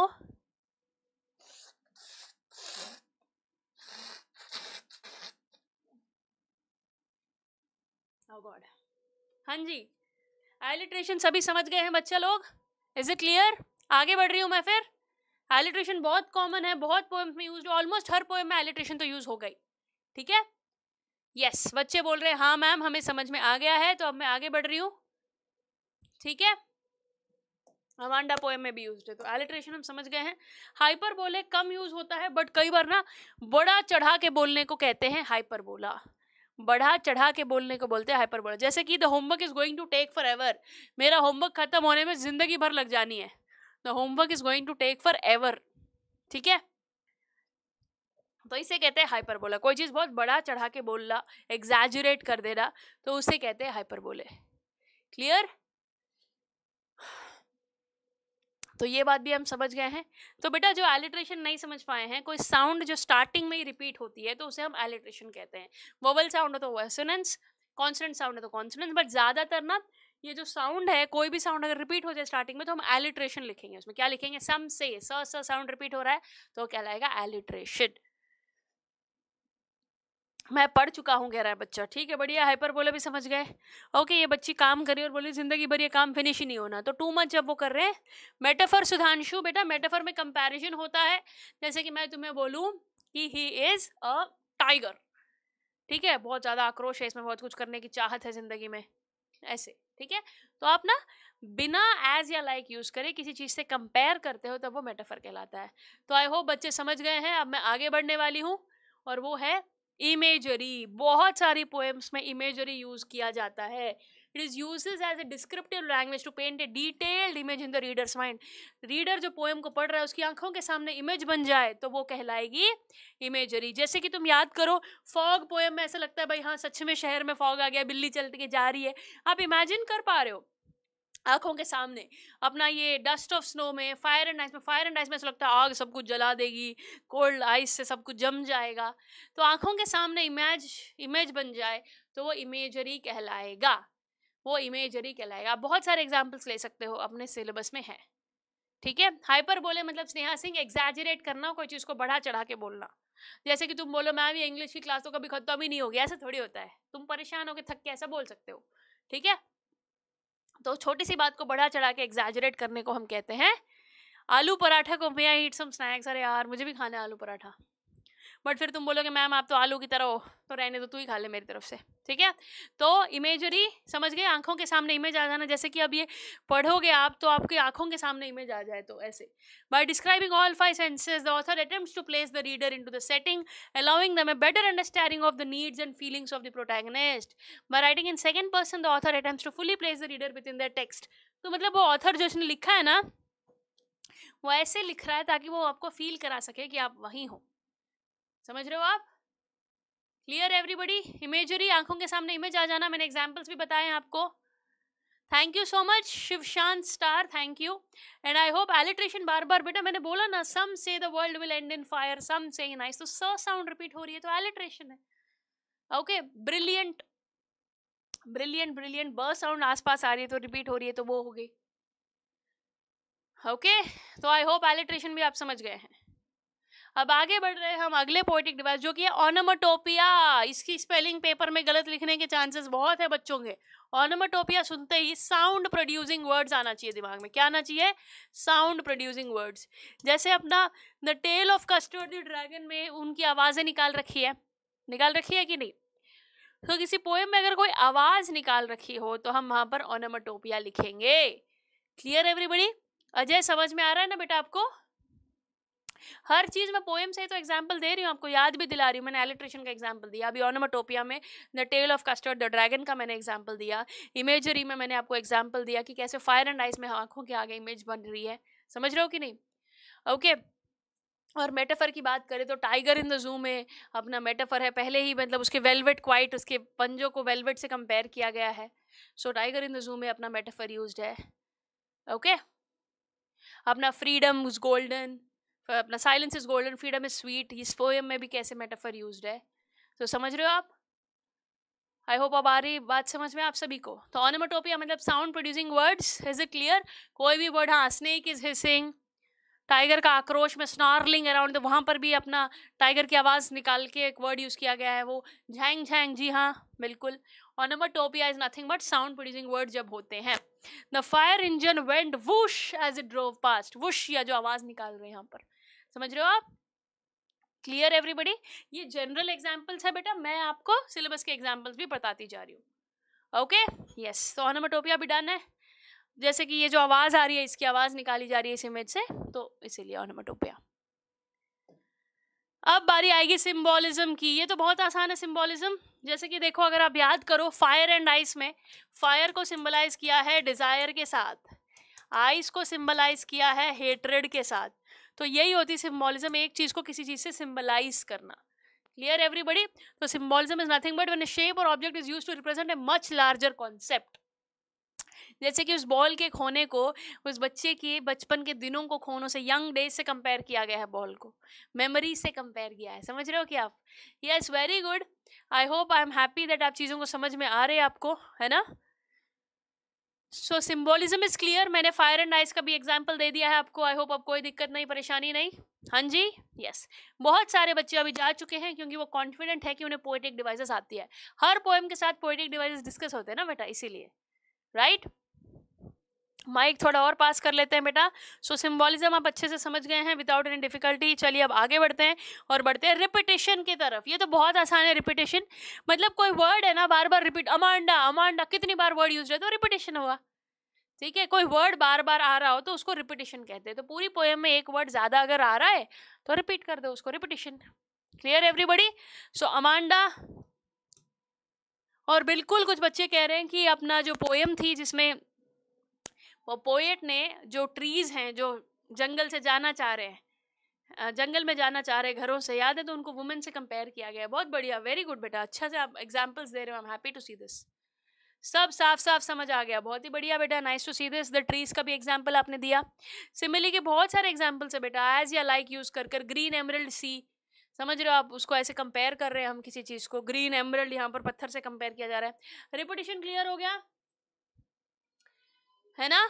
yes तो रिपीटेशन इज़ नथिंग बट यहाँ पर वर्ड का रिपीट होना। कोई एक चीज़ एज इट इज़ रिपीट हो जाए तो उसको हम रिपीटेशन कहेंगे। कुछ एग्जाम्पल्स भी यहाँ दे रखे हैं। अब बारी आती है अल्यूजन की। अल्यूजन बहुत आसान है बेटा। फिर something well known is compared जैसे कि याद करो अमांडा में रपनजल यूज़ किया गया है। अमांडा में रपनजल यूज़ किया। कोई कैरेक्टर को जब हम यूज़ करते हैं, ठीक है? तब हम उसे कहते हैं, बहुत बढ़िया तरीके से एल्यूशन किसी पोएम में किसी कैरेक्टर से अगर आप कंपेयर करते हो तो ये रपनसल अमांडा पोएम में जो है मरमेड भी यूज़ कर रखा है। तो ये कुछ कैरेक्टर से कंपेयर कर रहे हैं ना यहाँ पर, उनको ऐसे ट्रीट कर जैसे देखो I was not born in a manager I was actually क्या है ना, आप बहुत सारे एग्जाम्पल्स दे सकते हो तो मैं आपको सिलेबस का दे रही हूँ ताकि आपको ईजी रहे। ठीक है? ये जनरल एग्जाम्पल्स है। एल्यूशन आप समझ गए? चलो, बहुत बढ़िया। एल्यूशन का एग्ज़ाम्पल आ चुका है, आप समझ गए हो तो अब मैं आगे बढ़ रही हूँ और अब हम बात करेंगे, जैसे एल्यूशन के लिए सुपरमैन हो फॉर एग्ज़ाम्पल उसको सुपरमैन की तरह ट्रीट किया गया हो तो कोई ऐसा कैरेक्टर जो नोन हो, समझ गए आप? ऐसा कैरेक्टर जो नोन हो, तब हम इसे यूज़ करते हैं। Clear everybody difference between repetition and alliteration repetition में पूरा वर्ड रिपीट होता है एलिट्रेशन में साउंड रिपीट होती है। दोबारा बता रही हूँ रिपीटेशन में पूरा वर्ड रिपीट होता है और एलिट्रेशन में सिर्फ़ साउंड रिपीट होती है। रेपेंजल एक फेरी टेल कैरेक्टर रिपीट जिसके लंबे लंबे बाल होते हैं। ठीक है? ऑनोमोटोपिया साउंड प्रोड्यूसिंग वर्ड है बेटा, जैसे कि ये जो अपने सीगल वगैरह थे, गा गा गा गा गा, उनकी आवाज़ें निकाली जा रही थी ना तो वो ऑनोमोटोपिया है वहाँ पर। ठीक है? यस अब सबसे ज़रूरी पर्सोनिफिकेशन बहुत ही बढ़िया है ये। एक नॉन लिविंग थिंग को, एक नॉन लिविंग थिंग को पर्सन से अगर आप कंसिडर कर रहे हो, उसकी फीलिंग्स दे रहे हो ह्यूमनली इमोशंस उसको ऐड कर रहे हो, जैसे टाइगर इन द जू में टाइगर को ह्यूमन की तरह ट्रीट किया गया है। अपना मिजबिल द ऑटर में ऑटर को ह्यूमनली इमोशंस दिए गए हैं। समझ रहे हो आप? तो इसे हम क्या कहेंगे? Personification. The lamb hung its head in shame, unable to offer Sandra the answer she so thoroughly needed. Lamb hung its head. जो लैम्प है वो कैसे मतलब वो एक तो नॉन लिविंग था ना लैम्प वो अगर झुका हुआ है मतलब उसमें ह्यूमनली इमोशन झुक के कर रहा है तो इसीलिए हम इसे क्या कहेंगे पर्सोनिफिकेशन तो ये जो लैम्प है इंसान की तरह झुक रहा है ऐसे अगर इसको ह्यूमनली ट्रीट करे एक नॉन लिविंग थिंग को तब वो क्या कहलाएगा आई होप इट्स क्लियर कि उसे हम कहेंगे पर्सोनिफिकेशन राइट right? अब हम बात करते हैं अगले पोइटिक डिवाइस की जो कि है ऑक्सीमोरॉन ऑक्सीमोरॉन सुनते तुम्हें बस इतना याद रखना है टू ऑपोजिट वर्ड्स को साथ में यूज़ करना। Two opposite words two contradictory words को साथ में यूज़ करना इज़ नथिंग बट ऑक्सीमोरॉन समझ रहे हो यहाँ पे देखो क्वाइट और रेज यहाँ पर टाइगर इन द जू में। टाइगर इन द जू में यूज़ किया जाता है इसको। क्वाइट रेज समझ रहे हो आप बेटा? ठीक है? समझ गए? क्वाइट रेज दो ऑपोजिट चीज़ों को जब एक साथ यूज़ करते हैं, तब हम उसे कहते हैं कि बात हो रही है ऑक्सीमोरॉन की। दो ऑपोजिट वर्ड्स बिल्कुल साथ में यूज़ किया जाए। अलग फॉग पोएम में भी यूज़ किया है, बिल्कुल। डस्ट ऑफ़ स्नो में भी यूज़ कर रहे हैं बेटा। डस्ट और स्नो बिल्कुल दो ऑपोजिट चीज़ें साथ में यूज़ हो गई तो वो ऑक्सीमोरॉन कहलाएँगे। ठीक है? आई होप आप समझ गए हो। तो टाइगर इन द जू में हम इसको यूज़ कर सकते हैं। अब ये देख कीप स्टॉप और कीप मूविंग दो अपोजिट चीज़ें एक ही साथ लगा दिए। तो यहाँ पे दो अपोजिट चीज़ें हैं, दो अलग अलग मीनिंग की सेम जगह लगा दिए। तो इसीलिए क्या कहलाएगा? ऑक्सीमोरॉन कहलाएगा। समझ गए बेटा? अब आखिरी में ट्रांसफर्ड एपिथेट ट्रांसफर्ड एपिथेट भी आपको पता होना चाहिए, ये बहुत ज़रूरी है। ट्रांसफर्ड एपिथेट जैसे क्वाइट रेंज में ट्रांसफर्ड एपिथेट मतलब क्या होता है ना? क्वाइट एक्चुअल में ना टाइगर होना चाहिए। पर यहाँ पर टाइगर की जगह रेज लिख दिया। एडजेक्टिव और नाउन दो अलग अलग हो। बात किसी और की हो रही हो, पर वर्ड कुछ और यूज़ कर दिया हम साथ में। ट्रांसफ़र कर दिया उस वर्ड को। समझ रहे हो? आप उसे ट्रांसफर्ड एपिथेट कहते हैं। जैसे यहाँ पर क्वाइट टाइगर है बट ये रेज लिख दिया यहाँ पर। तो नाउन जो है, उस एडजेक्टिव के साथ सही यूज़ ना किया हो और कोई और वर्ड यूज़ कर दिए तो उसे हम कहेंगे ट्रांसफर्ड एपिथेट उसे हम कहेंगे transferred epithet is it clear बेटा? ट्रांसफर्ड एपिथेट समझ गए हो आप? जल्दी बताओ। Is it clear to you हाँ जी क्वाइट रेज ऑक्सीमोरॉन में भी आएगा ट्रांसफर्ड एपिथेट में भी आएगा. ठीक है? सो आई होप आप समझ गए हो ट्रांसफर्ड एपिथेट को. No difficulty in this at all तो अब वक्त आ जाएगा बेटा, एक और पोएटिक डिवाइस है जो सिलेबस में आपके है, वो है एनजैममेंट एनजैममेंट क्या होता है? जो आपकी लाइंस होती है ना? लाइंस होती है. अगर लाइन के एंड में कोई भी पंक्चुएशन मार्क ना हो, कोई भी पंक्चुएशन मार्क ना हो तो उसे हम कहेंगे एनजैम्पमेंट क्या कहेंगे हम उसे? एनजैम्पमेंट कोई भी पंक्चुएशन मार्क ना हो तो ये एनजैम्पमेंट कहलाएगा। पंक्चुएशन मार्क नहीं होना चाहिए। Is it clear everybody enjambment क्या होता है? क्रिस्टल क्लियर कह रहे हैं बच्चे। बहुत बढ़िया बेटा very well done so these are the poetic devices which will be use in your examination जो आपके सिलेबस में आ सकते हैं। समझ रहे हो कि नहीं? जल्दी बताइए। Hi yes I am done with the poetic devices बेटा। जी हाँ I am done with the poetic devices बताइए, अब आपको कोई डाउट है तो बताइए। सिलेबस में मोस्टली इसी में से सवाल आएँगे आपको 99.9 परसेंट पर्सोनिफिकेशन बताया ना बेटा नॉन लिविंग थिंग को अगर आप पर्सनली ह्यूमनली इमोशंस दे दो तो वो कहलाएगा बहुत ही आसानी से पर्सोनिफिकेशन तो अब आपके लिए सरप्राइज़ जिसका आप इंतज़ार कर रहे थे सरप्राइज़ जिसका आप इंतज़ार कर रहे थे। मैं आपको सवाल पूछूँगी, तुम्हें आंसर देना है। वन वर्ड आंसर होगा। क्या होगा? वन वर्ड आंसर होगा। मैं एक सेंटेंस में क्वेश्चन पूछूँगी और आपको आंसर देना है। इन क्वेश्चंस का आंसर आप दे दोगे तो आपको एग्जामिनेशन पॉइंट ऑफ़ व्यू में बहुत काम आएगा। एक बच्चा पूछ रहा है what is punctuation mark colon semi colon full stop question mark exclamatory mark इन सभी को हम कहते हैं पंक्चुएशन मार्क्स बेटा। ठीक है? So are you guys ready for सब क्वेश्चन टाइप ताकि फिर हम चले घर? हरमन रो रहा है don't worry I go and handle him बेटा don't worry thank you so much for the concern हाँ जी, आपको मैं सरप्राइज़ देने वाली हूँ। यस एक और पोइटिक डिवाइस जो हम मिस कर गए, जो कि है एनाफोरा क्या है बेटा? एनाफोरा एनाफोरा वो होता है जब दो लाइंस में सेम फ्रेज यूज़ हो। सेम फ्रेज यूज़ जैसे वॉट व्हाट ये यूज़ किया हुआ है पोएम द बॉल पोएम में। What will be the boy उस बच्चे का क्या हाल होगा? अगर दो कॉन्सिक्यूटिव लाइंस में सेम वर्ड यूज़ हो तो उसे हम कहेंगे एनाफोरा क्या कहेंगे? एनाफोरा और बेटा जी, अगर हम बात करें राइम स्कीम की, जिस बच्चे को राइम स्कीम बनानी, निकालनी नहीं आती, उन्हें मैं बताना चाहूँगी, आपको ना चार लाइन लेनी है स्टैंडा की, और हर लाइन का आखिरी वर्ड उठाना है। हर लाइन का आखिरी वर्ड उठाना है, बस। फिर देखना है कि ये राइमिंग है कि नहीं। फिर देखना है कि ये राइमिंग है कि नहीं, बस। पहला हमेशा ए रहेगा, दूसरा देखो अगर राइमिंग है तो वो भी ए रहेगा, नहीं है तो बी बन जाएगा। समझ रहे हो? तो इस प्रकार से आप राइम स्कीम बना सकते हो। ठीक है? यस कुछ पोएम्स ऐसी होती है जो फ्री वर्स की होती है, कोई राइमिंग स्कीम नहीं होती तो आप उसमें कह सकते हो हाँ कि राइम स्कीम नहीं है। आयरनी बहुत कॉमनली यूज़ है बेटा, कि होता कुछ और है बोला कुछ और, हो कुछ और ही गया उसके साथ। आयरॉनिक हो जाता है। आयरनी में। कुछ पोएम्स में वो सोचना कुछ और चाहते हैं बोलना कुछ और चाहते हैं और कुछ और ही हो जाता है, आयरनी हो जाती है उसमें। ठीक है? यस रिपीटेशन तो हमने डिस्कस कर ही लिया है। क्लियर एवरीबडी चलिए फिर सरप्राइज़ आपका क्वेश्चन मैं लेके आती हूँ स्क्रीन पर, ध्यान से सुनिएगा। सरप्राइज़ में मेरे पास क्या है? मैं आपसे ये जानना चाह रही हूँ, मैं एक वन वर्ड में आपका आंसर चाहिए मुझे, मैं आपसे सवाल पूछने वाली हूँ। ठीक है? तो पहला सवाल बड़े गौर से आपको मुझे बताना है। आपको बड़े गौर से मुझे बताना है। First question to you guys is first question to you guys is Amanda poem सबने पढ़ी है अमांडा पोएम सबने पढ़ी है तो मैं चाहती हूँ कि अमांडा में यूज़ किए हुए कोई भी दो पोएटिक डिवाइस आप मुझे बताएँगे। दो पोएटिक डिवाइसेस आप मुझे बताएँगे। तो सबसे पहले बताइए पोएटिक डिवाइस अमांडा में कौन सा यूज़ है? जल्दी। अमांडा में कौन सा पोएटिक डिवाइस यूज़ है? अमांडा में सबसे कॉमनली मैं कहूँगी कि जो आसानी से नज़र आए वो है रिपीटिशन अमांडा अमांडा कितनी बार यूज़ कर रखा है? है ना? फ्रीडम और साइलेंस को गोल्डन और स्वीट से कंपैरिजन हुआ है यहाँ पर। तो अपने पर, वहाँ पर सिमिली भी है, उस पोएम में और मेटाफर भी है। समझ रहे हो आप? तो बेटा, आपको क्या है ना पोएम वाइज आपको हर एक पोएम के साथ आपको पोएटिक डिवाइस कराई जाएगी जब आपसे पोएम्स डिस्कस करेंगे। समझ रहे हो आप? तो आपको ना प्रॉपर तरीके से पोइटिक डिवाइस को चुनना आना चाहिए। प्रॉपर तरीके से पोइटिक डिवाइस को चुनना आना चाहिए।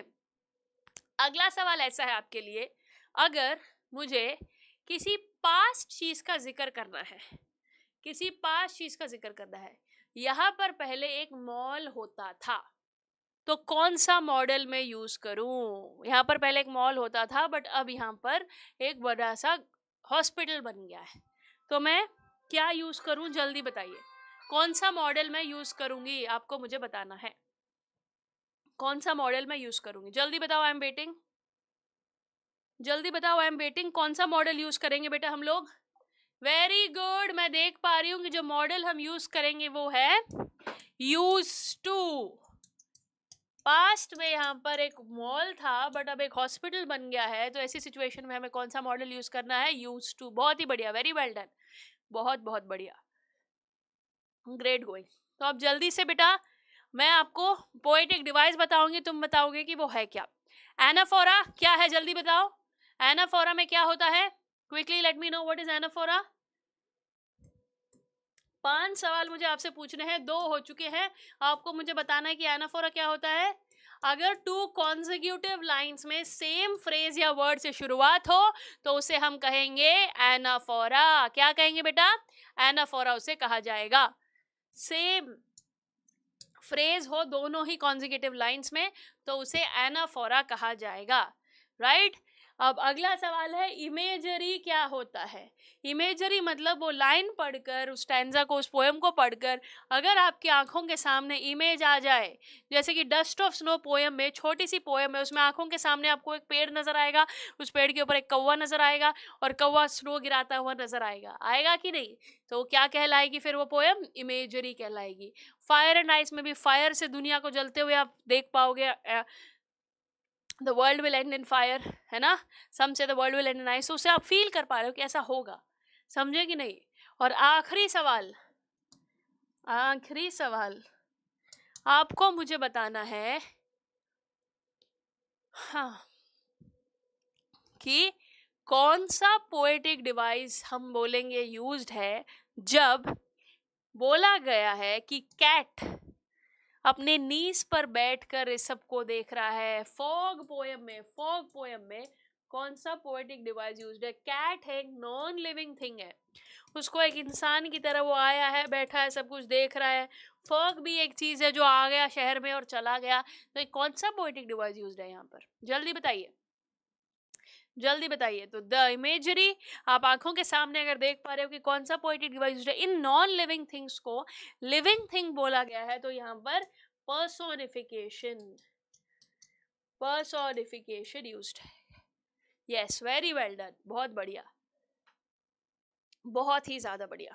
मे एंड कैन में डिफरेंस एक बच्चा पूछ रहा है, बेटा मे फॉर्मल परमिशन के लिए यूज़ होती है और कैन कैजुअली यूज़ होता है एबिलिटी और पावर की सिचुएशन में।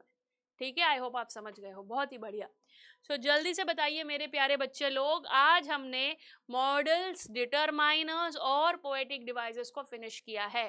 How are you guys feeling are you confident कैसा लगा आज का लेक्चर जल्दी जल्दी बताइए। Quickly let me know how do you guys feel कुछ पूछना चाह रहे हो तो मेरे पास अभी वक्त है। जो भी आप चाहो हम आपके हर सवाल का जवाब देने के लिए तैयार हैं।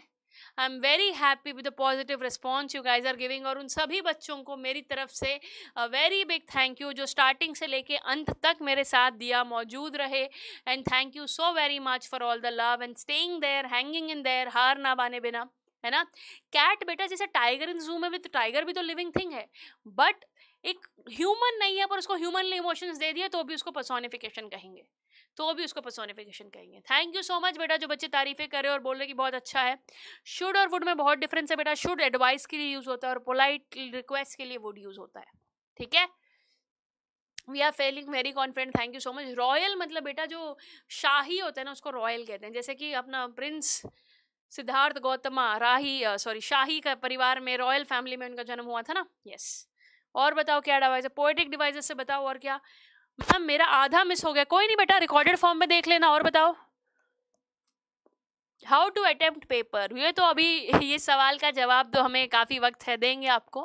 क्वेश्चंस में, जैसे कि मैंने आपको बताया है ग्रामर पूरा फिनिश होगा, तब बताएँगे कि ग्रामर में से, फिर भी अगर आप पूछ ही रहे हो तो मैं आपको बताना चाहूँगी। ग्रामर में बेटा, जब भी ग्रामर की बात होती है तो ग्रामर सेक्शन बी में आता है, और दस नंबर का ग्रामर आएगा। कितने नंबर का आएगा ग्रामर दस नंबर का। उसमें आता है टेंसेस उसमें आता है मॉडल्स उसमें आता है डिटरमाइनर्स उसी में आता है सब्जेक्ट वर्ब कॉनकॉर्ड और फिर उसी में आता है रिपोर्टेड स्पीच ये पाँच टॉपिक है और आपको टेन मार्क्स के आएँगे। कितने मार्क्स के? टेन मार्क्स के। तो इनमें से डिटरमाइनर में से किसी भी तरह के डिटरमाइनर में से सवाल आ सकता है राइट तो ये जो अगर टेन मार्क्स में आने वाले हैं तो आपको पेपर में सवाल पूछे जाएँगे या तो fill in the blank format में या फिर एमसीक्यू में। समझ रहे हो? या फिर आपको देखो बेटा, सिंपल सी बात है एक पैराग्राफ देके ब्लैंक दे देंगे, इसमें क्या फिल होगा? समझ रहे हो कि नहीं आप लोग? ठीक है? तो आपको फिल इन द ब्लैंक आ सकता है एमसीक्यू आ सकता है और सबसे ज़रूरी जो बच्चे डर जाते हैं वो है, error correction. Error correction tense subject verb concord ये सब जब आ जाएगा ना आपको पूरी ग्रामर समझ जा आ जाएगी तब इंटीग्रेटेड ग्रामर में वो सवाल आता है बेटा। साउंड वाला ऑनोमाटोपिया था बेटा एक बच्चा पूछ रहा साउंड वाला क्या था? ऑनोमाटोपिया था। सो so, इन तीनों में और एरर करेक्शन में तो क्या होता है ना बेटा साफ़ साफ़ आप देख पाओगे कि आप सेंटेंस पढ़ोगे उसमें कुछ खटकेगा जो गलत है उसको ठीक करना होता है बस। ठीक है? सो एरर करेक्शन में क्या करते हैं हम? एरर करेक्शन में इनकरेक्ट चीज़ को ढूंढेंगे और उसको करेक्ट कर देंगे। इनकरेक्ट चीज़ को ढूंढेंगे करेक्ट कर देंगे। मॉडल कोई गलत यूज़ हो सकता है टेंस कोई गलत यूज़ हो सकता है विल की जगह वुड यूज़ कर रखा है। समझ रहे हो आप? एनी की जगह मैनी यूज़ कर रखा है तो आपको गलत है, उसको ढूंढना पड़ेगा। लेस्ट का मीनिंग मैं बता रही हूँ बेटा पवन कुमार लेस्ट का मीनिंग होता है वरना। एक्सप्लेन मेटाफर मेटाफर एक ऐसा पोइटिक डिवाइस है जिसमें कंपैरिजन यूज़ होता है कंपैरिजन किया जाता है बट एज या लाइक यूज़ नहीं होता है। वो कैबलरी कैसे इंप्रूव करे? अभी के लिए आप जो कर सकते हो बेटा वो ये है कि लिटरेचर में पूरे एनसीईआरटी टेक्स्ट में जो वर्ड्स यूज़ हैं वो आपको आने चाहिए, उनके मीनिंग्स पता होने चाहिए तो वो वोकेबलरी आपकी स्ट्रांग रहेगी। और राइटिंग सेक्शन के लिए वोकेबलरी की बात करें तो आपको सैंपल में लेटर्स और एनालिटिकल पैराग्राफ्स पढ़ के जाने पड़ेंगे और उसमें से वर्ड्स उठा के लिस्ट बनानी पड़ेगी और कॉमनली यूज़ वर्ड्स आप यूज़ करिएगा। ठीक है? और बताइए अल्यूशन मतलब बेटा कोई कैरेक्टर है जो कॉमनली फ़ेमस कैरेक्टर जिसे यूज़ किया गया है? Superman Rapunzel mermaid King Arthur का एक सेनापति, समझ लो ऐसे? Okay what more ought to बेटा ज़िम्मेदारी के लिए होता है। मस्ट और ऑट टू में मस्ट कंपल्शन और ऑट टू से थोड़ा कम। मतलब बुद्धे की बात एक ही है। और कुछ ट्रांसफर्ड एपिथेट में बेटा दो नाउन होता है, एडजेक्टिव होता है। एडजेक्टिव जैसे कि स्मार्ट बॉय की जगह, मैं बॉय की जगह कुछ और लिख दूँ, नाउन कुछ और कर दूँ। स्मार्ट से कर दिया तो फिर वो मतलब बदल जाता है, ट्रांसफ़र हो गया एपिथेट। समझ रहे हो आप? तो किसी और के साथ जब हो जाए, तब हम उसे कहते हैं। ठीक है? तो इस हिसाब से आपको पूछा जाएगा, tense subject verb concord reported speech, तीनों टॉपिक्स रहते हैं, वो हम कराएँगे आपको। तो वॉरियर में हम सभी बच्चों को, वॉरियर्स को हमने बहुत ही मेहनत करके, बहुत ही मन से ज़ोर लगाकर मैंने फ़र्स्ट फ़्लाइट के सारे चैप्टर्स जो कि प्रोज पोर्शन है, वो फिनिश हो चुका है अपना। फ़र्स्ट फ़्लाइट का प्रोज फिनिश हो चुका है। फुटप्रिंट्स विदाउट फीट के सारे लेसन्स, प्रोज पार्ट, उसमें तो पोइट्री है ही नहीं, वो फिनिश हो चुका है। फिर बारी आई, आज हमने मॉडल्स कर लिए हैं, डिटरमाइनर्स कर लिए हैं। और क्योंकि लिटरेचर में बच्चों को बहुत ज़्यादा पोएम्स में पोएटिक डिवाइसेस में दिक्कत आ सकती है तो पहले ही पोएटिक डिवाइसेस करा दिए हैं ताकि जब तुम पोएम्स करेंगे, तब तुम्हें कोई भी परेशानी या दिक्कत ना हो और तुम अच्छे से स्कोर कर पाओ। क्लियर एवरीबडी सो जल्दी से बताइए can we leave for today हाँ जी, आज का लेक्चर शानदार रहा, बढ़िया रहा। सो so, मैं अपने वॉरियर्स को यही कहूँगी हार नहीं माननी है लगे रहना है अपने बेस्ट देते रहना है हम सभी को हाँ या ना? नोट्स कहाँ मिलेगा? ज़रूर बताते बेटा। आपको ये लेक्चर नोट्स प्रोवाइड की जाएगी पीडब्ल्यू ऐप पे वॉरियर्स में। आपको ना हर लेक्चर वहाँ मिलेगा उसकी फ्री नोट्स मिलेंगी प्रैक्टिस शीट भी आपको प्रोवाइड की जाएगी और समराइज नोट्स जो थियरी मैंने प्रोवाइड किया वो भी आपको मिलेगी चिंता मत करो ठीक है? यस बहुत बढ़िया। एरर करेक्शन क्या है? जब आपको प्रैक्टिस करोगे तो आप समझ आओगे बेटा, एक पैराग्राफ होता है, उसमें कुछ गलत होता है, उसको ठीक करना होता है। हर लाइन में कुछ गलत चीज़ मिलेगी, इनकरेक्ट वर्ड को करेक्ट करना होता है उसमें। Yes? Okay then? Thank you each and everybody each and every warrior जिसने अंत तक साथ दिया। मिलेंगे अगली बार, जब तक के लिए अपना ध्यान रखिए, खुश रहिए, मुश्किल टॉपिक्स को हल्के में मत लीजिए, वक्त लगाइए उनके साथ और मुश्किल चीज़ को आसान बना दीजिए। और बहुत सारे बच्चे मुश्किल चीज़ को आसान बनाने के चक्कर में आसान को मुश्किल मत बना लीजिएगा। आज के लिए आप सभी को यही टिप है, क्लास नाइन्थ में भी यही ग्रामर पढ़ी थी। आप ओवर कॉन्फिडेंट हो गए कि मुझे सब आता है यार ये तो बहुत आसान है पेपर में गलती करके आ जाते हैं। तो आसान चीज़ को मुश्किल ना बनाएँ बेसिक कॉमन सेंस यूज़ करें मेहनत से प्रॉपरली काम करें और लिखने के बाद चेक ज़रूर करें जो मैंने लिखा वो ठीक लिखा कि नहीं। सो so, आप सभी को आज के लिए this is Pooja ma'am signing off take care stay hydrated eat good food don't do any mistake right now शादी ब्याह में जाके तबीयत खराब मत कर लेना, मेहनत बढ़िया करना will I will become a doctor I will become an engineer मैं कुछ बनना चाहता हूँ लाइफ में बट वो तभी बन पाओगे, तुम्हारी चाहत तभी पूरी होगी जब पूरा ज़ोर लगाओगे राइट right? तो ज़ोर लगाने में कमी नहीं छोड़नी है, जो भी बनना चाहो, भगवान करे आप वो बनो, पर उसके लिए तपस्या लगेगी, मेहनत लगेगी, ज़ोर लगेगा, और वो लगाना पड़ेगा बच्चों राइट right? कुछ बच्चे बीच में अभी से ही साथ छोड़ देते हैं बट फिर वक्त आएगा जब आप छोड़ नहीं सकते। आप गिव अप नहीं कर सकते। तो I would request all my lovely students to never ever quit give your best और हम है ना? ठीक है मेडिसिन ले लेना। जी हाँ बिल्कुल। आज लेनी पड़ेगी, नहीं तो कल क्लास लेनी मुश्किल हो जाएगी। है ना? Yes okay great going then बच्चों। चले फिर। और एक बच्चा कह रहा है, मैम, एक रिक्वेस्ट है। बताओ वन सॉन्ग प्लीज़ कौन सा गाना सुनना है आपको, बताइए? हम्म। हाँ मैं रंग शरबतों का तू मीठे घाट का पानी मुझे खुद में घोल दे तो मेरे यार बात बन जानी। मैं रंग शरबतों का तू मीठे घाट का पानी, मैं एक मुसाफिर हूँ, तू कोई राह अनजानी। मुझे खुद में घोल देता हो मेरे यार बात बन जानी। तेरी प्रिपरेशन है जारी पी डब्ल्यू है तेरे साथी मेरे बच्चे प्यार प्यारे, हिम्मत नहीं है हमें हारनी। मिलेंगे अब अगली क्लास में, तब तक के लिए bye bye bye bye see you take care good night